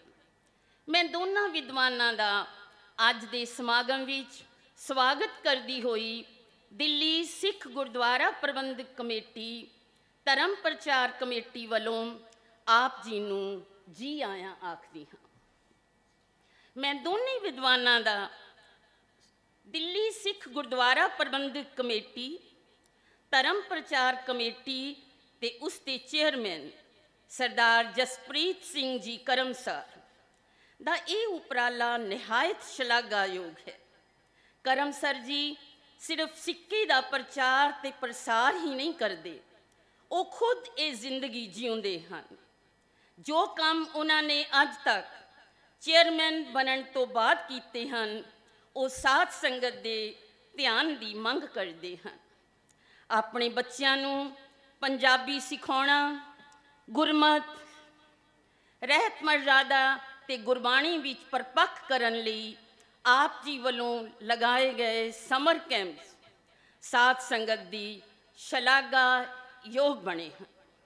ਆਪ ਜੀ ਨੇ ਆਪਣੀ ਜ਼ਿੰਦਗੀ ਵਿੱਚ ਸਿਰਫ ਨਿਤਨੇਮ ਕੀਤਾ ਜਾਂ ਇਹ ਬਾਣੀਆਂ ਕੰਠ ਹੀ ਨਹੀਂ ਕੀਤੀਆਂ, ਸਗੋਂ ਉਹਨਾਂ ਨੂੰ ਹੋਰ ਬਹੁਤ ਸਾਰੀ ਬਾਣੀ ਕੰਠ ਹੈ ਤੇ ਖਾਸ ਕਰਕੇ ਗੁਰੂ ਗੋਬਿੰਦ ਸਿੰਘ ਜੀ ਦੀ ਬਾਣੀ, ਜੋ ਕੰਠ ਕਰਨੀ ਕੋਈ ਸੌਖੀ ਨਹੀਂ, ਪਰ ਉਹਨਾਂ ਦੇ ਮੂੰਹ ਤੋਂ ਇਹ ਬਾਣੀ ਬੜੀ ਸਹਿਜ ਹੀ ਨਿਕਲਦੀ ਹੈ। ਮੈਂ ਅੰਤ ਵਿੱਚ ਇਹ ਹੀ ਕਹਿਣਾ ਚਾਹੁੰਦੀ ਹਾਂ ਕਿ ਜੋ ਅਹੁਦਾ ਆਪ ਜੀ ਨੂੰ ਕਮੇਟੀ ਵੱਲੋਂ ਦਿੱਤਾ ਗਿਆ ਹੈ, ਆਪ ਜੀ ਉਸ ਦੇ ਯੋਗ ਹੱਕਦਾਰ ਹਨ। ਜਿਸ ਤਰ੍ਹਾਂ ਦਾ ਅੱਜ ਦਾ ਇਹ ਪ੍ਰੋਗਰਾਮ ਉਲੀਕਿਆ ਗਿਆ ਹੈ, ਪੰਜਾਬੀ ਮਾਂ ਬੋਲੀ ਦੇ ਪ੍ਰਚਾਰ ਪ੍ਰਸਾਰ ਲਈ ਆਪ ਵੱਲੋਂ ਕੀਤੇ ਜਾਂਦੇ ਉਪਰਾਲੇ, ਗੁਰਬਾਣੀ ਤੇ ਰਹਿਤ ਮਰਜ਼ਾਦਾ ਆਪਣੇ ਬੱਚਿਆਂ ਨੂੰ ਸਿਖਾਣੀ, ਆਪ ਜੀ ਵੱਲੋਂ ਕੀਤੇ ਉਪਰਾਲਿਆਂ ਵਿੱਚੋਂ ਕੁਝ ਇੱਕ ਹਨ। ਸਿੱਖੀ ਪ੍ਰਚਾਰ ਲਈ ਆਪ ਜੀ ਕਮਿਟਿਡ ਸੇਵਾਦਾਰ ਹਨ। ਆਪ ਜੀ ਸਿੱਖੀ ਜਿਉਂਦੇ ਹਨ। ਸਿੱਖੀ ਬਾਰੇ ਸੋਚਦੇ ਹਨ। ਸਿੱਖੀ ਦਾ ਪ੍ਰਚਾਰ ਕਰਦੇ ਹਨ। ਪੰਥ ਦਰਦੀ ਹਨ। ਸਿੱਖੀ ਆਪ ਜੀ ਦੀ ਜਿੰਦ ਜਾਨ ਹੈ, ਜਿਸ ਦੇ ਪ੍ਰਚਾਰ ਤੇ ਪ੍ਰਸਾਰ ਲਈ ਉਹ ਬਚਨਬੱਧ ਹਨ। ਦਿੱਲੀ ਸਿੱਖ ਗੁਰਦੁਆਰਾ ਪ੍ਰਬੰਧਕ ਕਮੇਟੀ ਦੇ ਪ੍ਰਧਾਨ ਜੋ ਅਜੇ ਸਾਡੇ ਵਿੱਚ ਪਹੁੰਚੇ ਨਹੀਂ, ਪਹੁੰਚਣ ਹੀ ਵਾਲੇ ਨੇ। ਸਰਦਾਰ ਹਰਮੀਤ ਸਿੰਘ ਜੀ ਕਾਲਕਾ ਸਾਡੇ ਪਾਸ ਪਹੁੰਚਣ ਵਾਲੇ ਹਨ। ਪ੍ਰਧਾਨ ਹਰਮੀਤ ਸਿੰਘ ਜੀ ਮਿੱਠ ਬੋਲੜੇ, ਸਹਿਜ ਤੇ ਸਲੀਕੇ ਵਾਲੀ ਸ਼ਖਸੀਅਤ ਹੈ। ਜਦੋਂ ਦੇ ਆਪ ਜੀ ਪ੍ਰਧਾਨ ਬਣੇ ਹਨ, ਬੜੇ ਸੁਚਾਰੂ ਤਰੀਕੇ ਨਾਲ ਗੁਰਦੁਆਰਾ ਸਾਹਿਬ ਦਾ ਪ੍ਰਬੰਧ ਕਰਦੇ ਤੇ ਪੰਜਾਬੀ ਮਾਂ ਬੋਲੀ ਲਈ ਉਹਨਾਂ ਅਣਥੱਕ ਯਤਨ ਕੀਤੇ ਹਨ। ਆਪ ਜੀ ਭਲੀ ਭਾਂਤੀ ਜਾਣਦੇ ਹੋ, ਮੈਨੂੰ ਇੱਥੇ ਦੁਹਰਾਉਣ ਦੀ ਜ਼ਰੂਰਤ ਨਹੀਂ। ਆਪ ਜੀ ਗੁਰੂ ਹਰਕ੍ਰਿਸ਼ਨ ਪਬਲਿਕ ਸਕੂਲਾਂ ਦੇ ਅਧਿਆਪਕਾਂ ਦੀਆਂ ਸਮੱਸਿਆਵਾਂ ਪ੍ਰਤੀ ਵੀ ਆਪ ਜੀ ਪੂਰਨ ਤੌਰ ਤੇ ਸੁਜਗ ਤੇ ਸੁਚੇਤ ਹਨ। ਦਿੱਲੀ ਸਿੱਖ ਗੁਰਦੁਆਰਾ ਪ੍ਰਬੰਧਕ ਕਮੇਟੀ ਦੇ ਸੈਕਟਰੀ ਸਾਹਿਬ ਸਰਦਾਰ ਜਗਦੀਪ ਸਿੰਘ ਜੀ ਕਾਲੋਂ ਆਪਣੇ ਕੰਮ ਵਿੱਚ ਨਿਹਾਇਤ ਹੀ ਚੁਸਤ, ਸੁਚੱਗ ਵਿਅਕਤੀ, ਵਿਅਕਤੀਆਂ ਦੀ ਅੰਦਰੋਂ ਦਿਲਾਂ ਦੀ ਗੱਲਾਂ ਜਾਣਨ ਵਾਲੇ ਡਾਇਨਾਮਿਕ ਤੇ ਨਿਡਰ ਲੀਡਰ ਦੀ ਤਰ੍ਹਾਂ ਉਹਨਾਂ ਗੁਰਦੁਆਰਿਆਂ ਦੀਆਂ ਸਮੱਸਿਆ ਨੂੰ ਸੁਲਝਾਇਆ। ਆਪਣੇ ਕੰਮ ਨੂੰ ਬੜੀ ਸੰਜੀਦਗੀ ਨਾਲ ਲੈਂਦੇ ਹਨ ਤੇ ਪਿਛਲੇ 2.5 ਕੁ ਸਾਲਾਂ ਤੋਂ ਪੰਥਕ ਸੇਵਾਵਾਂ ਨਿਭਾ ਰਹੇ ਹਨ। ਪਿੰਨ ਪਿੰਨ ਸਕੂਲਾਂ ਤੋਂ, ਕਾਲਜਾਂ ਤੋਂ ਪਹੁੰਚੇ ਹੋਏ ਪ੍ਰਿੰਸੀਪਲ ਸਾਹਿਬਾਨ, ਅਧਿਆਪਕ ਸਾਹਿਬਾਨ, ਬੁੱਧੀਜੀਵੀ ਤੇ ਸਾਧ ਸੰਗਤ ਜੀ, ਸਿੱਖ ਸਭਾਵਾਂ ਤੋਂ ਪਹੁੰਚੇ ਹੋਏ ਸਿੱਖ ਸਿੰਘ ਸਾਹਿਬ ਤੇ ਅਹੁਦੇਦਾਰ ਸਭ ਦਾ ਅੱਜ ਦੇ ਸਮਾਗਮ ਵਿੱਚ ਸਵਾਗਤ ਕਰਦੀ ਹੋਈ ਆਪ ਸਭ ਨੂੰ ਇੱਕ ਵਾਰ ਫਿਰ ਜੀ ਆਇਆਂ ਕਹਿੰਦੀ ਹਾਂ। ਥੈਂਕ ਯੂ ਹੁਣ ਕਰਮ ਸਰ ਜੀ ਤੁਹਾਨੂੰ ਅਗਲਾ ਪ੍ਰੋਗਰਾਮ ਦੱਸਣਗੇ ਕਰਮ ਸਰ ਜੀ ਬਹੁਤ ਬਹੁਤ ਧੰਨਵਾਦ ਡਾਕਟਰ ਹਰਬੰਸ ਕੌਰ ਸੱਗੂ ਜੀ, ਜੋ ਆਪ ਸਭ ਸੰਗਤਾਂ ਨੂੰ ਜੀ ਆਇਆਂ ਆਖ ਰਹੇ ਸੀ।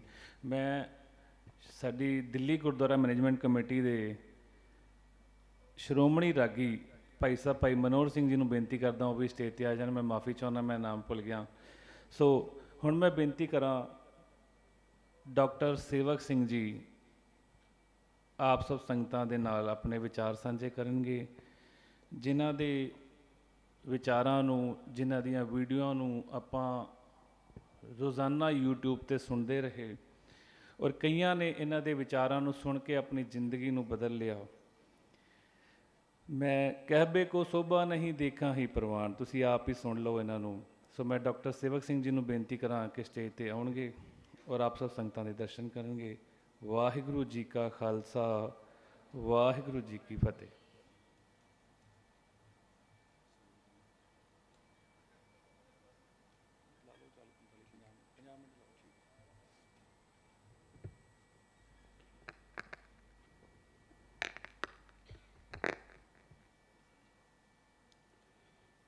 ਇਸ ਹਾਲ ਅੰਦਰ ਮੌਜੂਦ ਸਨਮਾਨਯੋਗ ਅਤੇ ਪਿਆਰਯੋਗ ਸਮੂਹ ਸਾਧ ਸੰਗਤ ਜੀ, ਸਭ ਤੋਂ ਪਹਿਲਾਂ ਫਤਿਹ ਸਾਂਝੀ ਕਰੋ ਜੀ। ਸਾਰੇ ਗੱਜ ਕੇ ਬੋਲੋ, ਵਾਹਿਗੁਰੂ ਜੀ ਕਾ ਖਾਲਸਾ, ਵਾਹਿਗੁਰੂ ਜੀ ਕੀ ਫਤਿਹ। ਸ੍ਰੀ ਗੁਰੂ ਅਮਰਦਾਸ ਪਾਤਸ਼ਾਹ ਜੀ ਦੇ ਯਾਦ ਨੂੰ ਮੁੱਖ ਰੱਖ ਕੇ ਸਿੱਖ ਪੰਥ ਸਾਰੀ ਦੁਨੀਆ 'ਚ ਆਪਣੀ ਮੱਧ ਬੁੱਧ ਅਨੁਸਾਰ, ਆਪਣੀ ਸਮਰੱਥਾ ਅਨੁਸਾਰ ਸਮਾਗਮ ਕਰ ਰਹੇ ਨੇ। ਸਭ ਮਾਈ ਭਾਈ ਉਹ ਵਧਾਈ ਦੇ ਹੱਕਦਾਰ ਹਨ, ਇੱਥੋਂ ਦੇ ਪ੍ਰਬੰਧਕਾਂ ਸਮੇਤ। ਤੇ ਖਾਸ ਕਰਕੇ ਜਿਹੜੇ ਇਹਨਾਂ ਸਮਾਗਮਾਂ ਦੀ ਹਾਜ਼ਰੀ ਭਰਦੇ ਨੇ ਸੰਗਤੀ ਰੂਪ 'ਚ, ਉਹ ਵੀ ਸਭ ਵਧਾਈ ਦੇ ਹੱਕਦਾਰ ਹਨ। ਕਿਉਂਕਿ ਜਿਹੜਾ ਅਜੋਕਾ ਸਮਾਂ ਹੈ, ਇਹਦੇ ਵਿੱਚ ਇਹਨਾਂ ਸਮਾਗਮਾਂ 'ਚ ਜਾਣਾ ਆਮ ਦੁਨੀਆ ਦੀ ਚਾਲ ਤੋਂ ਹਟ ਕੇ ਕਰਨ ਵਾਲਾ ਕੰਮ ਹੈ, ਜਿਹੜਾ ਸਭ ਦੇ ਹਿੱਸੇ ਨਹੀਂ ਆਉਂਦਾ।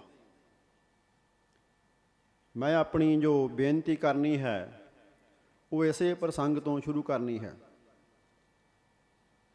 ਕਿ ਅਸੀਂ ਗੁਰੂ ਸਾਹਿਬ ਬਾਰੇ ਜੋ ਕੁੱਲ ਗੱਲਬਾਤ ਕਰਦੇ ਹਾਂ, ਸ਼ੋਭਾ ਵਜੋਂ ਜਾਂ ਇਤਿਹਾਸ ਦੀਆਂ ਯਾਦਾਂ ਵਜੋਂ, ਜਿੱਦਾਂ ਤੁਹਾਡੇ ਨਾਲ ਡਾਕਟਰ ਸੁਖਪ੍ਰੀਤ ਸਿੰਘ ਹੋਣੀ ਕਰਨਗੇ ਬਾਅਦ ਵਿੱਚ, ਤਾਂ ਉਹਦੇ ਪ੍ਰਸੰਗ ਬਾਬਤ ਮੇਰੀ ਬੇਨਤੀ ਹੈ ਕਿ ਜਦੋਂ ਅਸੀਂ ਗੁਰੂ ਸਾਹਿਬ ਦੇ ਜੋ ਸਾਡੇ ਤੇ ਉਹਨਾਂ ਨੇ ਕਿਰਪਾ ਕੀਤੀ, ਜੋ ਉਹਨਾਂ ਦੇ ਅਮਲ ਨੇ, ਜੋ ਉਹਨਾਂ ਦੀ ਕਿਰਪਾ ਹੈ, ਉਹਨੂੰ ਅਸੀਂ ਇਤਿਹਾਸ ਰੂਪ ਦੇ ਵਿੱਚ ਅਜੋਕੀ ਦੁਨੀਆ ਦੀ ਵਿਦਿਆ ਦੇ ਤਰੀਕੇ ਨਾਲ ਜਾਂ ਰਾਜਨੀਤਿਕ ਆਰਥਿਕ ਮੁਹਾਵਰੇ ਨਾਲ ਜਦੋਂ ਸਮਝਦੇ ਹਾਂ ਤਾਂ ਉਹਦੇ ਜੋ ਕੁਝ ਨੁਕਤੇ ਹਨ, ਜਿਨ੍ਹਾਂ ਬਾਬਤ ਮੈਂ ਤੁਹਾਡੇ ਨਾਲ ਆਪਣੀ ਗੱਲ ਸਾਂਝੀ ਕਰਨੀ ਚਾਹਾਂਗਾ। ਇਹ ਜਿਹੜਾ ਇੱਕ ਸ਼ਬਦ ਲਿਖਿਆ ਹੋਇਆ ਹੈ, ਤੁਸੀਂ ਵੇਖਿਆ ਹੋਣਾ ਸਮਾਜ ਸੁਧਾਰ। ਤੇ ਆਮ ਤੌਰ ਤੇ ਜਿਹੜੀ ਅੰਗਰੇਜ਼ ਸਿੱਖਿਆ ਦੀ ਵਿਧੀ ਲੈ ਕੇ ਆਏ, ਇਹ ਉਹਦਾ ਹਿੱਸਾ ਸੀ। ਜਿਹੜੇ ਵੀ ਮਾਈ ਭਾਈ ਇਹ ਸੀਸੇ ਤੇ ਠੁੰਗਾ ਮਾਰਨ ਜਾਣਦੇ ਨੇ, ਉਹ ਲੱਭ ਲੈਣਗੇ। ਕਿ 1760-70 ਤੋਂ ਲੈ ਕੇ ਯੂਰਪ ਦੇ ਵੱਖ-ਵੱਖ ਮੁਲਕਾਂ ਦੇ ਵਿੱਚ ਸਮਾਜ ਸੁਧਾਰ ਦੀ ਜੋ ਖੇਡ ਚੱਲੀ, ਉਹ ਸਾਡੇ ਇੱਥੇ ਵੀ ਵਾਪਰੀ। ਸਗੋਂ ਇਹ ਵਾਪਰਿਆ ਕਿ ਅਸੀਂ ਆਪਣਾ ਇਤਿਹਾਸ ਵੀ ਉਹਨਾਂ ਦੇ ਤਰੀਕੇ ਨਾਲ ਜਾਣਨਾ ਸ਼ੁਰੂ ਕੀਤਾ। ਅਸੀਂ ਆਪਣਾ ਇਤਿਹਾਸ ਉਹਨਾਂ ਦੇ ਮਾਪਦੰਡ ਨਾਲ, ਉਹਨਾਂ ਦੇ ਪੈਰਾਮੀਟਰ ਨਾਲ ਜਾਣਨਾ ਸ਼ੁਰੂ ਕੀਤਾ। ਜਦੋਂ ਇੱਕ ਸਿੱਖ ਗੁਰੂ ਬਾਰੇ ਗੱਲ ਕਰਦਾ ਹੈ, ਤਾਂ ਉਹ ਅਸਲ 'ਚ ਗੁਰੂ ਦੀ ਉਸਤਤ ਗੁਰੂ ਦੀ ਸੋਭਾ ਦਾ ਅਮਲ ਹੋ ਸਕਦਾ ਹੈ। ਇੱਕ ਸਿੱਖ ਅਸਲ 'ਚ ਇਤਿਹਾਸ ਦੇ ਪੱਖ ਤੋਂ ਗੱਲਾਂ ਨਹੀਂ ਕਹਿ ਸਕਦਾ ਕਿਉਂਕਿ ਸਾਡੇ ਕੋਲੇ ਜ਼ਿੰਦਗੀ ਜਾਂ ਸਾਰੀ ਦੁਨੀਆ ਦੀ ਸਮਝ ਇਤਿਹਾਸ ਮੁਖ ਨਹੀਂ ਹੈ। ਸਾਡੇ ਕੋਲ ਜੋ ਗੁਰੂ ਦਿੱਤੋਂ ਦਿੱਤਾ ਗਿਆ ਸੁਨੇਹਾ ਹੈ, ਉਹ ਇਤਿਹਾਸ ਮੁਖ ਨਹੀਂ ਹੈ। ਸਾਡੇ ਅਮਲ ਦੀ ਜਿਹੜੀ ਪਹਿਲ ਹੈ, ਉਹਦਾ ਮਤਲਬ ਅਸਲ 'ਚ ਇਹੀ ਹੈ।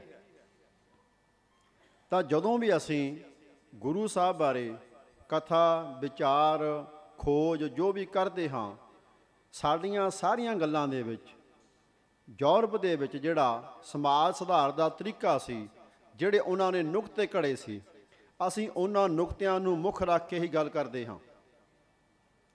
ਕੱਲੇ ਅਸੀਂ ਨਹੀਂ, ਸਾਰੀ ਦੁਨੀਆ 'ਚ, ਸਾਰੇ ਧਰਮਾਂ ਵਾਲੇ ਆਪ ਦੇ ਧਰਮ ਦੇ ਵਿੱਚੋਂ ਇਤਿਹਾਸ ਦਾ ਵਿਕਾਸ ਲੱਭਦੇ ਨੇ, ਆਪਣੀਆਂ ਧਰਮ ਗ੍ਰੰਥਾਂ ਦੇ ਵਿੱਚੋਂ ਵਿਗਿਆਨ ਲੱਭਦੇ ਨੇ। ਤੁਸੀਂ ਬਹੁਤੇ ਲੋਕਾਂ ਨੂੰ ਸੁਣਿਆ ਹੋਣਾ ਕਹਿੰਦੇ ਆ, ਸਿੱਖੀ ਵਿਗਿਆਨਕ ਧਰਮ ਹੈ। ਇਹ ਜਿਹੜੀਆਂ ਗੱਲਾਂ ਨੇ, ਇਹ ਅਸਲ 'ਚ ਉਸ ਵਿਦਿਅਕ ਪ੍ਰਬੰਧ ਦਾ ਉਸ ਰਾਜਨੀਤਿਕ ਪ੍ਰਬੰਧ ਦਾ ਹਿੱਸਾ ਹਨ, ਜਿਹੜਾ ਯੂਰਪ ਦੇ ਵਿੱਚ ਨਵੇਂ ਰਾਜਨੀਤਿਕ ਪ੍ਰਬੰਧ ਵਜੋਂ ਜਿਹਨੂੰ ਅਨਲਾਈਟਨਮੈਂਟ ਰੈਨੇਸਾਂਸ ਪੁਨਰ ਜਾਗਰਣ ਕਹਿੰਦੇ ਨੇ, ਇਹ ਉਹਦਾ ਹਿੱਸਾ ਹੈ। ਤਾਂ ਮੇਰੀ ਬੇਨਤੀ ਇੱਥੋਂ ਸ਼ੁਰੂ ਹੁੰਦੀ ਹੈ ਕਿ ਅਸੀਂ ਆਪਣੇ ਗੁਰੂ ਬਾਰ ਜੋ ਵੀ ਕੁਝ ਕਹਿਣਾ ਹੈ, ਉਹਨੂੰ ਅਸੀਂ ਪਹਿਲਾਂ ਅਜੋਕੇ ਪ੍ਰਸੰਗ 'ਚ ਵੇਖ ਲਈਏ। ਕਿ ਜਿਹੜਾ ਅੱਜ ਦੇ ਸਮੇਂ 'ਚ ਅਸੀਂ ਗੱਲਬਾਤ ਕਰਦੇ ਹਾਂ, ਉਹਦਾ ਤਰੀਕਾ ਕੀ ਹੈ? ਇੱਕ। ਦੂਸਰਾ, ਜਿਹੜੀ ਸਾਡੀ ਨਿਗਾਹ ਇਤਿਹਾਸ ਤੇ ਜਾਂਦੀ ਹੈ, ਉਹ ਕਿਵੇਂ ਦੀ ਹੈ? ਜੇ ਅਸੀਂ ਸਿਰਫ ਕਲਪਨਾ ਕਰਨੀ ਹੋਵੇ, ਅਸੀਂ ਇਹ ਜਿਹੜੇ ਹਾਲ 'ਚ ਬੈਠੇ ਹਾਂ, ਇਹ ਹਾਲ ਦੀ ਜਿਹੜੀ ਬਣਤਰ ਹੈ, ਇਹ ਸਾਨੂੰ ਦੱਸਦੀ ਹੈ ਕਿ ਸਾਨੂੰ ਜਿਵੇਂ ਦੁਨੀਆ ਦਿਸ ਰਹੀ ਹੈ, ਇਹਦੀਆਂ ਸੀਮਾਵਾਂ ਕੀ ਹਨ? ਗੁਰਮਤ ਦੇ ਹਿਸਾਬ ਨਾਲ ਸੁਣਨਾ ਵੱਡਾ ਹੈ, ਤਾਂ ਸਾਡਾ ਇਹ ਹਾਲ ਵੇਖਣ ਦੇ ਹਿਸਾਬ ਨਾਲ ਬਣਿਆ ਹੋਇਆ ਹੈ, ਸੁਣਨ ਦੇ ਹਿਸਾਬ ਨਾਲ ਨਹੀਂ ਹੈ। ਵੇਖਣ ਤੇ ਸੁਣਨ ਦਾ ਜਿਹੜਾ ਫ਼ਰਕ ਹੈ, ਇਹ ਜਦੋਂ ਗੁਰਬਾਣੀ ਸੁਣੋਗੇ ਪੜੋਗੇ ਬਾਰ-ਬਾਰ ਸੁਣੋ ਪੜੋਗੇ ਤਾਂ ਇਹ ਪਤਾ ਲੱਗ ਜਾਵੇਗਾ। ਮੈਂ ਇੱਕ ਤੁਹਾਨੂੰ ਮਿਸਾਲ ਦਿੰਦਾ। ਇੱਕ ਵਾਰ ਅਸੀਂ ਪਟਿਆਲੇ ਸਾਂ ਤਾਂ ਮੈਂ ਇੱਕ ਘਰ ਗਿਆ ਸਾਡੇ ਮਿੱਤਰ ਦੇ। ਅੰਦਰ ਉਹਨਾਂ ਦੀ ਮਾਤਾ ਟੀਵੀ ਤੇ ਦਰਬਾਰ ਸਾਹਿਬ ਤੋਂ ਕੀਰਤਨ ਸੁਣ ਰਹੀ। ਬਾਹਰ ਉਹਦੀ ਨਾਨੀ ਮੰਜੇ ਤੇ ਬੈਠ ਕੇ ਰੇਡੀਓ ਤੋਂ ਉਹੀ ਕੀਰਤਨ ਸੁਣ ਰਹੀ। ਤਾਂ ਮੈਂ ਉਹਨੂੰ ਪੁੱਛਿਆ, ਮਾਤਾ ਵੀ ਤੂੰ ਬਾਹਰ ਬੈਠ ਕੇ ਕੀਰਤਨ ਕਿਉਂ ਸੁਣਦੀ? ਉਹ ਮੈਨੂੰ ਜੋ ਕਹਿਣ ਲੱਗੀ, ਉਹ ਉਹ ਕਹਿੰਦੀ, ਹਾਏ ਵੇ ਪੁੱਤਰਾ, ਇਹ ਕੀਰਤਨ ਤੇ ਅਸੀਂ ਇੰਨਾ ਖੂਨ ਡੋਲ ਕੇ ਲਿਆ ਸਰਕਾਰ ਮੰਨਦੀ ਕੋ ਨਹੀਂ ਸੀ। ਦਰਬਾਰ ਸਾਹਿਬ ਦਾ ਕੀਰਤਨ ਰੇਡੀਓ ਤੇ ਚਲਾਉਣ ਲਈ। ਉਹ ਟੀਵੀ ਤੇ ਜੋ ਆ ਰਿਹਾ ਹੈ, ਉਹ ਉਹਨਾਂ ਆਪੂ ਦਿੱਤਾ ਹੈ ਬਿਨਾਂ ਮੰਗਿਆਂ। ਤੇ ਸਮਾਜ ਦੇ ਸੁਧਾਰ ਦਾ ਜਿਹੜਾ ਤਰੀਕਾ ਹੈ, ਉਹ ਸਰਕਾਰੀ ਤੌਰ ਤੇ ਕਿਹੋ ਜਿਹਾ ਹੁੰਦਾ ਹੈ? ਉਹ ਸਮਾਜਿਕ ਰੂਪ ਚ, ਧਾਰਮਿਕ ਰੂਪ ਚ ਕਿਹੋ ਜਿਹਾ ਹੁੰਦਾ ਹੈ? ਪਹਿਲੀ ਗੱਲ ਇਹ ਸਮਝਣ ਵਾਲੀ ਹੈ ਕਿ ਸਾਡੇ ਸਿਰਫ ਇਕੱਲੇ ਪੰਜਾਬ ਜਾਂ ਹਿੰਦੁਸਤਾਨ 'ਚ ਨਹੀਂ, ਸਾਰੀ ਦੁਨੀਆ 'ਚ ਆਪਣੇ ਸਮਾਜ ਦਾ ਸੁਧਾਰ ਜਿਹੜਾ ਲੋਕਾਂ ਨੇ ਕੀਤਾ, ਉਹਦੀ ਦਿਸ਼ਾ ਕਿੱਧਰ ਨੂੰ ਸੀ? ਜਿਹੜਾ ਸਮਾਜ ਦਾ ਸੁਧਾਰ ਸਰਕਾਰਾਂ ਨੇ ਕੀਤਾ, ਉਹਦੀ ਦਿਸ਼ਾ ਕਿੱਧਰ ਨੂੰ ਸੀ? ਇਹ ਪ੍ਰਸੰਗ ਸਮਝਣ ਤੋਂ ਬਾਅਦ ਅਸੀਂ ਗੁਰੂ ਸਾਹਿਬ ਨੇ ਜੋ ਅਮਲ ਕੀਤੇ, ਜੋ ਕੰਮ ਕੀਤੇ, ਉਹਨਾਂ ਨੂੰ ਠੀਕ ਦਿਸ਼ਾ 'ਚ ਸਮਝ ਸਕਦੇ ਹਾਂ। ਕਿਉਂਕਿ ਹਰ ਗੱਲ ਨੂੰ ਸਮਝਣ ਦਾ ਇੱਕ ਪ੍ਰਸੰਗ ਹੁੰਦਾ ਹੈ। ਜੇ ਉਹ ਪ੍ਰਸੰਗ ਗਲਤ ਬੰਨਿਆ ਜਾਵੇ, ਤਾਂ ਗੱਲ ਦੇ ਅਰਥ ਗਲਤ ਹੋ ਜਾਂਦੇ ਨੇ। ਤਾਂ ਪਹਿਲੀ ਗੱਲ ਜਿਹੜੀ ਹੈ, ਉਹ ਇਹ ਪ੍ਰਸੰਗ ਬੰਨਣ ਦੀ ਹੈ। ਇਹਦੇ ਵਿੱਚ ਦੂਸਰਾ ਨੁਕਤਾ ਕਿ ਜਿਹੜਾ ਅਸੀਂ ਗੁਰਬਾਣੀ ਚੋਂ ਕੁਝ ਪੰਕਤੀਆਂ ਪੜ੍ਹਦੇ ਹਾਂ, ਆਪਣੀ ਗੱਲ ਨੂੰ ਕਹਿਣ ਲਈ ਇਹ ਮੈਂ ਵੀ ਪੜਾਂਗਾ ਤੁਹਾਡੇ ਸਾਹਮਣੇ। ਕਿ ਤੀਜੇ ਪਾਤਸ਼ਾਹ ਦੀ ਬਾਣੀ ਚੋਂ ਮੈਂ ਇੱਕ ਪੰਕਤੀ ਪੜ੍ਹਦਾ ਹਾਂ ਕਿ ਜਿਸ ਹੀ ਕੀ ਸਰਕਾਰ ਹੈ, ਤਿਸ ਹੀ ਕਾ ਸਭ ਕੋਏ। ਜਿਸ ਹੀ ਕੀ ਸਰਕਾਰ ਹੈ, ਤਿਸ ਹੀ ਕਾ ਸਭ ਕੋਏ। ਇਹ ਪੰਕਤੀ ਨੂੰ ਜਦੋਂ ਅੱਜ ਦੇ ਸਮੇਂ 'ਚ ਜਿਹੜੇ ਵਿਦਵਾਨ ਆਏ ਦੁਨੀਆ ਦੇ ਵਿੱਚ ਉਹਨਾਂ 'ਚੋਂ ਇੱਕ ਵਿਦਵਾਨ ਦਾ ਨਾਂ ਬਹੁਤ ਲੋਕ ਜਾਣਦੇ ਹੋਣਗੇ, ਫੂਕੋ। ਉਹ ਕਹਿੰਦਾ ਕਿ ਸਕੂਲ, ਹਸਪਤਾਲ, ਜੇਲ੍ਹਾਂ, ਇਹ ਬੰਦੇ ਨੂੰ ਕਾਬੂ ਕਰਨ ਦੇ ਥਾਂ ਹਨ।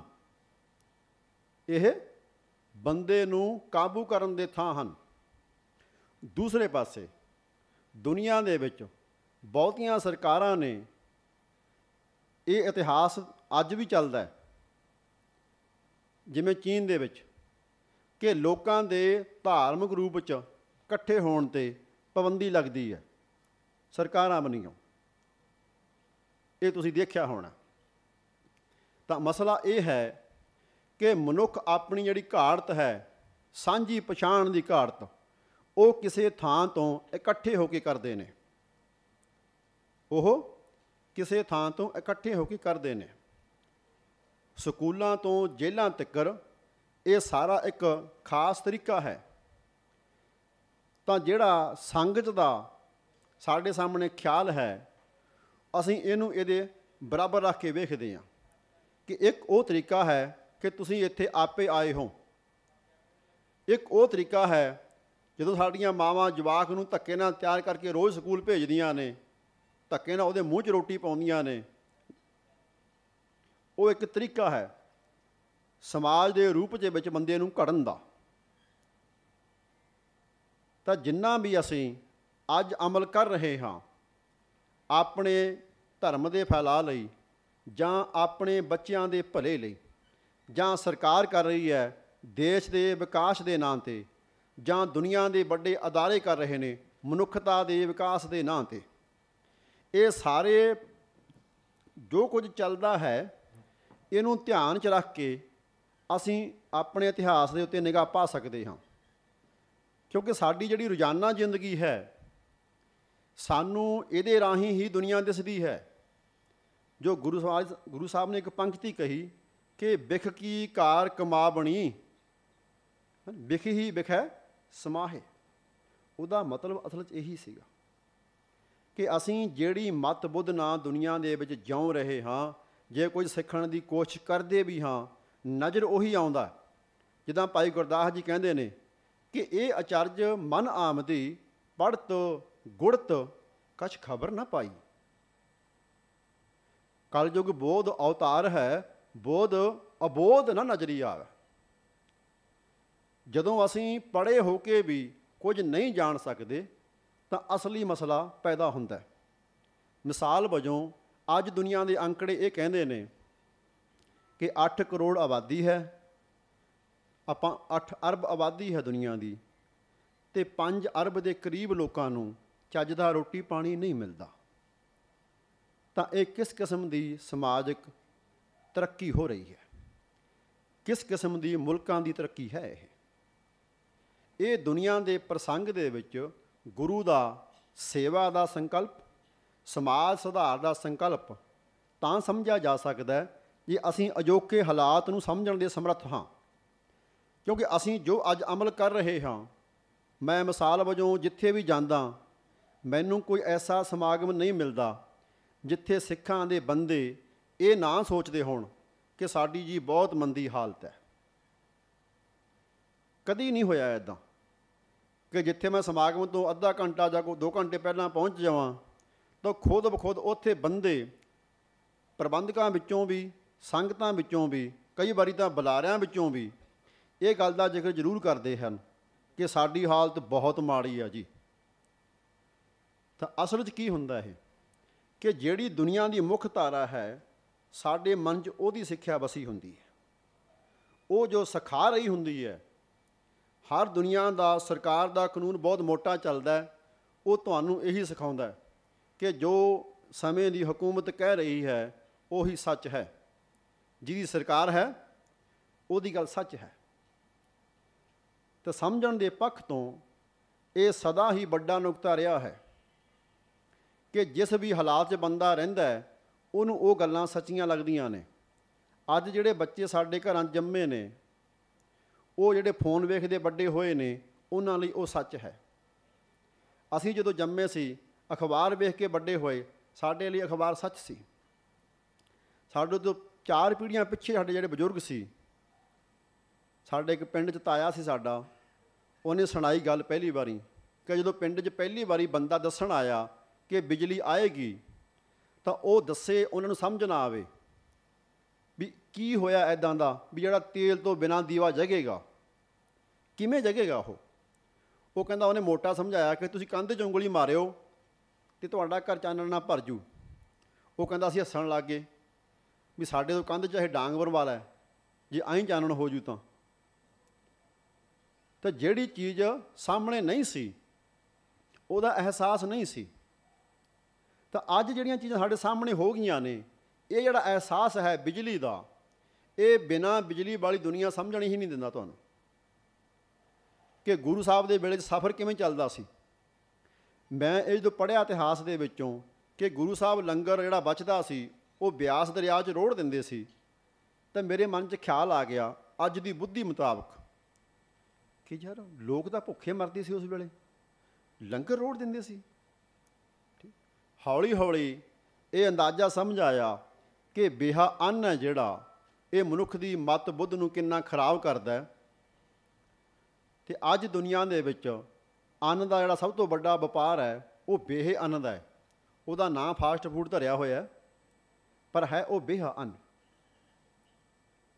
ਤਾਂ ਜਿਹੜੀਆਂ ਇਹ ਮੈਂ ਤੁਹਾਡੇ ਸਾਹਮਣੇ ਸਾਰੀਆਂ ਗੱਲਾਂ ਕਰ ਰਿਹਾ, ਉਹ ਉਹ ਸਾਰੇ ਨੁਕਤੇ ਨੇ, ਜਿਹੜੇ ਨੁਕਤੇ ਅਸੀਂ ਧਿਆਨ 'ਚ ਰੱਖ ਕੇ ਗੁਰੂ ਦੇ ਅਮਲ ਨੂੰ ਸਮਝਣ ਦੇ ਯੋਗ ਹੋ ਸਕਦੇ ਹਾਂ। ਕਿ ਜਿਸ ਤਰ੍ਹਾਂ ਦੀ ਸਾਡੇ ਸਾਹਮਣੇ ਅੱਜ ਇਮਾਰਤ ਸਾਜੀ ਹੈ, ਜਿਸ ਤਰ੍ਹਾਂ ਦੀ ਸਹੂਲਤ ਹੈ ਉਹ ਖਾਸ ਤਰ੍ਹਾਂ ਦਾ ਖਿਆਲ ਸਾਡਿਆਂ ਮਨਾਂ 'ਚ ਪਾਉਂਦੀ ਹੈ। ਸਾਨੂੰ ਲੱਗਦਾ ਹੁੰਦਾ ਕਿ ਇਹ ਮੈਂ ਸੋਚਦਾ ਹਾਂ, ਪਰ ਬੰਦੇ ਦੇ ਸੋਚਣ ਦੀ ਸਮਰੱਥਾ ਬਹੁਤ ਥੋੜੀ ਹੁੰਦੀ ਹੈ। ਬੰਦਾ ਬਹੁਤ ਛੇਤੀ ਚੀਜ਼ਾਂ ਦੇ ਪ੍ਰਭਾਵ ਥੱਲੇ ਆ ਜਾਂਦਾ ਹੈ। ਮਿਸਾਲ ਵਜੋਂ ਐਸ ਹਾਲ ਦੇ ਵਿੱਚ ਕੋਈ ਇੱਕ ਬੰਦਾ ਉੱਠ ਕੇ ਕਹਿ ਦੇਵੇ ਕਿ ਇੱਥੇ ਸੱਪ ਆ ਗਿਆ, ਤਾਂ ਬਹੁਤਿਆਂ ਨੇ ਉੱਠ ਕੇ ਭੱਜ ਲੈਣਾ ਜਾਂ ਖੜਕਾ ਹੋ ਜਾਏ ਗੱਡੀ ਦਾ ਪਹੀਆ ਫੁੱਟ ਜਾਏ ਬਹੁਤਿਆਂ ਨੂੰ ਇਹ ਲੱਗਣਾ ਵੀ ਗੋਲੀ ਚੱਲ ਗਈ ਹੈ ਤੇ ਬੰਦਿਆਂ ਨੇ ਉੱਠ ਕੇ ਭੱਜ ਜਾਣਾ। ਕਿਉਂ? ਕਿਉਂਕਿ ਮਨਾਂ ਦੇ ਵਿੱਚ ਪਿੱਛੇ ਜੋ ਵਾਪਰਿਆ ਉਹਦਾ ਇੱਕ ਅਹਿਸਾਸ ਪਿਆ ਹੋਇਆ। ਉਹਦੇ ਤੇ ਬੰਦੇ ਦਾ ਕਾਬੂ ਨਹੀਂ ਹੁੰਦਾ। ਤਾਂ ਇਦਾਂ ਸਾਡਿਆਂ ਮਨਾਂ 'ਚ ਜਿਹੜੀ ਸਿੱਖਿਆ ਲਗਾਤਾਰ ਰੋਜ਼ ਭਰੀ ਜਾਂਦੀ ਹੈ, ਉਹਦਾ ਸਾਨੂੰ ਪਤਾ ਵੀ ਨਹੀਂ ਲੱਗਦਾ ਹੁੰਦਾ। ਇਹ ਤੁਸੀਂ ਜਿਹੜੀਆਂ ਮੈਂ ਤੁਹਾਡੇ ਸਾਹਮਣੇ ਨੁਕਤੇ ਕਹੇ ਨੇ, ਇਹ ਤੋਂ ਵੇਖ ਸਕਦੇ ਹੋ ਕਿ ਕਿਉਂ ਸਾਰੇ ਧਰਮਾਂ ਦੇ ਲੋਕ ਆਪਣੇ ਧਰਮ 'ਚੋਂ ਵਿਗਿਆਨ ਲੱਭਣਾ ਚਾਹੁੰਦੇ ਨੇ? ਕਿਉਂ ਲੱਭਣਾ ਚਾਹੁੰਦੇ ਨੇ? ਇਸ ਗੱਲ ਕਰਕੇ ਕਿ ਪਿਛਲੇ 150 ਸਾਲਾਂ ਦੇ ਵਿੱਚ ਵਪਾਰੀਆਂ ਦੇ ਵੱਡੇ ਘਰਾਣਿਆਂ ਨੇ, ਹਕੂਮਤਾਂ ਨੇ ਲੋਕਾਂ ਨੂੰ ਇਹ ਸਮਝਾਇਆ ਕਿ ਜ਼ਿੰਦਗੀ ਅਸਲ 'ਚ ਸੰਦਾਂ ਰਾਹੀਂ ਕੀਤੀ ਹੋਈ ਖੋਜ ਦੇ ਉੱਤੇ ਨਿਰਭਰ ਹੈ। ਤੁਹਾਡੇ ਅਧਿਆਤਮ ਦੇ ਜਾਂ ਦਰਸ਼ਨ ਦੇ ਉੱਤੇ ਨਿਰਭਰ ਨਹੀਂ ਹੈ। ਤਾਂ ਜਿਹੜੇ ਜਿਹੜੇ ਬੰਦੇ ਧਰਮ ਜਾਂ ਦਰਸ਼ਨ ਦੇ ਆਧਾਰ ਤੇ ਜ਼ਿੰਦਗੀ ਜਿਉਣਾ ਚਾਹੁੰਦੇ ਸੀ, ਉਹਨਾਂ ਨੇ ਝੂਠ ਨਹੀਂ ਖੇਡਿਆ ਤੇ ਅੰਗਰੇਜ਼ਾਂ ਨੇ ਬੰਗਾਲ ਤੋਂ ਲੈ ਕੇ ਚੇਲਿਆਂ ਵਾਲੀ ਲੜਾਈ ਤਿੱਕਰ ਝੂਠ ਦਾ, ਛਲ ਦਾ ਆਸਰਾ ਲਿਆ ਤੇ ਸਾਡੇ ਬੰਦੇ ਇਹ ਸਿੱਖ ਗਏ ਕਿ ਅਸਲ 'ਚ ਰਾਜਨੀਤੀ ਝੂਠ ਹੁੰਦੀ ਹੈ।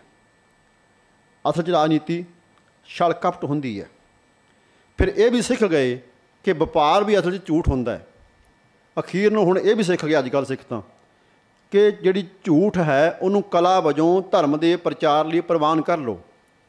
ਹੋ ਸਕਦਾ ਤੁਹਾਡੇ ਪ੍ਰਬੰਧਕ ਜਿਹੜੇ ਇੱਥੇ ਬੈਠੇ ਨੇ, ਉਹਨਾਂ ਨੂੰ ਇਹ ਗੱਲ ਭਾਵੇਂ ਠੀਕ ਨਾ ਲੱਗਦੀ ਹੋਵੇ, ਪਰ ਮੈਂ ਗੱਲ ਤੁਹਾਨੂੰ ਦੱਸ ਰਿਹਾ ਕਿ ਅਸਲ 'ਚ ਸਾਡੇ ਆਲੇ ਦੁਆਲੇ ਦੇ ਵਿੱਚੋਂ ਜਿਹੜਾ ਕੁੱਲ ਪ੍ਰਭਾਵ ਬਣਦਾ ਹੈ, ਉਹ ਸਾਨੂੰ ਕਿਵੇਂ ਬੰਨ ਲੈਂਦਾ ਹੈ? ਇਹ ਜਿਹੜਾ ਸੰਸਾ, ਇਹ ਸੰਸਾਰ ਹੈ, ਇਹ ਇਸੇ ਰੂਪ 'ਚ ਹੈ।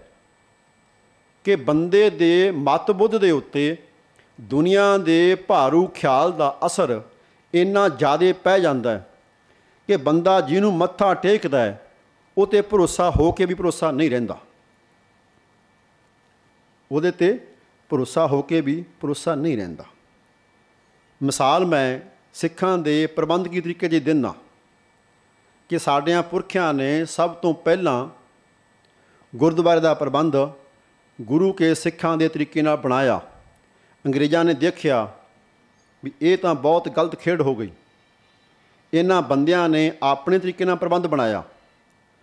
ਤਾਂ ਇਤਿਹਾਸ ਮੁੜ ਕੇ ਤੁਹਾਨੂੰ ਦੱਸ ਸਕਦੇ ਆ ਬੰਦੇ ਕਿ ਉਹਨਾਂ ਨੇ ਜਬਰੀ ਸਾਡੇ ਬੰਦਿਆਂ ਨੂੰ ਇਹ ਕਾਨੂੰਨ ਥੋਪਿਆ ਕਿ ਤੁਸੀਂ ਗੁਰਦੁਆਰਿਆਂ ਦਾ ਪ੍ਰਬੰਧ ਚੋਣਾਂ ਰਾਹੀਂ ਕਰੋ। ਇਹ ਜਿਹੜੀ ਸਿੱਖਿਆ ਹੈ, ਇਹਨੇ ਸਾਡਿਆਂ ਮਨਾਂ 'ਚ ਕਿਵੇਂ ਥਾਂ ਭੈੜੀ ਕੀਤੀ? ਜਦੋਂ ਸੇਵਾ ਲਈ ਬੰਦੇ ਨੂੰ ਜਿੱਤ ਹਾਰ ਦੇ ਵਿੱਚ ਲੰਘਣਾ ਪੈ ਗਿਆ, ਤਾਂ ਉਹ ਸੇਵਾ ਸੇਵਾ ਨਹੀਂ ਰਹਿੰਦੀ, ਉਹ ਵਪਾਰ ਦਾ ਅਸਰ ਕਬੂਲ ਜਾਂਦੀ ਹੈ। ਹੁਣ ਅਸੀਂ ਬਹੁਤੀਆਂ ਥਾਵਾਂ ਤੇ ਬੱਚਿਆਂ ਨੂੰ ਸਿੱਖਿਆ ਸਿਖਾਉਣ ਲਈ ਵੀ ਮੁਕਾਬਲੇ ਕਰਾਉਨੇ ਆ ਮੁਕਾਬਲੇ ਦੀ ਭਾਵਨਾ ਛੋਟੇ ਬੱਚੇ ਨੂੰ ਕਿਵੇਂ ਪ੍ਰਭਾਵਿਤ ਕਰਦੀ ਹੈ, ਸਾਨੂੰ ਇਹਦਾ ਅਹਿਸਾਸ ਨਹੀਂ ਰਹਿੰਦਾ।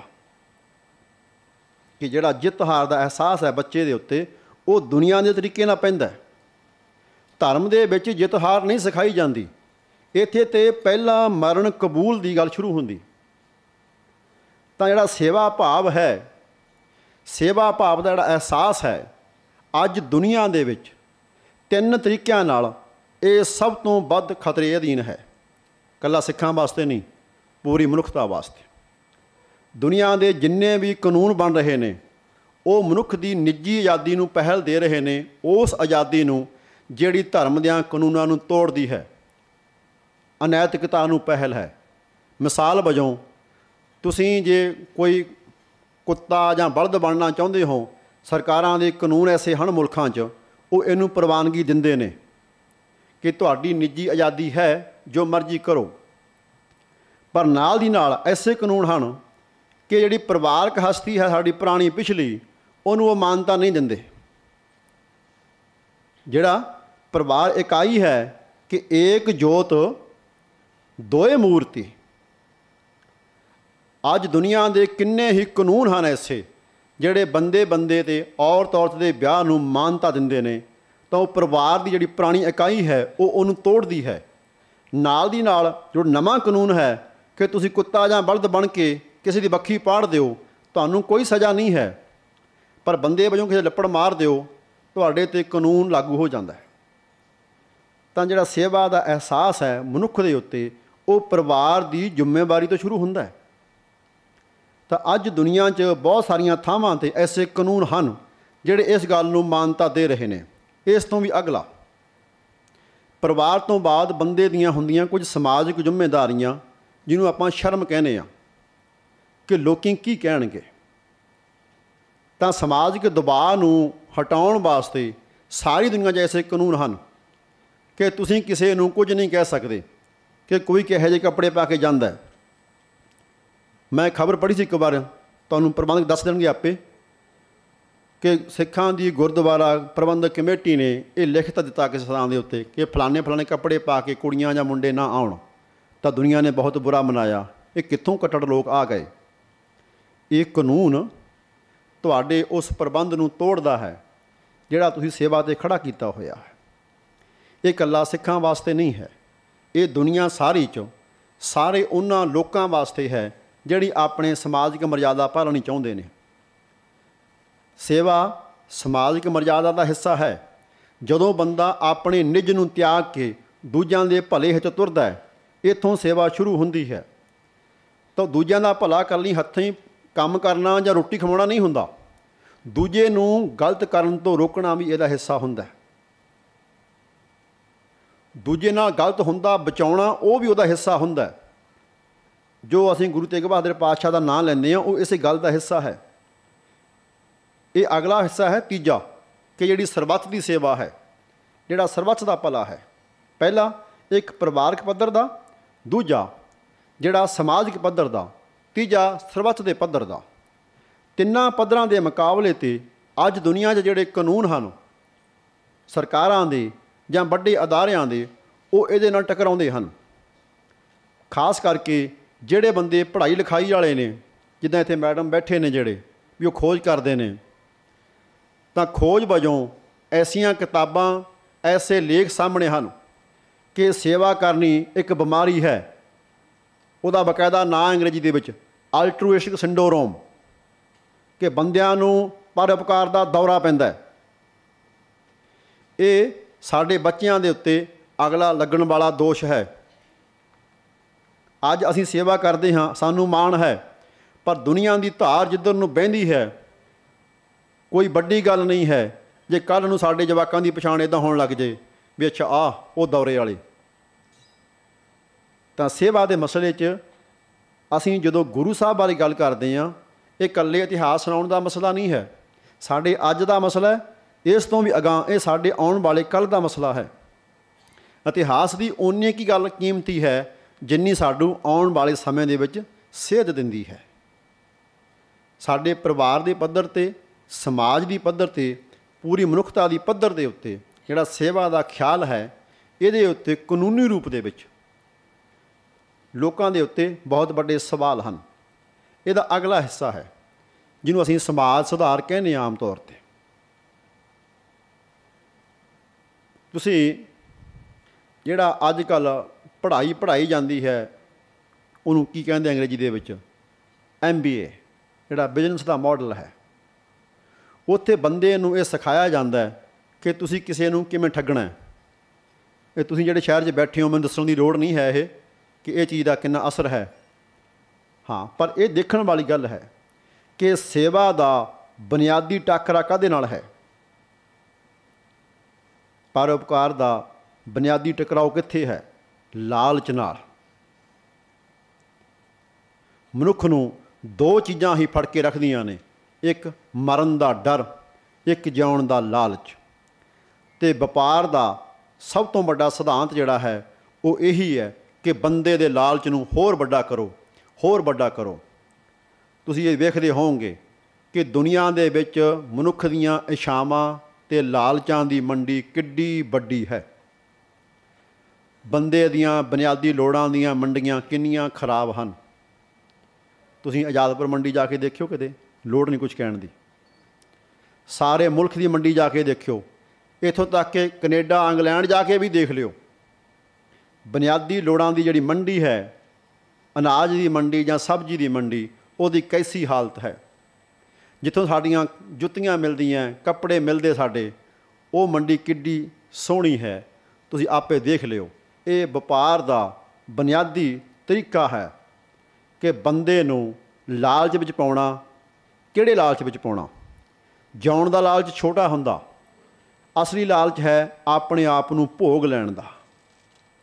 ਕੰਜ਼ਿਊਮਰਿਜ਼ਮ ਕੋਈ ਆਮ ਟਰਮ ਹੈ, ਛੋਟੀ ਹੈ, ਗੱਲ ਸਮਝ ਆਉਂਦੀ ਨਹੀਂ ਹੈ। ਅਸਲੀ ਮਸਲਾ ਇਹ ਹੈ ਕਿ ਜੋ ਦੁਨੀਆ ਦੀ ਮੁੱਖ ਧਾਰ ਹੈ ਕਿ ਬੰਦਾ ਬੰਦਾ ਵਿਆਹ ਕਰਾ ਲਵੇ, ਤਨੀ ਤੀਵੀਂ ਤੀਵੀਂ ਵਿਆਹ ਕਰਾ ਲਵੇ, ਉਹ ਅਸਲ ਮਸਲਾ ਕੀ ਹੈ? ਕਿ ਤੁਸੀਂ ਆਪਣੀ ਦੇਹ ਨੂੰ ਭੋਗੋ, ਤਾਂ ਇਹਦਾ ਮੂਲ ਫਲਸਫਾ ਕਿੱਥੇ ਹੈ? ਕਿ ਇਹ ਦੇਹੀ ਹੈ ਜਿਹੜੀ, ਇਹ ਭੋਗਣ ਵਾਸਤੇ ਹੈ, ਕਿ ਖਾਓ ਪੀਓ ਐਸ਼ ਕਰੋ। ਤਾਂ ਜਿਹੜਾ ਅਸੀਂ ਗੁਰਬਾਣੀ ਜੋ ਇਹ ਪੜ੍ਹਦੇ ਹਾਂ ਕਿ ਇਹ ਤੋਹਫਾ ਹੈ, ਇਹ ਤੇਰੀ ਅਵਸਰ ਹੈ, ਇਹ ਲੱਖਾਂ ਜਨਮਾਂ ਬਾਅਦ ਮਿਲੀ ਹੈ, ਇਸ ਦੇਹੀ ਕੋ ਜਿਹੜੇ ਦੇਵਤੇ ਨੇ ਉਹ ਵੀ ਸਿਮਰਦੇ ਹੈ ਇਹਨੂੰ ਤਰਸਦੇ ਨੇ, ਇਹ ਦੇਹੀ ਹਰ ਮੰਦਰ ਹੈ, ਇਹ ਕਾਇਆ ਕੰਚਨ ਕੋਟਗੜ ਹੈ, ਤਾਂ ਜਿਹੜਾ ਇਹ ਬੁਨਿਆਦੀ ਖਿਆਲ ਹੈ, ਸੇਵਾ ਇਹਦੇ ਨਾਲ ਜੁੜੀ ਹੋਈ ਹੈ। ਜਦੋਂ ਰੋਜ਼ਾਨਾ ਜ਼ਿੰਦਗੀ ਦੇ ਵਿੱਚ ਝੂਠ ਬੋਲਣਾ ਹੁਨਰ ਲੱਗਦਾ ਹੈ, ਵਪਾਰ ਦਾ, ਝੂਠ ਬੋਲਣਾ ਰਾਜਨੀਤੀ ਲੱਗਦੀ ਹੈ ਝੂਠ ਬੋਲਣਾ ਕਲਾ ਲੱਗਦੀ ਹੈ। ਤਾਂ ਭਾਈ, ਇਹ ਸੇਵਾ, ਇਹ ਸਿਮਰਨ, ਇਹ ਸ਼ਹਾਦਤ, ਇਹ ਕਿਵੇਂ ਸਮਝਾਉਣਗੇ ਤੇ ਕਿੰਨਾ ਚਿਰ ਸਮਝਾਉਣਗੇ? ਗੁਰੂ ਸਾਹਿਬ ਨੇ ਵੱਖਰੇ ਸ਼ਹਿਰ ਵਸਾਏ ਤਾਂ ਕਿ ਲੋਕਾਂ ਨੂੰ ਨਵੇਂ ਤਰੀਕੇ ਦੇ ਸਮਾਜਿਕ ਪ੍ਰਬੰਧ ਵਿੱਚ ਘੜਿਆ ਜਾ ਸਕੇ। ਅੱਜ ਦੁਨੀਆ ਦੇ ਸਾਰੀਆਂ ਮੁਲਕਾਂ ਦੇ ਵਿੱਚ ਇਹ ਕਾਨੂੰਨ ਬਣੀ ਜਾਂਦੇ ਨੇ। ਕਿ ਧਰਮ ਤੁਹਾਡਾ ਨਿੱਜੀ ਮਸਲਾ ਹੈ। ਆਪ ਦੀ ਕੰਧ ਤੋਂ ਬਾਹਰ ਆਪਣਾ ਧਰਮ ਨਾ ਕੱਢਿਓ। ਸੜਕ ਤੇ ਕਿਹੜੇ ਪਾਸੇ ਤੁਰੋਗੇ, ਇਹ ਸਰਕਾਰ ਤੈਅ ਕਰੇਗੀ। ਤੁਹਾਡੇ ਬੱਚੇ ਸਕੂਲ 'ਚ ਕੀ ਪੜ੍ਹਨਗੇ ਸਰਕਾਰ ਤੈਅ ਕਰਦੀ ਹੈ। ਤਾਂ ਇਹ ਜਿਹੜੀਆਂ ਮਾਨਤਾਵਾਂ ਹਨ, ਤੁਹਾਡੇ ਅੰਦਰ ਸੇਵਾ ਦਾ ਖਿਆਲ ਵੀ ਮਾਰ ਦੇਣਗੀਆਂ। ਅੱਜ ਤੁਹਾਡੇ ਅੰਦਰ ਜਿਹੜੀ ਸੇਵਾ ਦਾ ਭਾਵਨਾ ਹੈ, ਉਹ ਪਰੰਪਰਾ ਦੇ ਜ਼ੋਰ ਕਰਕੇ ਹੈ। ਇਹ ਪਰੰਪਰਾ ਦਾ ਜ਼ੋਰ ਉਹਨਾਂ ਚਿਰ ਚੱਲਦਾ ਰਹੇਗਾ ਜਿੰਨਾ ਚਿਰ ਕੁਝ ਲੋਕ ਅਨਪੜ੍ਹ ਰਹਿਣਗੇ, ਜਿਉਂ-ਜਿਉਂ ਲੋਕੀ ਵੱਧ ਪੜ੍ਹੀ ਜਾਣਗੇ, ਹੁਣ ਜਿਵੇਂ ਆ ਸੀਸਾ ਆ ਗਿਆ, ਇਹ ਅਨਪੜ੍ਹਾਂ ਕੋਲੇ ਵੀ ਆ ਗਿਆ, ਹੁਣ ਅਨਪੜ੍ਹਤਾ ਅਸਲ 'ਚ ਖਤਮ ਹੋਏਗੀ। ਪਹਿਲਾਂ ਖਤਮ ਨਹੀਂ ਸੀ ਹੋਣੀ, ਕਿਉਂਕਿ ਸਕੂਲ ਸਾਰੇ ਜਾਂਦੇ ਨਹੀਂ ਸੀਗੇ। ਜੇ ਸਾਡੇ ਵਰਗੇ ਜਾਂਦੇ ਸੀ, ਪੜ੍ਹਦੇ ਨਹੀਂ ਸੀਗੇ। ਪਰ ਸੀਸਾ ਤਾਂ ਸਾਰੇ ਵੇਖਦੇ ਆ ਜੀ ਲਾ ਕੇ ਵੇਖਦੇ ਆ ਹੁਣ ਅਨਪੜ੍ਹਤਾ ਖਤਮ ਹੋਏਗੀ ਅਸਲ 'ਚ। ਹੁਣ ਸਾਰੇ ਪੜ੍ਹਨਗੇ ਉਹ ਪੜ੍ਹਾਈ ਜਿਹੜੀ ਸਾਰੀ ਦੁਨੀਆ ਨੂੰ ਇੱਕ ਸਾਰ ਪੜ੍ਹਾਈ ਜਾਵੇਗੀ। ਤਾਂ ਸੇਵਾ ਦਾ ਜਿਹੜਾ ਖਿਆਲ ਹੈ, ਸੇਵਾ ਦਾ ਜਿਹੜਾ ਅਹਿਸਾਸ ਹੈ, ਇਹ ਕਿਵੇਂ ਬਦਲੀ ਜਾਂਦਾ ਹੈ? ਤੁਹਾਡੇ ਸਾਹਮਣੇ ਦੋ ਮਿਸਾਲਾਂ ਹਨ। ਪਹਿਲਾ 1990 ਤੋਂ ਪਹਿਲਾਂ ਲੰਗਰ ਛਕਣ ਵਾਲੇ ਬੰਦੇ ਆਪਣੇ ਭਾਂਡੇ ਆਪ ਮਾਂਜਦੇ ਸੀ। ਹੁਣ ਤੁਹਾਡੇ ਪ੍ਰਬੰਧਕ ਬੈਠੇ ਨੇ, ਉਹ ਦੱਸ ਸਕਦੇ ਨੇ, ਜਿਹੜੇ ਸੰਗਤ ਨੂੰ ਛਕਦੇ ਨੇ ਉਹ ਵੀ ਦੱਸ ਸਕਦੇ ਨੇ ਕਿ ਕਿੰਨੇ ਭੈਣ ਭਾਈ ਆਪਣੇ ਭਾਂਡੇ ਆਪ ਮਾਂਜਦੇ ਲੰਗਰ ਦੇ ਬੁਨਿਆਦੀ ਢਾਂਚੇ 'ਚ ਫ਼ਰਕ ਪੈ ਗਿਆ। ਇੱਕ ਪਾਸੇ ਸਾਰੇ ਲੋਕੀ ਕਹਿੰਦੇ ਨੇ ਕਿ ਵਾਤਾਵਰਨ ਖਰਾਬ ਹੋ ਰਿਹਾ ਹੈ ਪਾਣੀ ਬਚਾਓ। ਪਰ ਮੈਨੂੰ ਹੁਣ ਲੱਗਦਾ ਹੈ ਵੀ ਸ਼ਾਇਦ ਮੈਂ ਕਿਸਾਨ ਮੋਰਚੇ 'ਚ ਦੋ ਲੰਗਰ ਵੇਖੇ ਸੀ, ਜਿੱਥੇ ਸਵਾਹ ਨਾਲ ਭਾਂਡੇ ਮਾਂਜਦੇ ਸੀ। ਬਾਕੀ ਸਾਰੇ ਥਾਂ ਹੀ ਪਾਣੀ ਡੋਲਿਆ ਜਾਂਦਾ। ਪਾਣੀ ਬਹੁਤ ਵੱਡਾ ਇੱਕ ਤੱਤ ਹੈ ਜ਼ਿੰਦਗੀ ਦਾ। ਜੋ ਰਿਸ਼ਤਾ ਮਨੁੱਖ ਦਾ ਪਾਣੀ ਨਾਲ ਹੈ, ਜੋ ਮਨੁੱਖ ਦਾ ਰਿਸ਼ਤਾ ਹਵਾ ਨਾਲ ਹੈ, ਸਾਨੂੰ ਸਭ ਨੂੰ ਪਤਾ ਹੈ ਕਿ ਸਾਡਾ ਉਹੀ ਰਿਸ਼ਤਾ ਸਾਰੀ ਕਾਇਨਾਤ ਨਾਲ ਹੈ। ਜੋ ਸਾਡਾ ਸਰੀਰ ਹੈ, ਜੋ ਬ੍ਰਹਿਮੰਡੇ, ਜੋ ਪਿੰਡੇ ਵਾਲੀ ਗੱਲ ਹੈ, ਉਹ ਖਾਲੀ ਬਾਣੀ 'ਚ ਨਹੀਂ ਹੈ। ਉਹ ਸਮੁੱਚ ਜ਼ਿੰਦਗੀ 'ਚ ਹੈ। ਜਿੰਨੇ ਹਜ਼ਾਰਾਂ, ਲੱਖਾਂ, ਕਰੋੜਾਂ ਲੋਕ ਬਿਮਾਰ ਹਨ, ਉਹ ਇਸ ਗੱਲ ਦਾ ਸਬੂਤ ਹਨ। ਕਿ ਸਾਡਾ ਆਪਣੀ ਦੇਹ ਨਾਲ ਰਿਸ਼ਤਾ ਸਹੀ ਨਹੀਂ ਹੈ। ਜਦੋਂ ਦੇਹ ਨਾਲ ਰਿਸ਼ਤਾ ਸਹੀ ਨਹੀਂ ਹੈ, ਤਾਂ ਇਸ ਬ੍ਰਹਿਮੰਡ ਨਾਲ ਵੀ ਸਹੀ ਨਹੀਂ ਹੈ। ਗੁਰੂ ਸਾਡੇ ਅੰਦਰ ਵੀ ਵਸਦਾ ਹੈ, ਗੁਰੂ ਕਣ ਕਣ ਚ ਵੀ ਵਸਦਾ ਹੈ। ਜਿਹਨੂੰ ਭਾਈ ਆਪਣੀ ਦੇਹ ਦਿਸਦੀ ਸਭ ਨਹੀਂ, ਸਮਰੱਥ ਨਹੀਂ ਦਿਸਦੀ ਸਾਫ਼ ਰੂਪ ਚ, ਆਪਣੀ ਜੀਭ ਤੇ ਇੰਨਾ ਵੀ ਕਾਬੂ ਨਹੀਂ ਹੈ, ਆਪਣਿਆਂ ਕੰਨਾਂ ਤੇ ਅੱਖਾਂ ਤੇ ਕਾਬੂ ਨਹੀਂ ਹੈ ਕਿ ਬੰਦਾ ਆਪਣੀ ਦੇਹੀ ਨੂੰ ਸਾਂਭ ਲਵੇ, ਉਹ ਸੇਵਾ 'ਚ ਕਿੰਨਾ ਜਾ ਸਕੇਗਾ? ਉਹ ਪਰਉਪਕਾਰ ਕਿੰਨਾ ਕਰ ਸਕੇਗਾ? ਜੋ ਗੁਰੂ ਦੇ ਵੇਲੇ ਪਰਉਪਕਾਰ ਹੋਇਆ, ਅੱਜ ਤੋਂ ਚੌਂ ਸਦੀਆਂ ਪਹਿਲਾਂ, ਉਥੋਂ ਤੱਕ ਉਹਦੀ ਸੁਰਤ ਕਿਵੇਂ ਜਾਏਗੀ?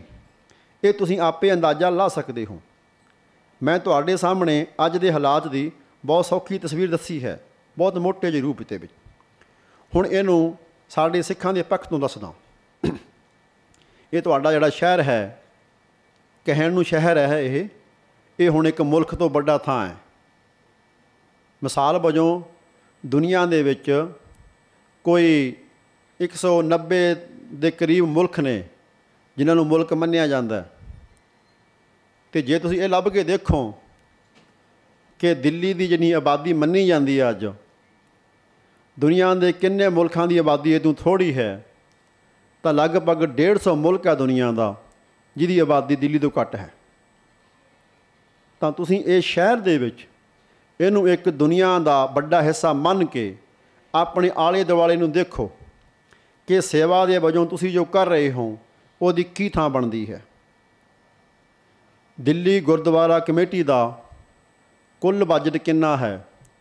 ਤੇ ਦਿੱਲੀ ਦੀ ਜਿਹੜੀ ਇਹ ਸ਼ਹਿਰ ਦੀ ਕਮੇਟੀ ਹੈ, ਪੰਚਾਇਤ ਜਿਹੜੀ ਮਿਊਨਿਸਪੈਲਿਟੀ ਹੈ, ਉਹਦਾ ਬਜਟ ਕਿੰਨਾ ਹੈ? ਹੁਣ ਇਹਨੂੰ ਤੋਲ ਕੇ ਦੇਖੋ ਕਿ ਜਿਹੜਾ ਸਰਕਾਰੀ ਤੰਤਰ ਹੈ ਉਹ ਇੰਨੇ ਹਜ਼ਾਰਾਂ ਕਰੋੜਾਂ ਨਾਲ ਕੀ ਕਰਦਾ ਹੈ ਤੇ ਜਿਹੜਾ ਸਿੱਖਾਂ ਦਾ ਬਜਟ ਹੈ, ਉਹ ਇੰਨੇ ਕੁ ਨਾਲ ਕੀ ਕਰਦੇ ਹਨ? ਤੁਹਾਨੂੰ ਸਮਝ ਲੱਗ ਜਾਏਗੀ ਕਿ ਸਾਡਾ ਸੇਵਾ ਦਾ ਅਹਿਸਾਸ ਹੈ ਜਿਹੜਾ, ਇਹ ਸਾਰੀਆਂ ਗਾਲਾਂ ਦੇ ਬਾਵਜੂਦ ਇਹਦੇ 'ਚ ਬਹੁਤ ਕੁਝ ਹੈ। ਸਿੱਖਾਂ ਦੀਆਂ ਸਾਰੀਆਂ ਕਮੇਟੀਆਂ ਜਿਹੜੀਆਂ ਬਹੁਤ ਬਦਨਾਮ ਹਨ, ਪਰ ਉਹ ਖਾਲੀ ਬਦਨਾਮ ਨਹੀਂ ਹਨ, ਕਾਰਨ ਹਨ ਉਹਦੇ 'ਚ। ਪਰ ਇਹਦੇ ਬਾਵਜੂਦ ਇਹ ਸਾਡਾ ਟੁੱਟਿਆ ਭੱਜਿਆ ਪ੍ਰਬੰਧ ਵੀ ਹਾਲੇ ਦੁਨੀਆ ਦੇ ਬਹੁਤ ਹਿੱਸੇ ਨਾਲੋਂ ਬਹੁਤ ਬਿਹਤਰ ਹੈ। ਐਵੇਂ ਰੋਜ਼ ਆਪਣੇ ਆਪ ਨੂੰ ਗਾਲਾਂ ਨਹੀਂ ਕਰਨੀਆਂ ਚਾਹੀਦੀਆਂ। ਹਾਂ, ਇਹ ਮਸਲਾ ਜ਼ਰੂਰ ਹੈ ਕਿ ਸਾਡੇ ਕੋਲੇ ਆਪਣਾ ਮਾਪਦੰਡ ਚਾਹੀਦਾ ਆਪਣੇ ਆਪ ਨੂੰ ਮਿਲਣ ਦਾ, ਪਰ ਦੁਨੀਆ ਨੂੰ ਵੇਖਣ ਦਾ ਵੀ ਆਪਣਾ ਮਾਪਦੰਡ ਚਾਹੀਦਾ ਇਤਿਹਾਸ ਨੂੰ ਵੇਖਣ ਦਾ ਵੀ ਆਪਣਾ ਮਾਪਦੰਡ ਚਾਹੀਦਾ ਹੈ। ਤੇ ਉਹਦੇ ਲਈ ਮੈਂ ਆਪਣੀ ਇੰਨੀ ਬੇਨਤੀ ਕਰਦਾ ਕਿ ਉਹਦਾ ਇੱਕੋ ਇੱਕ ਤਰੀਕਾ ਹੈ ਜੋ ਸਾਨੂੰ ਗੁਰੂ ਸਾਹਿਬ ਨੇ ਸਮਝਾਇਆ ਸ਼ੁਰੂ ਤੋਂ। ਪਹਿਲਾ ਸੀ ਆਪਣੇ ਅੱਖਰ। ਕਿ ਜੋ ਅੱਖਰ ਦਾ ਆਕਾਰ ਹੈ, ਅੱਖਰ ਮੈਂ ਤ੍ਰਿਭਵਨ ਧਾਰੇ। ਅੱਖਰ ਕੋਈ ਛੋਟਾ ਨਹੀਂ ਹੈ। ਇਹ ਰਾਜ ਬਣਦੇ ਟੁੱਟਦੇ ਰਹਿੰਦੇ ਨੇ, ਹੱਦਾਂ ਛੋਟੀਆਂ ਵੱਡੀਆਂ ਹੋ ਜਾਂਦੀਆਂ ਨੇ, ਪੈਸੇ ਆਉਂਦੇ ਜਾਂਦੇ ਰਹਿੰਦੇ ਨੇ, ਇੱਜ਼ਤ ਬਦਨਾਮੀ ਵੀ ਜਾਂਦੀ ਆਉਂਦੀ ਰਹਿੰਦੀ ਹੈ। ਅੱਖਰਾਂ ਦਾ ਅਸਰ ਸਦੀਆਂ ਸਦੀਆਂ ਤੱਕ ਹੈ ਮਹਿੰਜੋ ਦਾੜੋ ਵਾਲੇ ਬੰਦੇ ਚਲੇ ਗਏ, ਪਤਾ ਨਹੀਂ ਕੌਣ ਸਨ। ਅੱਖਰ ਬਰਕਰਾਰ ਹਨ। ਤਾਂ ਪਹਿਲਾ ਅਮਲ ਇਹ ਹੈ ਕਿ ਗੁਰੂ ਬਾਰੇ ਜੋ ਗੱਲ ਕਰਨੀ ਚਾਹੁੰਦੇ ਹਾਂ, ਉਹਦੇ ਯੋਗ ਹੋਣ ਦਾ ਸਭ ਤੋਂ ਵੱਡੀ ਪਛਾਣ ਇਹੀ ਹੈ ਕਿ ਗੁਰਮੁਖੀ ਅੱਖਰ ਲਿਖਣ ਪੜਨ ਜਾਣਦੇ ਜੀ। ਇਸ ਤੋਂ ਅਗਲਾ ਹੈ ਗੁਰਬਾਣੀ ਪਾਠ ਦਾ ਮਸਲਾ। ਸਭ ਤੋਂ ਵੱਡੀ ਸੇਵਾ ਕਾਦੀ ਹੈ? ਸਭ ਤੋਂ ਵੱਡਾ ਪੁੰਨ ਕੀ ਹੈ ਜੀ? ਜੈਸੇ ਸਾਤ ਮੰਦਰ। ਹਾਂਜੀ। ਉਦਾਂ ਵੀ ਮਨੁੱਖ ਦੀ ਸਭ ਤੋਂ ਵੱਡੀ ਪੂੰਜੀ ਕੀ ਹੈ? ਸ਼ਬਦ।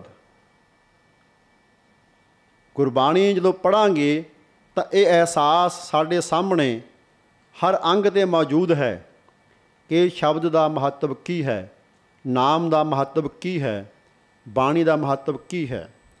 ਤਾਂ ਪਹਿਲੀ ਸੇਵਾ ਭਾਈ ਜਿਹੜੀ ਆਪਣੇ ਹਿੱਤ ਕਰਨੀ ਹੈ ਆਪਣੇ ਜਨਮ ਸਫਲਾ ਕਰਨ ਲਈ ਕਰਨੀ ਹੈ, ਉਹ ਭਾਈ ਬਾਣੀ ਦਾ ਪਾਠ ਹੈ। ਤੇ ਮੈਂ ਜੋ ਅੱਜ ਤੱਕ ਦੇਖਿਆ, ਉਹ ਤੁਹਾਡੇ ਨਾਲ ਸਾਂਝਾ ਕਰਦਾ ਕਿ ਅੱਜ ਸਿੱਖਾਂ ਦਾ ਬਹੁਤ ਵੱਡਾ ਹਿੱਸਾ ਪਹਿਲਾਂ ਤਾਂ ਆ ਸੀਸੇ ਤੋਂ ਪਾਠ ਕਰਦਾ ਹੈ, ਗੁਟਕੇ ਜਾਂ ਪੋਥੀ ਦੀ ਥਾਂ ਤੇ। ਬਹੁਤ ਖਿਮਾ ਸਹਿਤ ਕਹਿਣਾ ਕਿ ਸੇਵਾ ਦਾ ਅਹਿਸਾਸ ਇੱਥੋਂ ਸ਼ੁਰੂ ਹੁੰਦਾ ਹੈ ਕਿ ਸਤਿਗੁਰ ਦੀ ਸੇਵਾ ਸਿੱਖ ਕਿਵੇਂ ਕਰਦਾ ਹੈ। ਸਤਿਗੁਰ ਦਾ ਜੋ ਸਰੂਪ ਹੈ, ਸਾਡੇ ਸਾਹਮਣੇ ਉਹ ਸ਼ਬਦ ਰੂਪ ਹੈ।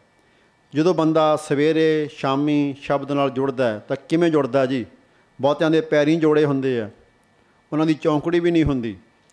ਉਹ ਸੀਸੇ ਤੇ ਪੜਦੇ ਉਸੇ ਸੀਸੇ ਤੇ ਜਿਹਦੇ ਬਾਜ਼ਾਰ ਵੇਖਦੇ, ਜਿਹਦੇ ਹਾ ਹਾ ਹੀ ਹੀ ਵੇਖਦੇ, ਉੱਥੇ ਹੀ ਪੜਦੇ ਇਦੋਂ ਪਹਿਲਾਂ ਸਾਡੀ ਮੱਤ ਸਕੂਲਾਂ ਮਾਰੀ ਸੀ। ਇੱਕੋ ਕਿਤਾਬ ਦੇ ਅੰਦਰ ਸੂਫੀ ਕਾਵ ਸੀ। ਉਹਦੇ 'ਚ ਕਿੱਸੇ ਸੀ ਹੀ ਰਾਂਝੇ ਦੇ? ਉੱਥੇ ਬਾਣੀ ਲਿਖੀ ਹੋਈ ਸੀ। ਤਾਂ ਸਕੂਲਾਂ ਨੇ ਪਹਿਲੀ ਜੜ ਵੱਢੀ ਸਾਡੀ। ਜਦੋਂ ਬੰਦਿਆਂ ਨੇ ਕੁਰਸੀਆਂ ਦੇ ਬਹਿ ਕੇ ਜੋੜੇ ਪਾ ਕੇ ਨੰਗੇ ਸਿਰ ਤੇ ਗੁਰਬਾਣੀ ਨੂੰ ਕਿਤਾਬ ਜੋ ਪੜਿਆ ਹੁਣ ਅਗਲਾ ਪੜਾ ਇਸ ਹਿੱਸੇ ਤੇ ਆ ਗਿਆ ਤੁਹਾਡੇ ਸਾਹਮਣੇ ਬਸ ਇੰਨੀ ਬੇਨਤੀ ਹੈ ਕਿ ਭਾਈ ਗੁਰਬਾਣੀ ਦਾ ਪਾਠ ਸਹੀ ਤਰੀਕੇ ਕਰਨਾ ਸਿੱਖ ਹੋਣ ਦਾ ਪਹਿਲਾ ਅਮਲ ਹੈ। ਸੇਵਾ ਸਿੱਖ ਵਜੋਂ ਤਾਂ ਹੀ ਹੋਏਗੀ ਜੇ ਸਿੱਖ ਹੋਣ ਦੇ ਅਮਲ ਵਿੱਚ ਪਏ ਹੋਵਾਂਗੇ। ਬਹੁਤੇ ਮਾਈ ਭਾਈ ਪਾਠ ਨੂੰ ਤੇਜ਼ ਕਰਦੇ ਨੇ। ਤੇਜ਼ ਪਾਠ ਗੁਰੂ ਦੀ ਬੇਅਦਬੀ ਹੈ। ਪਾਠ ਬਹੁਤੇ ਮਾਈ ਭਾਈ ਵੇਖ ਕੇ ਕਰਦੇ ਨੇ, ਪਰ ਚੁੱਪਚਾਪ ਕਰਦੇ ਨੇ। ਇਹ ਰਸਨਾ ਸੁੱਚੀ ਨਹੀਂ ਕਰਨੀ। ਇਹ ਕੰਨ ਸੁੱਚੇ ਨਹੀਂ ਕਰਨੇ। ਪਾਠ ਲਈ ਦਰਸ਼ਨ ਵੀ ਚਾਹੀਦਾ ਮੂੰਹੋਂ ਬੋਲਣਾ ਵੀ ਚਾਹੀਦਾ ਹੈ। ਘੱਟੋ ਘੱਟ ਇੰਨਾ ਸਾਡਿਆਂ ਕੰਨਾਂ ਨੂੰ ਸੁਣਦਾ ਹੋਵੇ ਤੇ ਪਾਠ ਟਿਕਾ ਨਾਲ ਚਾਹੀਦਾ ਹੈ। ਜਿੱਦਾਂ ਕਿਸੇ ਨਾਲ ਬਹੁਤ ਖਾਸ ਗੱਲ ਹੁੰਦੀ ਹੈ ਜਿਹਨੂੰ ਲੱਗਦਾ ਕਿ ਮੈਨੂੰ ਰਸ ਨਹੀਂ ਆਉਂਦਾ ਜਾਂ ਸਮਝ ਨਹੀਂ ਆਉਂਦੀ, ਭਾਈ ਟੀਕੇ ਨਾਲ ਨਹੀਂ ਆਉਂਦੀ ਕਦੇ ਵੀ, ਭਾਵੇਂ 10 ਟੀਕੇ ਪੜ੍ਹ ਲਿਓ ਉਹ ਉਦੋਂ ਹੀ ਆਉਣੀ ਹੈ, ਜਿੱਦਾਂ ਪੜਨ ਦਾ ਤਰੀਕਾ ਆ ਗਿਆ ਜਿੱਦਾਂ ਪੜਨ ਦਾ ਤਰੀਕਾ ਆ ਗਿਆ। ਉਹ ਅਹਿਸਾਸ ਤੋਂ ਬਾਅਦ ਜਿਹੜਾ ਸੇਵਾ ਦਾ ਅਹਿਸਾਸ ਹੈ ਕਿ ਗੁਰੂ ਦੀ ਸੇਵਾ ਤੋਂ ਲੈ ਕੇ ਇਹ ਮਨੁੱਖਤਾ ਦੀ ਸੇਵਾ ਤੱਕ ਜੋ ਕੁਝ ਸਾਡੇ ਜੁੰਮੇ ਹੈ, ਸਰਬੱਤ ਦੇ ਭਲੇ ਵਜੋਂ ਉਹ ਬਹੁਤ ਵੱਡਾ ਹੈ। ਅਸੀਂ ਲੋਕਾਂ ਦੇ ਹਿਸਾਬ ਨਾਲ ਆਪਣੇ ਆਪ ਨੂੰ ਨਾ ਤੋਲੀਏ। ਪਰ ਜਿਵੇਂ ਅਗਲਾ ਸਮਾਂ ਆ ਰਿਹਾ ਹੈ, ਉਹਨੂੰ ਮੁੱਖ ਰੱਖ ਕੇ ਆਪਣੇ ਆਪ ਨੂੰ ਤਿਆਰ ਰੱਖੀਏ। ਆਪਣੀ ਨਿੱਜੀ ਜ਼ਿੰਦਗੀ ਵਾਸਤੇ ਵੀ ਤੇ ਸਰਬੱਤ ਦੇ ਭਲੇ ਵਾਸਤੇ ਵੀ ਤੇ ਸਮਾਜਿਕ ਜ਼ਿੰਮੇਵਾਰੀ ਵਜੋਂ ਵੀ। ਇਹ ਸਿਰਫ ਪਰ ਉਪਕਾਰ ਨਹੀਂ ਹੈ। ਸੇਵਾ ਅਸਲ 'ਚ ਸਭ ਤੋਂ ਵੱਡੀ ਜ਼ਿੰਮੇਵਾਰੀ ਹੈ। ਬੰਦੇ ਹੋਣ ਦਾ ਅਹਿਸਾਸ ਹੈ। ਇਹ ਅਹਿਸਾਸ ਦੀ ਪੂਰਨਤਾ ਅੱਖਰਾਂ ਦੀ ਪਛਾਣ ਤੋਂ ਸ਼ੁਰੂ ਹੋ ਕੇ ਸਰਬੱਤ ਦੇ ਭਲੇ ਤੱਕ ਜਾਂਦੀ ਹੈ। ਇੰਨੀਆਂ ਕੁ ਬੇਨਤੀਆਂ ਨਾਲ ਮੈਂ ਆਪਣੀ ਗੱਲ ਨੂੰ ਸਮਾਪਤ ਕਰਦਾ। ਜੋ ਕੁਝ ਗਲਤ ਕਿਹਾ ਗਿਆ ਉਹ ਮੇਰਾ ਹੈ ਜੋ ਠੀਕ ਹੈ ਉਹ ਗੁਰੂ ਦਾ ਹੈ ਉਹ ਸੰਗਤ ਦਾ ਹੈ। ਫਤਿਹ ਬੁਲਾਓ ਜੀ। ਵਾਹਿਗੁਰੂ ਜੀ ਕਾ ਖਾਲਸਾ ਵਾਹਿਗੁਰੂ ਜੀ ਕੀ ਫਤਿਹ।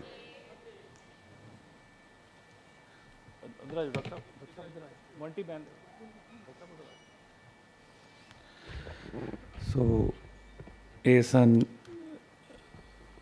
ਪੰਥ ਦੀ ਅਜ਼ੀਮ ਸ਼ਖਸੀਅਤ ਡਾਕਟਰ ਸੇਵਕ ਸਿੰਘ ਜੀ। ਜਿਨ੍ਹਾਂ ਨੇ ਆਪਣੇ ਉਹ ਵਿਚਾਰ ਤੁਹਾਡੇ ਨਾਲ ਸਾਂਝੇ ਕੀਤੇ ਨੇ ਜੋ ਅਨੁਭਵ ਕੀਤੇ ਨੇ। ਗੁਰੂ ਸਾਹਿਬਾਂ ਨੇ ਸਾਨੂੰ ਸੇਵਾ ਤੇ ਲਾਇਆ। ਸੇਵਾ ਕਰਨ ਦੇ ਨਾਲ ਮਨ ਨਿਰਮਲ ਹੁੰਦਾ। ਉਹ ਦੱਸਿਆ, ਮਗਰ ਦੱਸਿਆ ਕਿਹਨਾਂ ਨੇ ਆ ਗੁਰੂ ਸਾਹਿਬਾਨਾਂ ਨੇ, ਜਿਨ੍ਹਾਂ ਨੇ ਆਪ ਕਰ- ਆਪ ਆਪ ਮੰਨਿਆ। ਤੇ ਜਦੋਂ ਆਪ ਮੰਨਦੇ ਆ ਤਾਂ ਕਿਸੇ ਨੂੰ ਸਮਝਾਇਆ ਜਾ ਸਕਦਾ। ਡਾਕਟਰ ਸਾਹਿਬ ਦੀਆਂ ਗੱਲਾਂ ਛੇਤੀ ਕਿਤੇ ਸਮਝ ਨਹੀਂ ਆਉਂਦੀਆਂ। ਇਹਦੇ ਵਾਸਤੇ ਦਿਮਾਗ ਵੀ ਓਡਾ ਵੱਡਾ ਚਾਹੀਦਾ। ਸੁਰਤ ਬੜੀ ਟਿਕੀ ਹੋਈ ਚਾਹੀਦੀ ਹੈ, ਕਿਉਂਕਿ ਬੜੀਆਂ ਟਿਕੀਆਂ ਹੋਈਆਂ ਗੱਲਾਂ ਨੇ।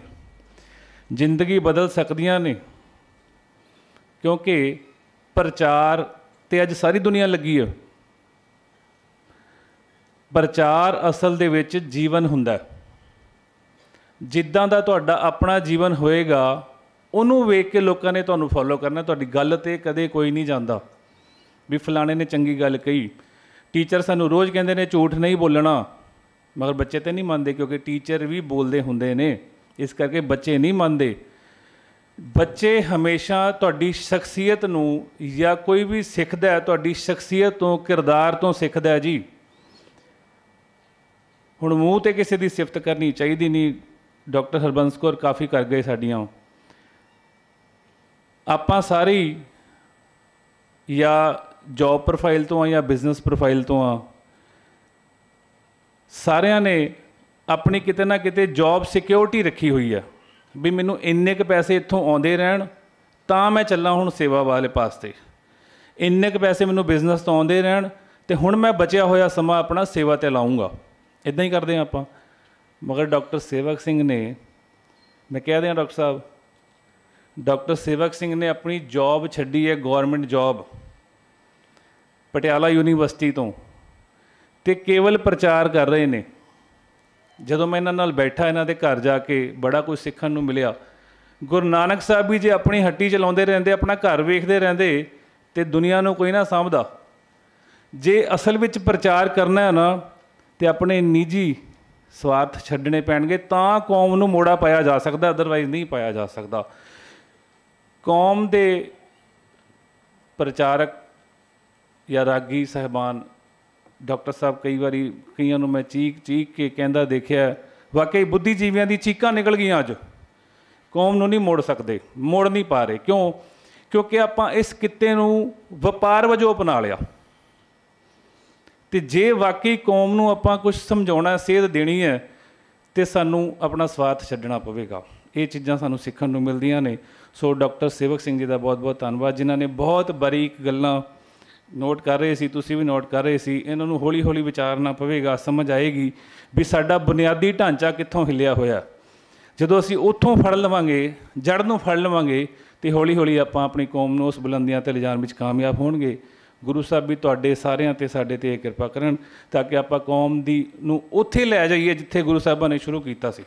ਸੋ, ਸਾਡੇ ਇਸ ਸੈਮੀਨਾਰ ਦੇ ਵਿੱਚ ਉਚੇਚੇ ਤੌਰ ਤੇ ਪ੍ਰਧਾਨ ਹਰਮੀਤ ਸਿੰਘ ਜੀ ਕਾਲਕਾ ਬਹੁਤ ਹੀ ਸਤਿਕਾਰਯੋਗ ਆਪ ਸਭ ਸੰਗਤਾਂ ਦੇ ਦਰਸ਼ਨ ਕਰਨ ਵਾਸਤੇ ਪਹੁੰਚੇ ਨੇ ਔਰ ਜਨਰਲ ਸਕੱਤਰ ਜਗਦੀਪ ਸਿੰਘ ਜੀ ਕਾਲੋਂ ਅਤ ਸਤਿਕਾਰਯੋਗ ਉਹ ਵੀ ਪਹੁੰਚੇ ਨੇ। ਮੈਂ ਪ੍ਰਧਾਨ ਸਾਹਿਬ, ਸਕੱਤਰ ਸਾਹਿਬ, ਉਹਨਾਂ ਨੇ ਅਗਲੇ ਰੁਝੇਵਿਆਂ ਵਾਸਤੇ, ਰੁਝੇਵਿਆਂ ਵਜੋਂ ਅਗਲੇ ਪ੍ਰੋਗਰਾਮਾਂ ਤੇ ਜਾਣਾ ਹੈ ਤੇ ਮੈਂ ਕੁਝ ਮਿੰਟਾਂ ਵਾਸਤੇ ਉਹਨਾਂ ਨੂੰ ਬੇਨਤੀ ਕਰਦੇ ਹਾਂ। ਉਸ ਤੋਂ ਬਾਅਦ ਫਿਰ ਆਪਾਂ ਡਾਕਟਰ ਸੁਖਪ੍ਰੀਤ ਸਿੰਘ ਜੀ ਉਦੋਂ ਕੀ ਉਹਨਾਂ ਦੇ ਵਿਚਾਰ ਸਰਵਣ ਕਰਾਂਗੇ। ਸਭ ਸਭ ਤੋਂ ਪਹਿਲਾਂ ਮੈਂ ਬੇਨਤੀ ਕਰਾਂ ਪ੍ਰਧਾਨ ਹਰਮੀਤ ਸਿੰਘ ਜੀ ਕਾਲਕਾ ਹੋਰਾਂ ਨੂੰ ਆਪ ਸਭ ਸੰਗਤਾਂ ਨਾਲ ਆਪਣੇ ਵਿਚਾਰ ਸਾਂਝੇ ਕਰਨਗੇ। ਪ੍ਰਧਾਨ ਹਰਮੀਤ ਸਿੰਘ ਜੀ ਕਾਲਕਾ।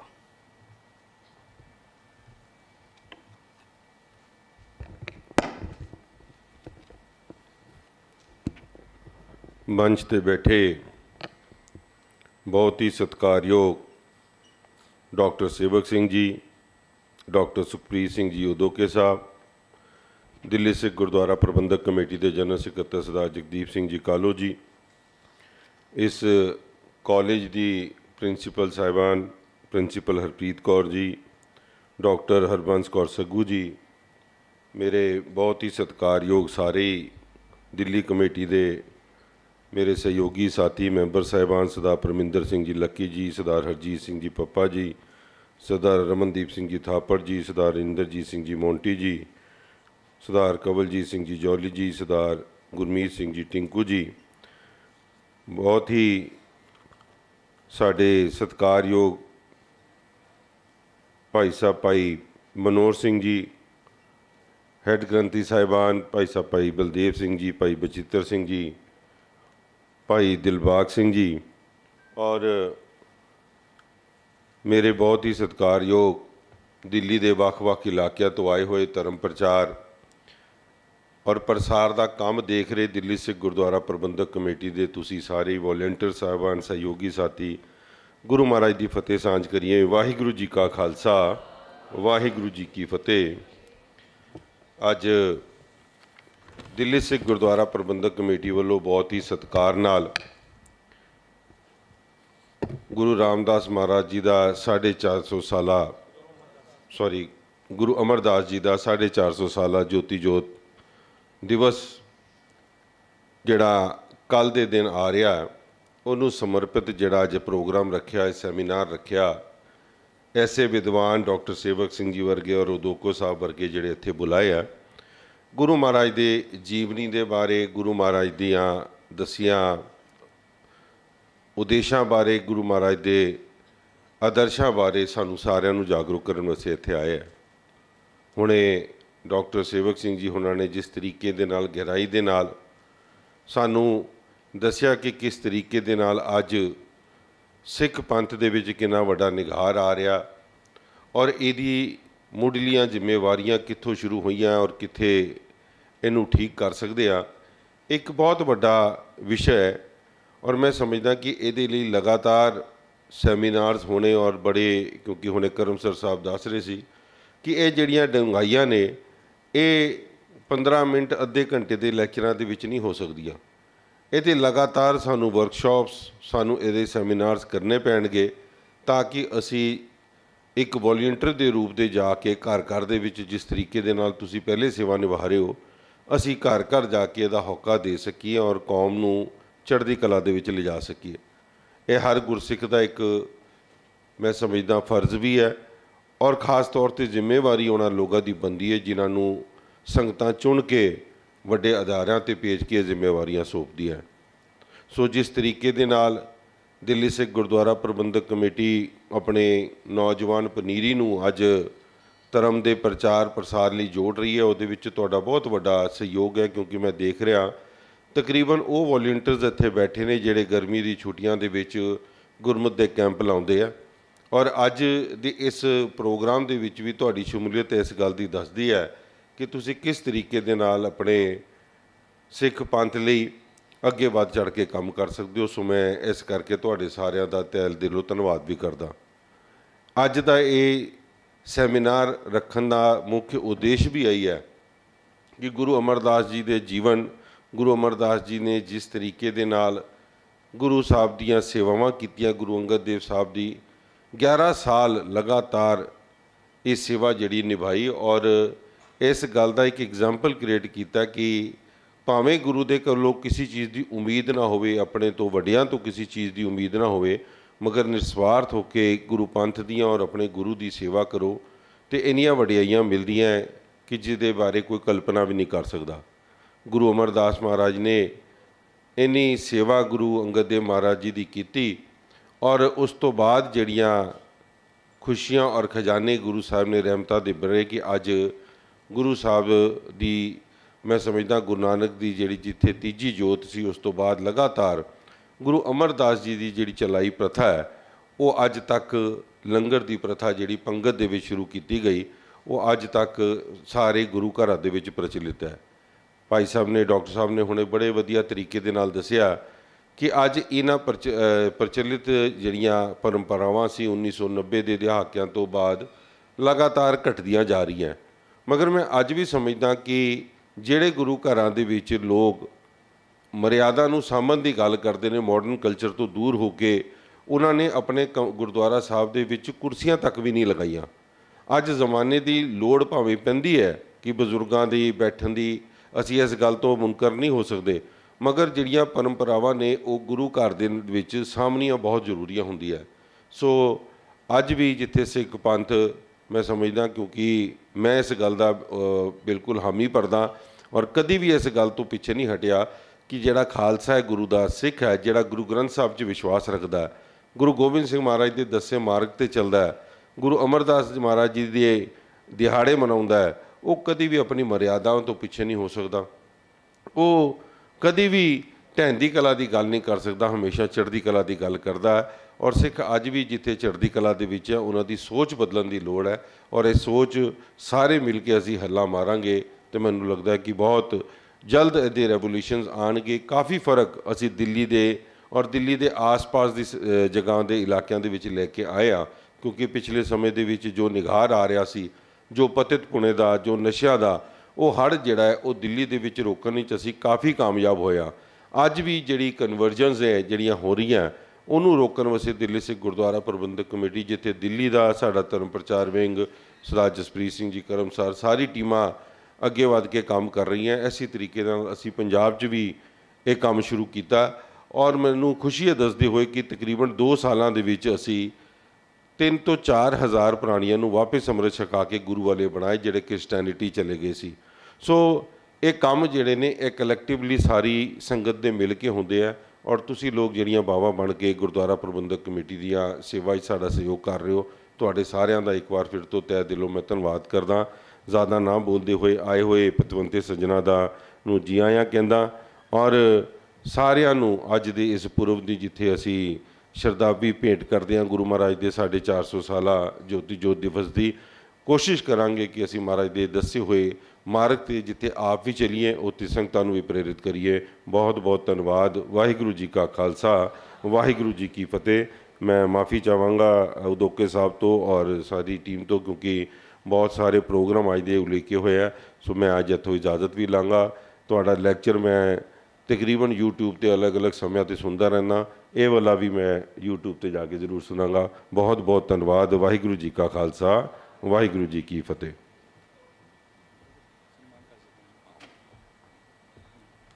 ਸੋ ਬਹੁਤ ਬਹੁਤ ਧੰਨਵਾਦ ਪ੍ਰਧਾਨ ਹਰਮੀਤ ਸਿੰਘ ਕਾਲਕਾ ਜੀ। ਦੋਵਾਂ ਦਾ ਪ੍ਰਧਾਨ ਹਰਮੀਤ ਸਿੰਘ ਜੀ ਕਾਲਕਾ, ਜਨਰਲ ਸਕੱਤਰ ਜਗਦੀਪ ਸਿੰਘ ਜੀ ਕਾਲੋਂ ਉਹਨਾਂ ਦਾ ਬਹੁਤ ਬਹੁਤ ਧੰਨਵਾਦ। ਇੱਕ ਤੇ ਇਹਨਾਂ ਦੀ ਮੋਰਲ ਡਿਊਟੀ ਬਣਦੀ ਹੈ। ਦੂਜਾ ਧੰਨਵਾਦ ਇਸ ਕਰਕੇ ਕਿ ਜਦੋਂ ਵੀ ਆਪਾਂ ਇਹੋ ਜਿਹੇ ਪ੍ਰੋਗਰਾਮ ਉਲੀਕਦੇ ਹਾਂ ਬੜੀ ਹੱਲਾਸ਼ੇਰੀ ਦਿੰਦੇ ਨੇ। ਕੱਲ ਸਾਰੇ ਸਕੂਲਾਂ, ਕਾਲਜਾਂ ਵਿੱਚ, ਦਿੱਲੀ ਵਿੱਚ ਜਿੱਥੇ ਜਿੱਥੇ ਇਹਨਾਂ ਨੇ ਮੈਸੇਜ ਦੇ ਸਕਦੇ ਸੀ ਇਸ ਪ੍ਰੋਗਰਾਮ ਨੂੰ ਸੁਣਨ ਵਾਸਤੇ, ਬੁਲਾਰਿਆਂ ਨੂੰ, ਸਰੋਤਿਆਂ ਨੂੰ ਜਿੱਥੇ ਜਿੱਥੇ ਤੱਕ ਇਹਨਾਂ ਨੇ ਸਹਿਯੋਗ ਕਰਨਾ, ਕਰ ਸਕਦੇ ਸੀ, ਪੂਰਾ ਕੀਤਾ। ਸੋ ਗੁਰੂ ਸਾਹਿਬ ਕਿਰਪਾ ਕਰਨ, ਦੋਨਾਂ ਵੀਰਾਂ ਦਾ ਬਹੁਤ ਬਹੁਤ ਧੰਨਵਾਦ। ਸੋ ਮੈਂ ਪ੍ਰਧਾਨ ਹਰਮੀਤ ਸਿੰਘ ਜੀ, ਕਾਲਕਾ ਜਨਰਲ ਸਕੱਤਰ ਜਗਦੀਪ ਸਿੰਘ ਜੀ ਕਾਲੋਂ ਉਹਨਾਂ ਨੂੰ ਬੇਨਤੀ ਕਰਾਂ ਕਿ ਜਾਣ ਤੋਂ ਪਹਿਲਾਂ ਜੋ ਸਾਡੇ ਉਚੇਚੇ ਤੌਰ ਤੇ ਅੱਜ ਬੁਲਾਰੇ ਸਹਿਬਾਨ ਆਏ ਨੇ, ਉਹਨਾਂ ਦਾ ਆਪਾਂ ਸਨਮਾਨ ਕਰ ਦਈਏ। ਸੋ ਜਨਰਲ ਸਕੱਤਰ ਜਗਦੀਪ ਸਿੰਘ ਜੀ ਕਾਲੋਂ ਪ੍ਰਧਾਨ ਹਰਮੀਤ ਸਿੰਘ ਜੀ ਕਾਲਕਾ, ਉਹਨਾਂ ਨੂੰ ਮੈਂ ਬੇਨਤੀ ਕਰਾਂ ਪਹਿਲਾਂ, ਡਾਕਟਰ ਸੇਵਕ ਸਿੰਘ ਜੀ, ਉਹਨਾਂ ਦਾ ਇੱਕ ਮੋਮੈਂਟੋ ਔਰ ਇੱਕ ਸ਼ਾਲ ਦੇ ਨਾਲ ਸਨਮਾਨ ਕੀਤਾ ਜਾਣਾ।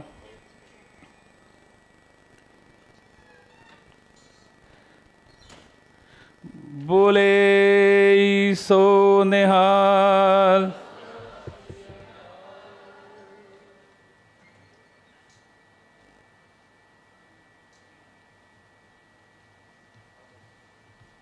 ਸੋ ਮੈਂ ਡਾਕਟਰ ਸੁਖਪ੍ਰੀਤ ਸਿੰਘ ਜੀ ਉਦੋਂ ਕੇ ਪੰਥ ਦੀ ਅਜ਼ੀਮ ਸ਼ਖਸੀਅਤ ਉਹਨਾਂ ਨੂੰ ਵੀ ਬੇਨਤੀ ਕਰਾਂ ਕਿ ਉਹ ਵੀ ਆ ਜਾਣ। ਬੋਲੇ ਸੋ ਨਿਹਾਲ।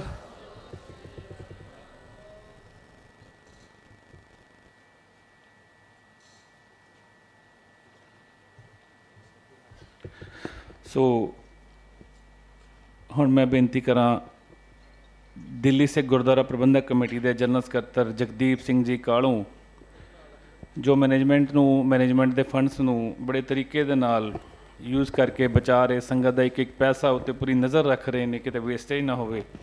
ਸੋ ਉਹਨਾਂ ਨੂੰ ਮੈਂ ਬੇਨਤੀ ਕਰਾਂ, ਜੋ ਸਾਨੂੰ ਇਹੋ ਜਿਹੇ ਪ੍ਰੋਗਰਾਮਾਂ ਵਾਸਤੇ ਇਸੀ ਸਤਸੰਗ ਜਥੇ ਦੀਆਂ ਭੈਣਾਂ ਬੈਠੀਆਂ ਨੇ, ਵੱਖ-ਵੱਖ ਇਸੀ ਸਤਸੰਗ ਜਥੇ ਆਏ ਹੋਏ ਨੇ ਉਹਨਾਂ ਨੂੰ ਵੀ ਬੜੀ ਹੱਲਾਸ਼ਰੀ ਤੇ ਸਪੋਰਟ ਕਰਦੇ ਨੇ। ਮੈਂ ਉਹਨਾਂ ਨੂੰ ਬੇਨਤੀ ਕਰਾਂ ਕੁਝ ਸਮਾਂ, ਕੁਝ ਮਿੰਟਾਂ ਵਾਸਤੇ ਆਪ ਸਭ ਸੰਗਤਾਂ ਦੇ ਦਰਸ਼ਨ ਕਰਨਗੇ ਜੀ। ਜਗਦੀਪ ਸਿੰਘ ਜੀ ਕਾਲੋਂ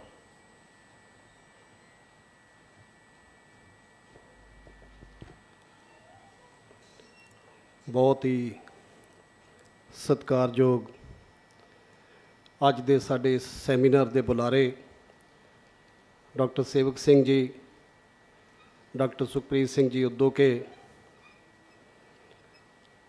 ਬਹੁਤ ਸਤਿਕਾਰਯੋਗ ਹੈੱਡ ਗ੍ਰੰਥੀ ਸਾਹਿਬ, ਭਾਈ ਬਜਿੱਤਰ ਸਿੰਘ ਜੀ, ਭਾਈ ਦਿਲਬਾਗ ਸਿੰਘ ਜੀ, ਭਾਈ ਸੁਖਵਿੰਦਰ ਸਿੰਘ ਜੀ, ਭਾਈ ਬਲਦੇਵ ਸਿੰਘ ਜੀ, ਦਿੱਲੀ ਸਿੱਖ ਗੁਰਦੁਆਰਾ ਪ੍ਰਬੰਧਕ ਕਮੇਟੀ ਦੇ ਸਾਡੇ ਬਹੁਤ ਸਤਿਕਾਰਯੋਗ ਮੈਂਬਰ ਸਾਹਿਬ, ਸਰਦਾਰ ਰਮਨਦੀਪ ਸਿੰਘ ਜੀ ਥਾਪੜ, ਸਰਦਾਰ ਇੰਦਰਜੀਤ ਸਿੰਘ ਜੀ ਮੋਂਟੀ ਜੀ, ਸਰਦਾਰ ਪ੍ਰਵਿੰਦਰ ਸਿੰਘ ਜੀ ਲੱਕੀ ਜੀ, ਕਵਲਜੀਤ ਸਿੰਘ ਜੀ ਜੌਲੀ ਸਾਹਿਬ, ਸਰਦਾਰ ਗੁਰਮੀਤ ਸਿੰਘ ਟਿੰਕੂ ਜੀ, ਬਹੁਤ ਹੀ ਸਤਿਕਾਰਯੋਗ ਸਾਡੇ ਦਿੱਲੀ ਸਿੱਖ ਗੁਰਦੁਆਰਾ ਪ੍ਰਬੰਧਕ ਕਮੇਟੀ ਦੇ ਕੀਰਤਨੀਏ ਭਾਈ Manohar Singh ji, doctor Harbans Kaur Saggu ji, principal ma'am ਇਸ ਕਾਲਜ ਦੇ ਡਾਕਟਰ ਹਰਪ੍ਰੀਤ ਕੌਰ ਜੀ ਅਤੇ ਮੇਰੇ ਸਾਹਮਣੇ ਬੈਠੇ ਬਹੁਤ ਹੀ ਸਤਿਕਾਰਯੋਗ ਸਰੋਤੇ। ਆਓ ਸਭ ਤੋਂ ਪਹਿਲਾਂ ਫਤਿਹ ਦੀ ਸਾਂਝ ਕਰੀਏ ਜੀ। ਵਾਹਿਗੁਰੂ ਜੀ ਕਾ ਖਾਲਸਾ, ਵਾਹਿਗੁਰੂ ਜੀ ਕੀ ਫਤਿਹ। ਅੱਜ ਅਸੀਂ ਸਾਰੇ ਹੀ ਤੀਸਰੇ ਸਤਿਗੁਰੂ ਧੰਨ ਧੰਨ ਸਾਹਿਬ ਸ੍ਰੀ ਗੁਰੂ ਅਮਰਦਾਸ ਪਾਤਸ਼ਾਹ ਜੀ ਦੇ 450 ਸਾਲਾ ਜੋਤੀ ਜੋਤ ਨੂੰ ਸਮਰਪਿਤ ਸੈਮੀਨਾਰ ਦੇ ਰੂਪ ਵਿੱਚ ਅੱਜ ਬੈਠੇ ਹਾਂ ਜਿਹਦੇ 'ਚ ਅਸੀਂ ਸੇਵਾ ਨੂੰ ਮੁੱਖ ਰੱਖ ਕੇ ਅੱਜ ਦਾ ਇਹ ਸੈਮੀਨਾਰ ਉਲੀਕਿਆ ਗਿਆ, ਜਿਸ ਵਿੱਚ ਅਸੀਂ ਹੁਣੇ ਹੀ ਸੁਣ ਕੇ ਹਟੇ ਹਾਂ ਡਾਕਟਰ ਸੇਵਕ ਸਿੰਘ ਜੀ ਨੂੰ, ਉਹਨਾਂ ਦੇ ਬਹੁਤ ਹੀ ਸੁਲਝੇ ਹੋਏ ਵਿਚਾਰ, ਗਹਿਰਾਈ ਦੇ ਨਾਲ ਉਹਨਾਂ ਨੇ ਸਮਝਾਉਣ ਦੀ ਕੋਸ਼ਿਸ਼ ਕੀਤੀ ਹੈ। ਔਰ ਉਸ ਤੋਂ ਬਾਅਦ ਸਾਡੇ ਵਿੱਚ ਬਹੁਤ ਸੂਝਵਾਨ, ਵਿਦਵਾਨ ਡਾਕਟਰ ਸੁਖਪ੍ਰੀਤ ਸਿੰਘ ਉਦੋਕੇ, ਉਹਨਾਂ ਨੇ ਵੀ ਸਾਂਝ ਪਾਉਣੀ ਆ, ਬੜੇ ਉਹਨਾਂ ਦੇ ਵਿਚਾਰ ਜਿਹੜੇ ਸੁਣਨ ਵਾਲੇ ਹੁੰਦੇ ਆ, ਬੜਾ ਗਿਆਨ ਰੱਖਦੇ, ਬੜੀ ਹਿਸਟਰੀ ਦੀ ਬੜੀ ਨੌਲੇਜ ਆ ਉਹਨਾਂ ਨੂੰ। ਮੈਂ ਬਹੁਤ ਵਾਰੀ ਸੁਣਿਆ ਇਹਨਾਂ ਨੂੰ। ਸੋ ਅੱਜ ਵਿਸ਼ੇਸ਼ ਤੌਰ ਦੇ ਉੱਤੇ ਅਸੀਂ ਇਹਨਾਂ ਨੂੰ ਸੱਦਾ ਦਿੱਤਾ ਸੀ ਕਿ ਸੰਗਤ ਦੇ ਨਾਲ ਆ ਕੇ ਆਪਾਂ ਬ- ਗੱਲਾਂ ਕਰੀਏ, ਦੱਸੀਏ ਗੁਰੂ ਸਾਹਿਬ ਦੇ ਬਾਰੇ, ਉਹਨਾਂ ਦੀ ਜੀਵਨੀ ਦੇ ਬਾਰੇ, ਸੇਵਾ ਦੇ ਬਾਰੇ, ਕੀ ਸੇਵਾ ਦੀ ਭਾਵਨਾ ਹੈ। ਗੁਰੂ ਅਮਰਦਾਸ ਪਾਤਸ਼ਾਹ ਜੀ, ਜਿਨ੍ਹਾਂ ਨੂੰ ਅਸੀਂ ਸੇਵਾ ਦੇ ਪੁੰਜ ਕਹਿੰਦੇ ਆ ਉਹਨਾਂ ਵੱਲੋਂ ਬਹੁਤ ਹੀ ਸਮਾਜ ਦੇ ਵਿੱਚ ਸੁਧਾਰ ਕੀਤੇ ਗਏ।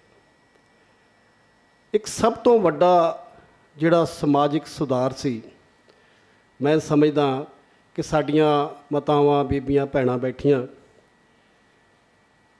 ਉਸ ਸਮੇਂ ਜੇ ਕਿਸੇ ਦੀ ਡੈਥ ਹੋ ਜਾਂਦੀ ਸੀ, ਮੌਤ ਹੋ ਜਾਂਦੀ ਸੀ, ਤੇ ਜਿਹੜੀ ਔਰਤ ਸੀ, ਉਸ ਨੂੰ ਨਾਲ ਸਤੀ ਹੋਣਾ ਪੈਂਦਾ ਸੀ। ਕਿੱਡੀ ਵੱਡੀ ਸਮਾਜ ਦੇ ਵਿੱਚ ਕਿੱਡੀ ਵੱਡੀ ਇਹ ਬੁਰਾਈ ਸੀ। ਲੇਕਿਨ ਗੁਰੂ ਅਮਰਦਾਸ ਪਾਤਸ਼ਾਹ ਜੀ ਨੇ ਇਸ ਬੁਰਾਈ ਨੂੰ, ਸਮਾਜਿਕ ਬੁਰਾਈ ਨੂੰ ਖਤਮ ਕੀਤਾ ਔਰ ਉਹਨਾਂ ਨੇ ਔਰਤ ਨੂੰ ਸਾਰੇ ਹੱਕ ਦਿੱਤੇ, ਜੀਣ ਦਾ ਹੱਕ ਦਿੱਤਾ। ਕੋਈ ਜੀਵਨ ਨਹੀਂ ਸੀ ਕਿ ਕਿੱਥੇ ਦਾ ਇਨਸਾਨੀਅਤ ਹੈ ਕਿ ਇੱਕ ਜਣੇ ਦੀ ਅਗਰ ਡੈਥ ਹੋ ਗਈ ਤੇ ਦੂਸਰੇ ਨੂੰ ਉਹਦੇ ਨਾਲ ਸਤੀ ਕਰ ਦਿਓ। ਪਰ ਇਹ ਆਵਾਜ਼ ਬੁਲੰਦ ਕੀਤੀ ਗੁਰੂ ਅਮਰਦਾਸ ਪਾਤਸ਼ਾਹ ਜੀ ਨੇ। 12 ਸਾਲ ਲਗਾਤਾਰ ਗੁਰੂ ਅਮਰਦਾਸ ਪਾਤਸ਼ਾਹ ਜੀ, ਜਿਨ੍ਹਾਂ ਦੀ ਉਮਰ ਵੀ ਉਸ ਸਮੇਂ ਕਾਫੀ ਸੀ ਔਰ ਉਹ ਲਗਾਤਾਰ ਸੇਵਾ ਕਰਦੇ ਰਹੇ। ਅੱਧੀ ਰਾਤ ਨੂੰ ਜਾ ਕੇ ਕਰੀਬ ਕਰੀਬ ਮੈਂ ਸਮਝਦਾ 2.5 2.5 3 ਕਿਲੋਮੀਟਰ ਤੇ ਹੋਏਗਾ ਜੀ ਉਦੋਂ ਕੇ ਸਾਹਿਬ 8.5 ਕਿਲੋਮੀਟਰ। ਉੱਥੋਂ ਜਲਦੀ ਗਾਗਰ ਲੈ ਕੇ ਆ ਕੇ ਗੁਰੂ ਅੰਬ- ਅੰਗਦ ਦੇਵ ਪਾਤਸ਼ਾਹ ਜੀ ਨੂੰ ਇਸ਼ਨਾਨ ਕਰਾਉਣਾ।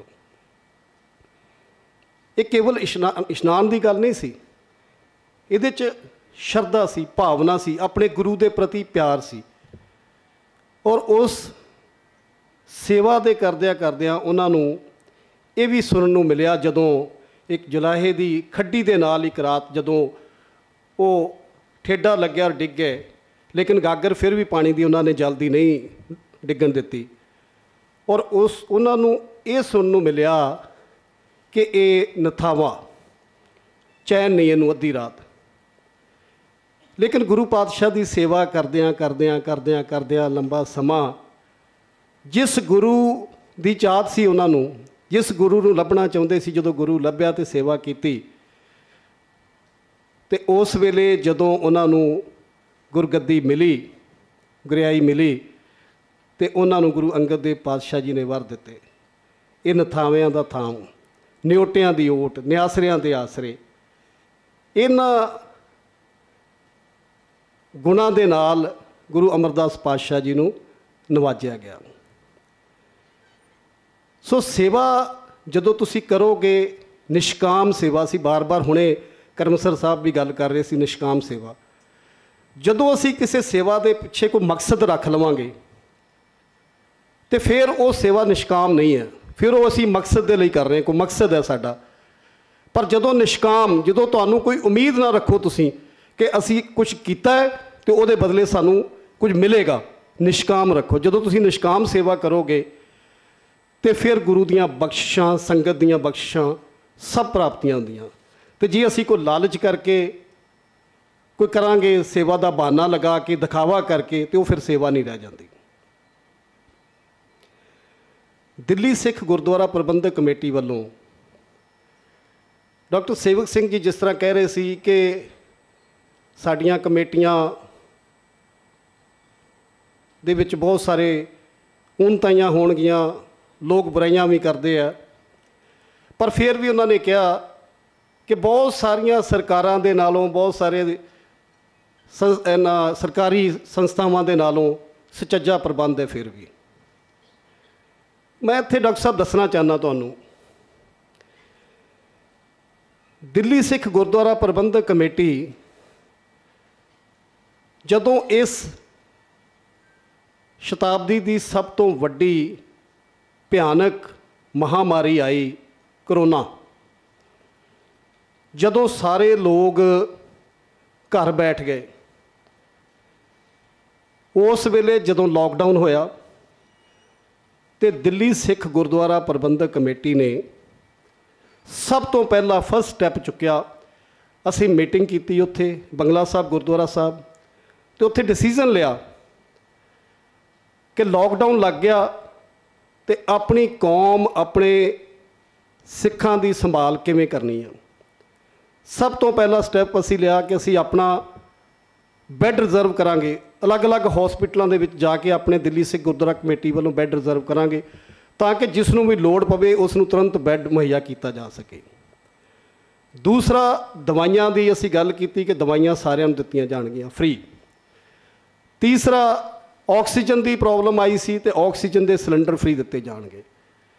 ਚੌਥਾ ਕਿ ਘਰ ਘਰ ਦੇ ਵਿੱਚ ਜਿੱਥੇ ਵੀ ਕੋਈ ਕੋਵਿਡ ਦਾ ਪੇਸ਼ੈਂਟ ਹੋਏਗਾ, ਉਸ ਘਰ ਦੇ ਵਿੱਚ ਲੰਗਰ ਦੋਨੋਂ ਟਾਈਮ ਪੈਕ ਕਰਕੇ ਬਣਾ ਕੇ ਉਹਨਾਂ ਦੇ ਘਰ ਪਹੁੰਚਾਇਆ ਜਾਏਗਾ। ਇਹ ਜਿਹੜੀ ਮੁਹਿੰਮ ਦਿੱਲੀ ਸਿੱਖ ਗੁਰਦੁਆਰਾ ਪ੍ਰਬੰਧਕ ਕਮੇਟੀ ਨੇ ਸ਼ੁਰੂ ਕੀਤੀ, ਔਰ ਮੈਨੂੰ ਅਸੀਂ ਅੱਜ ਇਸ ਗੱਲ ਦਾ ਫਖਰ ਮਹਿਸੂਸ ਹੁੰਦਾ ਹੈ ਕਿ ਕੇਵਲ 10 ਦਿਨ ਦੇ ਵਿੱਚ ਅਸੀਂ ਮੇਕ ਸ਼ਿਫਟ ਹਸਪੀਟਲ ਭਾਈ ਲੱਖੀ ਸ਼ਾਹ ਬੰਜਾਰਾ ਹਾਲ ਦੇ ਵਿੱਚ ਬਣਾਇਆ। ਹਾਲਾਂਕਿ ਕੁਝ ਲੋਕਾਂ ਨੇ ਉਸ ਸਮੇਂ ਉਸ ਦਾ ਵਿਰੋਧ ਕੀਤਾ ਕਿ ਗੁਰੂ ਘਰ ਦੇ ਵਿੱਚ ਇਹ ਹਸਪੀਟਲ ਬਣਾਇਆ ਗਿਆ ਤੇ ਮੈਂ ਸਮਝਦਾ ਕਿ ਗੁਰੂ ਘਰ ਤੇ ਹੁੰਦੇ ਹੀ ਇਹਨਾਂ ਕੰਮਾਂ ਵਾਸਤੇ ਹੈ। ਲੇਕਿਨ ਅਸੀਂ ਕਿਸੇ ਦੀ ਪਰਵਾਹ ਨਹੀਂ ਕੀਤੀ, ਅਸੀਂ ਉੱਥੇ ਹਸਪੀਟਲ ਬਣਾਇਆ ਔਰ ਉਸ ਹਸਪੀਟਲ ਦੇ ਵਿੱਚ ਜਿਸ ਦਿਨ ਅਸੀਂ ਸ਼ੁਰੂ ਕੀਤਾ, ਉਸ ਤੋਂ 3 ਦਿਨ ਦੇ ਅੰਦਰ 2 ਦਿਨ ਦੇ ਅੰਦਰ ਅੰਦਰ ਸਾਰੇ ਸਾਡੇ 400 ਦੇ 400 ਬੈੱਡ ਜਿਹੜੇ ਆ, ਉਹ ਸਾਰੇ ਆਕੂਪਾਈ ਹੋ ਗਏ। ਔਰ ਗੁਰੂ ਮਹਾਰਾਜ ਦੀ ਇੰਨੀ ਬਖਸ਼ਿਸ਼ ਸੀ, ਇੰਨੀ ਕਿਰਪਾ ਹੋਈ ਕਿ 3 ਸਾਲ ਦਾ ਬੱਚਾ ਵੀ ਉੱਥੇ ਆਇਆ ਤੇ 96 ਸਾਲ ਦੇ ਬਜ਼ੁਰਗ ਵੀ ਉੱਥੇ ਆਏ। ਲੇਕਿਨ ਗੁਰੂ ਸਾਹਿਬ ਨੇ ਇੰਨੀ ਬਖਸ਼ਿਸ਼ ਕੀਤੀ ਕਿ ਜਿੰਨੇ ਆਏ, ਸਾਰੇ ਬਿਲਕੁਲ ਠੀਕ ਹੋ ਕੇ ਰਾਜੀ ਖੁਸ਼ੀ ਆਪਣੇ ਘਰ ਗਏ। ਇੱਕ ਵੀ ਉੱਥੋਂ ਕੋਈ ਕੈਜੁਅਲਟੀ ਨਹੀਂ ਹੋਈ। ਇਹ ਗੁਰੂ ਤੇਗ ਬਹਾਦਰ ਸਾਹਿਬ ਮਹਾਰਾਜ ਜੀ ਦੀ ਕਿਰਪਾ ਸੀ। ਨਾਲ ਜਿਹੜੇ ਸੇਵਕ ਸੀ, ਸੇਵਾਦਾਰ ਸੀ, ਉਹਨਾਂ ਦੀ ਭਾਵਨਾ ਸੀ, ਸ਼ਰਧਾ ਸੀ ਸੇਵਾ ਕਰਨ ਦੀ। ਸਾਡੇ ਮੈਂਬਰ ਸਾਹਿਬ ਬੈਠੇ ਸਾਰੇ। ਅਸੀਂ ਖੁਦ ਜਿਹੜੇ ਪੇਸ਼ੈਂਟ ਸੀ, ਉਹਨਾਂ ਨੂੰ ਸਵੇਰੇ ਤੇ ਸ਼ਾਮੀ ਖੁਦ ਜਾ ਕੇ ਆਪਣੇ ਹੱਥਾਂ ਦੇ ਨਾਲ ਉਹਨਾਂ ਨੂੰ ਲੰਗਰ ਛਕਾਉਂਦੇ ਸੀ। ਤੇ ਉਹਨਾਂ ਦੇ ਘਰ ਵਾਲਿਆਂ ਨਾਲ ਪ- ਉਹਨਾਂ ਦੇ ਜਿਹੜੇ ਫੈਮਿਲੀ ਮੈਂਬਰ ਸੀ, ਉਹਨਾਂ ਦੇ ਨਾਲ ਆਪਣੇ ਟੈਲੀਫੋਨਾਂ ਤੋਂ ਉਹਨਾਂ ਦੀ ਗੱਲ ਕਰਾਉਂਦੇ ਸੀ। ਉਹਨਾਂ ਨੂੰ ਇਹ ਮਹਿਸੂਸ ਨਹੀਂ ਹੋਣ ਦਿੱਤਾ ਕਿ ਉਹ ਕਿਸੇ ਹਸਪੀਟਲ ਦੇ ਵਿੱਚ ਆ ਜਾਂ ਕਿਤੇ ਆਈਸੋਲੇਟ ਪਲੇਸ ਦੇ ਉੱਤੇ ਆ। ਇਹ ਚੀਜ਼ਾਂ ਜਿਹੜੀਆਂ ਸੇਵਾ ਦੇ ਨਾਲ ਹੋਈਆਂ, ਉਹਦਾ ਕੌਮ ਦੇ ਉੱਤੇ ਬਹੁਤ ਵੱਡਾ ਅਸਰ ਹੋਇਆ ਜਦੋਂ ਦਿੱਲੀ ਕਮੇਟੀ ਨੇ ਸ਼ੁਰੂ ਕੀਤੀ ਸੇਵਾ ਤੇ ਫਿਰ ਪੂਰੇ ਸੰਸਾਰ ਭਰ ਦੇ ਵਿੱਚ, ਚਾਹੇ ਉਹ ਨਿਊਜ਼ੀਲੈਂਡ ਸੀ, ਚਾਹੇ ਅਮਰੀਕਾ ਸੀ, ਚਾਹੇ ਕੈਨੇਡਾ ਸੀ, ਚਾਹੇ ਆਸਟ੍ਰੇਲੀਆ ਸੀ, ਚਾਹੇ ਇੰਗਲੈਂਡ ਸੀ, ਚਾਹੇ ਯੂਰਪੀਅਨ ਕੰਟਰੀ ਸੀ, ਹਰ ਜਗ੍ਹਾ ਦੇ ਉੱਤੇ ਇਹ ਸੇਵਾ ਸ਼ੁਰੂ ਹੋਈ ਤੇ ਨਤੀਜਾ ਕੀ ਹੋਇਆ? ਨਤੀਜਾ ਇਹ ਹੋਇਆ ਕਿ ਕੌਮ ਦਾ ਨਾਮ ਇੰਨਾ ਉੱਚਾ ਹੋ ਗਿਆ, ਹਰ ਇੱਕ ਦੇਸ਼ ਦੀ ਸਰਕਾਰ ਨੇ ਸਿੱਖਾਂ ਨੂੰ ਨਵਾਜਿਆ। ਦੇਸ਼ਾਂ ਦੇ ਪ੍ਰਧਾਨ ਮੰਤਰੀ ਜਾ ਕੇ ਗੁਰਦੁਆਰਿਆਂ ਦੇ ਵਿੱਚ ਸਿੱਖਾਂ ਦਾ ਧੰਨਵਾਦ ਕਰਦੇ ਆਏ, ਕਰਕੇ ਆਏ, ਚਾਹੇ ਆਸਟ੍ਰੇਲੀਆ ਹੋਵੇ, ਚਾਹੇ ਨਿਊਜ਼ੀਲੈਂਡ ਹੋਵੇ, ਚਾਹੇ ਹੋਰ ਦੇਸ਼ ਹੋਣ। ਗੁਰਦੁਆਰਾ ਬੰਗਲਾ ਸਾਹਿਬ ਦੀਆਂ ਪਰਿਕਰਮਾ ਦਿੱਲੀ ਪੁਲਿਸ ਨੇ ਕੀਤੀਆਂ ਕਿ ਇਸ ਗੁਰਦੁਆਰੇ ਕਰਕੇ ਦਿੱਲੀ ਦੇ ਲੋਕ ਬਚੇ ਆ। ਜਿੰਨੇ ਹਸਪੀਟਲ ਸੀ, ਮੈਂ ਜਾਣਕਾਰੀ ਇਸ ਕਰਕੇ ਸਾਂਝੀ ਕਰਨਾ ਚਾਹ ਰਿਹਾ ਕਿਉਂਕਿ ਇਹ ਟੌਪਿਕ ਡਾਕਟਰ ਸਾਹਿਬ ਨੇ ਕੀਤਾ ਸੀ ਤੇ ਇਸ ਕਰਕੇ ਮੈਂ ਇਸ ਦੇ ਉੱਤੇ ਥੋੜਾ ਟਾਈਮ ਲੈ ਰਿਹਾ, ਮਾਫ ਕਰਨਾ, ਮੈਂ ਟਾਈਮ ਜ਼ਿਆਦਾ ਲੈ ਰਿਹਾ। ਡਾਕਟਰ ਜਿਹੜੇ ਡਿਊਟੀ ਕਰਕੇ ਜਾਂਦੇ ਸੀ ਕੋਵਿਡ ਦੇ ਕਾਰਨ ਲੋਕਾਂ ਨੇ ਉਹਨਾਂ ਨੂੰ ਆਪਣੇ ਮਕਾਨ ਜਿਹੜੇ ਕਿਰਾਏ ਤੇ ਸੀ ਉਹ ਦੇਣੇ ਬੰਦ ਕਰ ਦਿੱਤੇ। ਉਹਨਾਂ ਕਿਹਾ ਜੀ, ਤੁਸੀਂ ਹਸਪੀਟਲ ਕੋਵਿਡ ਤੋਂ ਕਰ ਰਹੇ ਹੋ, ਅਸੀਂ ਆਪ ਤੁਹਾਨੂੰ ਮਕਾਨ ਖਾਲੀ ਕਰ ਦਿਓ। ਦਿੱਲੀ ਸਿੱਖ ਗੁਰਦੁਆਰਾ ਪ੍ਰਬੰਧਕ ਕਮੇਟੀ ਵੱਲੋਂ ਅਸੀਂ ਆਪਣੀਆਂ ਸਾਰੀਆਂ ਸਰਾਵਾਂ ਉਹ ਡਾਕਟਰਾਂ ਨੂੰ ਦੇ ਦਿੱਤੀਆਂ ਨਰਸਿੰਗ ਸਟਾਫ ਨੂੰ ਦੇ ਦਿੱਤੀਆਂ ਕਿ ਇਹ ਲੋਕ ਸੇਵਾ ਕਰ ਰਹੇ ਆ ਤੇ ਇਹਨਾਂ ਦੇ ਰਹਿਣ ਦਾ ਹੀ ਨਹੀਂ ਹੋਏਗਾ ਤੇ ਸੇਵਾ ਕਿਵੇਂ ਹੋਏਗੀ? ਅਸੀਂ ਸਾਰੇ ਆਪਣੇ ਸਰਾਵਾਂ ਜਿਹੜੀਆਂ ਉਹਨਾਂ ਡਾਕਟਰਾਂ ਨੂੰ ਦੇ ਦਿੱਤੀਆਂ ਔਰ ਲੰਗਰ ਦਾ ਪ੍ਰਬੰਧ ਅਸੀਂ ਉਹਨਾਂ ਸਾਰੇ ਡਾਕਟਰਾਂ ਦਾ, ਨਰਸਾਂ ਦਾ, ਸਭ ਦਾ ਕੀਤਾ। ਚਾਹੇ ਉਹ ਏਮਸ ਦੇ ਡਾਕਟਰ ਹੋਣ, ਚਾਹੇ ਰਾਮ ਲੋਹੀਆ ਹਸਪੀਟਲ ਦੇ ਸਫਦਰਜੰਗ ਦੇ ਹੋ- ਡਾਕਟਰ ਹੋਣ, ਸਾਰੇ ਹੀ ਜਦੋਂ ਕੋਵਿਡ ਦੀ ਖਤਮ ਹੋਇਆ ਤੇ ਗੁਰਦੁਆਰਾ ਬੰਗਲਾ ਸਾਹਿਬ ਆ ਕੇ ਉਹਨਾਂ ਨੇ ਅਰਦਾਸ ਕੀਤੀ, ਮੱਥਾ ਟੇਕਿਆ ਆਸ਼ੀਰਵਾਦ ਲਿਆ ਔਰ ਦਿੱਲੀ ਕਮੇਟੀ ਦਾ ਧੰਨਵਾਦ ਕੀਤਾ। ਇਹ ਕੰਮ ਹੈ ਜਿਹੜੀ, ਜਿਹੜੀਆਂ ਕਮੇਟੀਆਂ ਨੂੰ ਜਜ਼ਬਾ ਹੋਵੇ ਕੰਮ ਕਰਨ ਦਾ। ਸੋ ਸਾਡੀ ਕਮੇਟੀ, ਮੈਂ ਕੋਈ ਆਪਣੀ ਤਾਰੀਫ ਨਹੀਂ ਕਰ ਰਿਹਾ, ਲੇਕਿਨ ਸਾਡਾ ਜਜ਼ਬਾ ਹੈ ਕਿ ਅਸੀਂ ਉਸ ਜਜ਼ਬੇ ਦੇ ਨਾਲ ਕੰਮ ਕਰਦੇ ਹਾਂ। ਜੇ ਕਿਸਾਨੀ ਅੰਦੋਲਨ ਹੋਇਆ ਉਦੋਂ ਕੇ ਸਾਹਿਬ ਨੂੰ ਪਤਾ ਉੱਥੇ, ਇਹ ਪਰਮਾਨੈਂਟ ਉੱਥੇ ਰਹੇ ਨੇ। ਦਿੱਲੀ ਸਿੱਖ ਗੁਰਦੁਆਰਾ ਪ੍ਰਬੰਧਕ ਕਮੇਟੀ ਨੇ ਪਹਿਲੇ ਦਿਨ ਫਸਟ ਦੇ ਡੇ ਜਦੋਂ 26 ਨਵੰਬਰ ਨੂੰ ਪਹਿਲਾ ਜਥਾ ਕੁੰਡਲੀ ਬਾਰਡਰ ਦੇ ਉੱਤੇ ਆਇਆ ਸੀ ਤੇ ਸਿਰਸਾ ਸਾਹਿਬ ਦੇ ਨਾਲ ਦਾਸ ਸਭ ਤੋਂ ਪਹਿਲਾਂ ਲੰਗਰ ਅਸੀਂ ਲੈ ਕੇ ਗਏ ਸੀ। ਪੁਲਿਸ ਨੇ ਸਾਡਾ ਲੰਗਰ ਰੋਕ ਲਿਆ ਸੀ ਕਿ ਨਹੀਂ ਜਾਣ ਦੇਣਾ। ਲੇਕਿਨ ਅਸੀਂ ਪੁਲਿਸ ਦੀ ਪਰਵਾਹ ਨਹੀਂ ਕੀਤੀ। ਬੈਰੀਕੇਡ ਤੋੜ ਕੇ ਅਸੀਂ ਲੰਗਰ ਲੈ ਕੇ ਗਏ ਸੀ। ਔਰ ਉਸ ਦਿਨ ਤੋਂ ਲੈ ਕੇ ਆਖਰੀ ਦਿਨ ਤੱਕ ਜਿਸ ਦਿਨ ਕਿਸਾਨੀ ਅੰਦੋਲਨ ਖਤਮ ਹੋਇਆ, ਤਾਂ ਤੱਕ ਦਿੱਲੀ ਸਿੱਖ ਗੁਰਦੁਆਰਾ ਪ੍ਰਬੰਧਕ ਕਮੇਟੀ ਨੇ ਨਿਰੰਤਰ ਰਹਿਣ ਬਸੇਰੇ ਦਾ, ਰਹਿਣ ਦਾ ਰਹਿائش ਦਾ, ਦਵਾਈਆਂ ਦਾ, ਲੰਗਰ ਦਾ, ਹਰ ਤਰ੍ਹਾਂ ਦਾ ਪ੍ਰਬੰਧ ਉੱਥੇ ਕਿਸਾਨਾਂ ਦਾ ਕੀਤਾ। ਕਿਉਂ? ਕਿਉਂਕਿ ਇੱਕ ਸਿੱਖ ਸਾਈਕੀ ਸੀ। ਉਹ ਕਿਸਾਨੀ ਕੇਵਲ ਇਹ ਨਹੀਂ ਸੀ ਕਿ ਦੇਸ਼ ਭਰ ਤੋਂ ਆਏ, ਲੇਕਿਨ ਕਿਉਂਕਿ ਉਹਨੂੰ ਲੀਡ ਸਿੱਖ ਕਰ ਰਹੇ ਸੀ। ਸੋ ਸੇਵਾ ਕਿਸੇ ਵੀ ਰੂਪ ਦੇ ਨਾਲ ਤੁਸੀਂ ਕਰੋ। ਸੇਵਾ ਜਿਹੜੀ ਆ, ਉਹ ਨਿਸਵਾਰਥ ਹੋਏ, ਉਹਦੇ 'ਚ ਕੋਈ ਸਵਾਰਥ ਨਾ ਹੋਏ ਤੇ ਤੁਹਾਨੂੰ ਸਾਰੀਆਂ ਪ੍ਰਾਪਤੀਆਂ ਹੋਣਗੀਆਂ। ਗੁਰੂ ਅਮਰਦਾਸ ਪਾਤਸ਼ਾਹ ਜੀ ਮਹਾਰਾਜ ਨੇ ਇਹ ਸਾਨੂੰ ਸਿਖਾਇਆ ਹੈ ਔਰ ਉਹਨਾਂ ਦੇ ਨਕਸ਼ੇ ਕਦਮ ਤੇ ਚੱਲਣ ਦੀ ਲੋੜ ਹੈ। ਅੱਜ ਦਾ ਇਹ ਸੈਮੀਨਾਰ ਰੱਖਣ ਦਾ ਮਕਸਦ ਵੀ ਇਹ ਸੀ ਕਿ ਜਿੰਨੇ ਲੋਕ ਆਣ ਆ ਕੇ ਘੱਟ ਤੋਂ ਘੱਟ ਅਸੀਂ ਕੁਝ ਲੈ ਕੇ ਜਾਈਏ, ਕੁਝ ਸਿੱਖ ਕੇ ਜਾਈਏ ਔਰ ਅੱਗੇ ਅਸੀਂ ਅੰਬੈਸਡਰ ਬਣੀਏ। ਤੁਹਾਨੂੰ ਸਾਰਿਆਂ ਨੂੰ ਅੰਬੈਸਡਰ ਬਣਨਾ ਚਾਹੀਦਾ ਕਿ ਅੱਗੇ ਜਾ ਕੇ ਤੁਸੀਂ ਦੱਸੋ, ਸੇਵਾ ਦੀ ਭਾਵਨਾ ਦੱਸੋ, ਪ੍ਰਚਾਰ ਕਰੀਏ, ਕੌਮ ਦਾ ਪ੍ਰਚਾਰ ਤੇ ਪ੍ਰਸਾਰ ਹੋਵੇ। ਸੋ ਮੈਂ ਬਹੁਤ ਬਹੁਤ ਧੰਨਵਾਦ ਕਰਦਾ। ਇੱਕ ਵਾਰੀ ਫੇਰ ਸਰਦਾਰ ਜਸਪ੍ਰੀਤ ਸਿੰਘ ਕਰਮਸਰ ਦਾ, ਕਿਉਂਕਿ ਜਿੰਨਾ, ਜਿਹੜੇ ਹਮੇਸ਼ਾ ਹੀ ਇਹ ਪਹਿਲ ਕਦਮੀ ਕਰਦੇ ਆ, ਜਿਹੜੇ ਗੁਰਮਤ ਕੈਂਪ ਵੀ ਹੋਏ, ਲੱਗੇ, ਇਹਨਾਂ ਨੇ ਪਹਿਲ ਕਦਮੀ ਕੀਤੀ, ਸਾਰੀ ਕਮੇਟੀ ਨੇ ਇਹਨਾਂ ਦਾ ਸਾਥ ਦਿੱਤਾ, ਸਾਰੇ ਮੈਂਬਰ ਸਾਹਿਬਾਨ ਨੇ ਔਰ ਸਾਰੇ ਵਲੰਟੀਅਰਸ ਨੇ ਵੱਡੀ ਗਿਣਤੀ ਦੇ ਵਿੱਚ। ਔਰ ਇਸ ਸਾਲ ਲਗਾਤਾਰ ਹਰ ਸਾਲ ਉਹਦੀ ਗਿਣਤੀ ਸਟਰੈਂਥ ਵੱਧਦੀ ਜਾ ਰਹੀ ਹੈ। ਕੌਮ ਦਾ, ਕੌਮ ਦੀ ਨੌਜਵਾਨੀ ਨੂੰ ਕਿਵੇਂ ਸਿੱਖੀ ਨਾਲ ਜੋੜਨਾ ਸਭ ਤੋਂ ਬੈਸਟ ਤਰੀਕਾ ਹੈ। ਕਿਉਂਕਿ ਉਹ ਬੱਚੇ ਜਿਹੜੇ ਅੱਜ 8ਵੀਂ 7ਵੀਂ 9ਵੀਂ 10ਵੀਂ 12ਵੀਂ ਕਲਾਸ ਚ ਪੜ੍ਹਦੇ ਆ, ਜਦੋਂ ਗੁਰਮਤ ਕੈਂਪ ਉਹਨਾਂ ਨੇ ਅਟੈਂਡ ਕੀਤੇ, ਉਹਨਾਂ ਦਾ ਜੀਵਨ ਚੇਂਜ ਹੋ ਗਿਆ, ਤੇ ਉਹ ਫਿਰ ਜਿਹੜੇ ਕਿਸੇ ਦੂਸਰੇ ਪਾਸੇ ਬੱਚਿਆਂ ਨੇ ਲੱਗਣਾ ਸੀ, ਉਹਨਾਂ ਨੂੰ ਉਧਰ ਦਾ ਖਿਆਲ ਨਹੀਂ ਆਏਗਾ। ਉਹ ਕੇਵਲ ਸਿੱਖੀ ਦੇ ਨਾਲ ਜੁੜਨਗੇ, ਗੁਰਮਤ ਦੇ ਨਾਲ ਜੁੜਨਗੇ। ਇਹ ਬਹੁਤ ਵੱਡੀ ਸੇਵਾ ਜਿਹੜੀ ਆ ਉਹ ਦਿੱਲੀ ਸਿੱਖ ਗੁਰਦੁਆਰਾ ਪ੍ਰਬੰਧਕ ਕਮੇਟੀ ਵੱਲੋਂ ਸਰਦਾਰ ਕਰਮ ਸਰ ਜੀ ਦੇ ਐਫਰਟਸ ਦੇ ਨਾਲ ਹੋਈ। ਅੱਜ ਦਾ ਸੈਮੀਨਾਰ ਵੀ ਜਿਹੜਾ ਹੋਇਆ, ਵਿਚਾਰ ਕੀਤੀ, ਇਹਨਾਂ ਨੇ ਕਿਹਾ ਜੀ ਆਪਾਂ ਸੈਮੀਨਾਰ ਪਹਿਲੇ ਕਰਾਂਗੇ, ਫਿਰ ਆਪਾਂ ਗੁਰਦੁਆਰਾ ਬੰਗਲਾ ਸਾਹਿਬ ਵਿਖੇ ਅਗਲੇ ਦਿਨ ਪ੍ਰੋਗਰਾਮ ਜਿਹੜਾ ਸਮਾਗਮ ਹੋਏਗਾ। ਸੋ ਬਹੁਤ ਵੱਡੀ ਸੇਵਾ ਕਰ ਰਹੇ ਆ।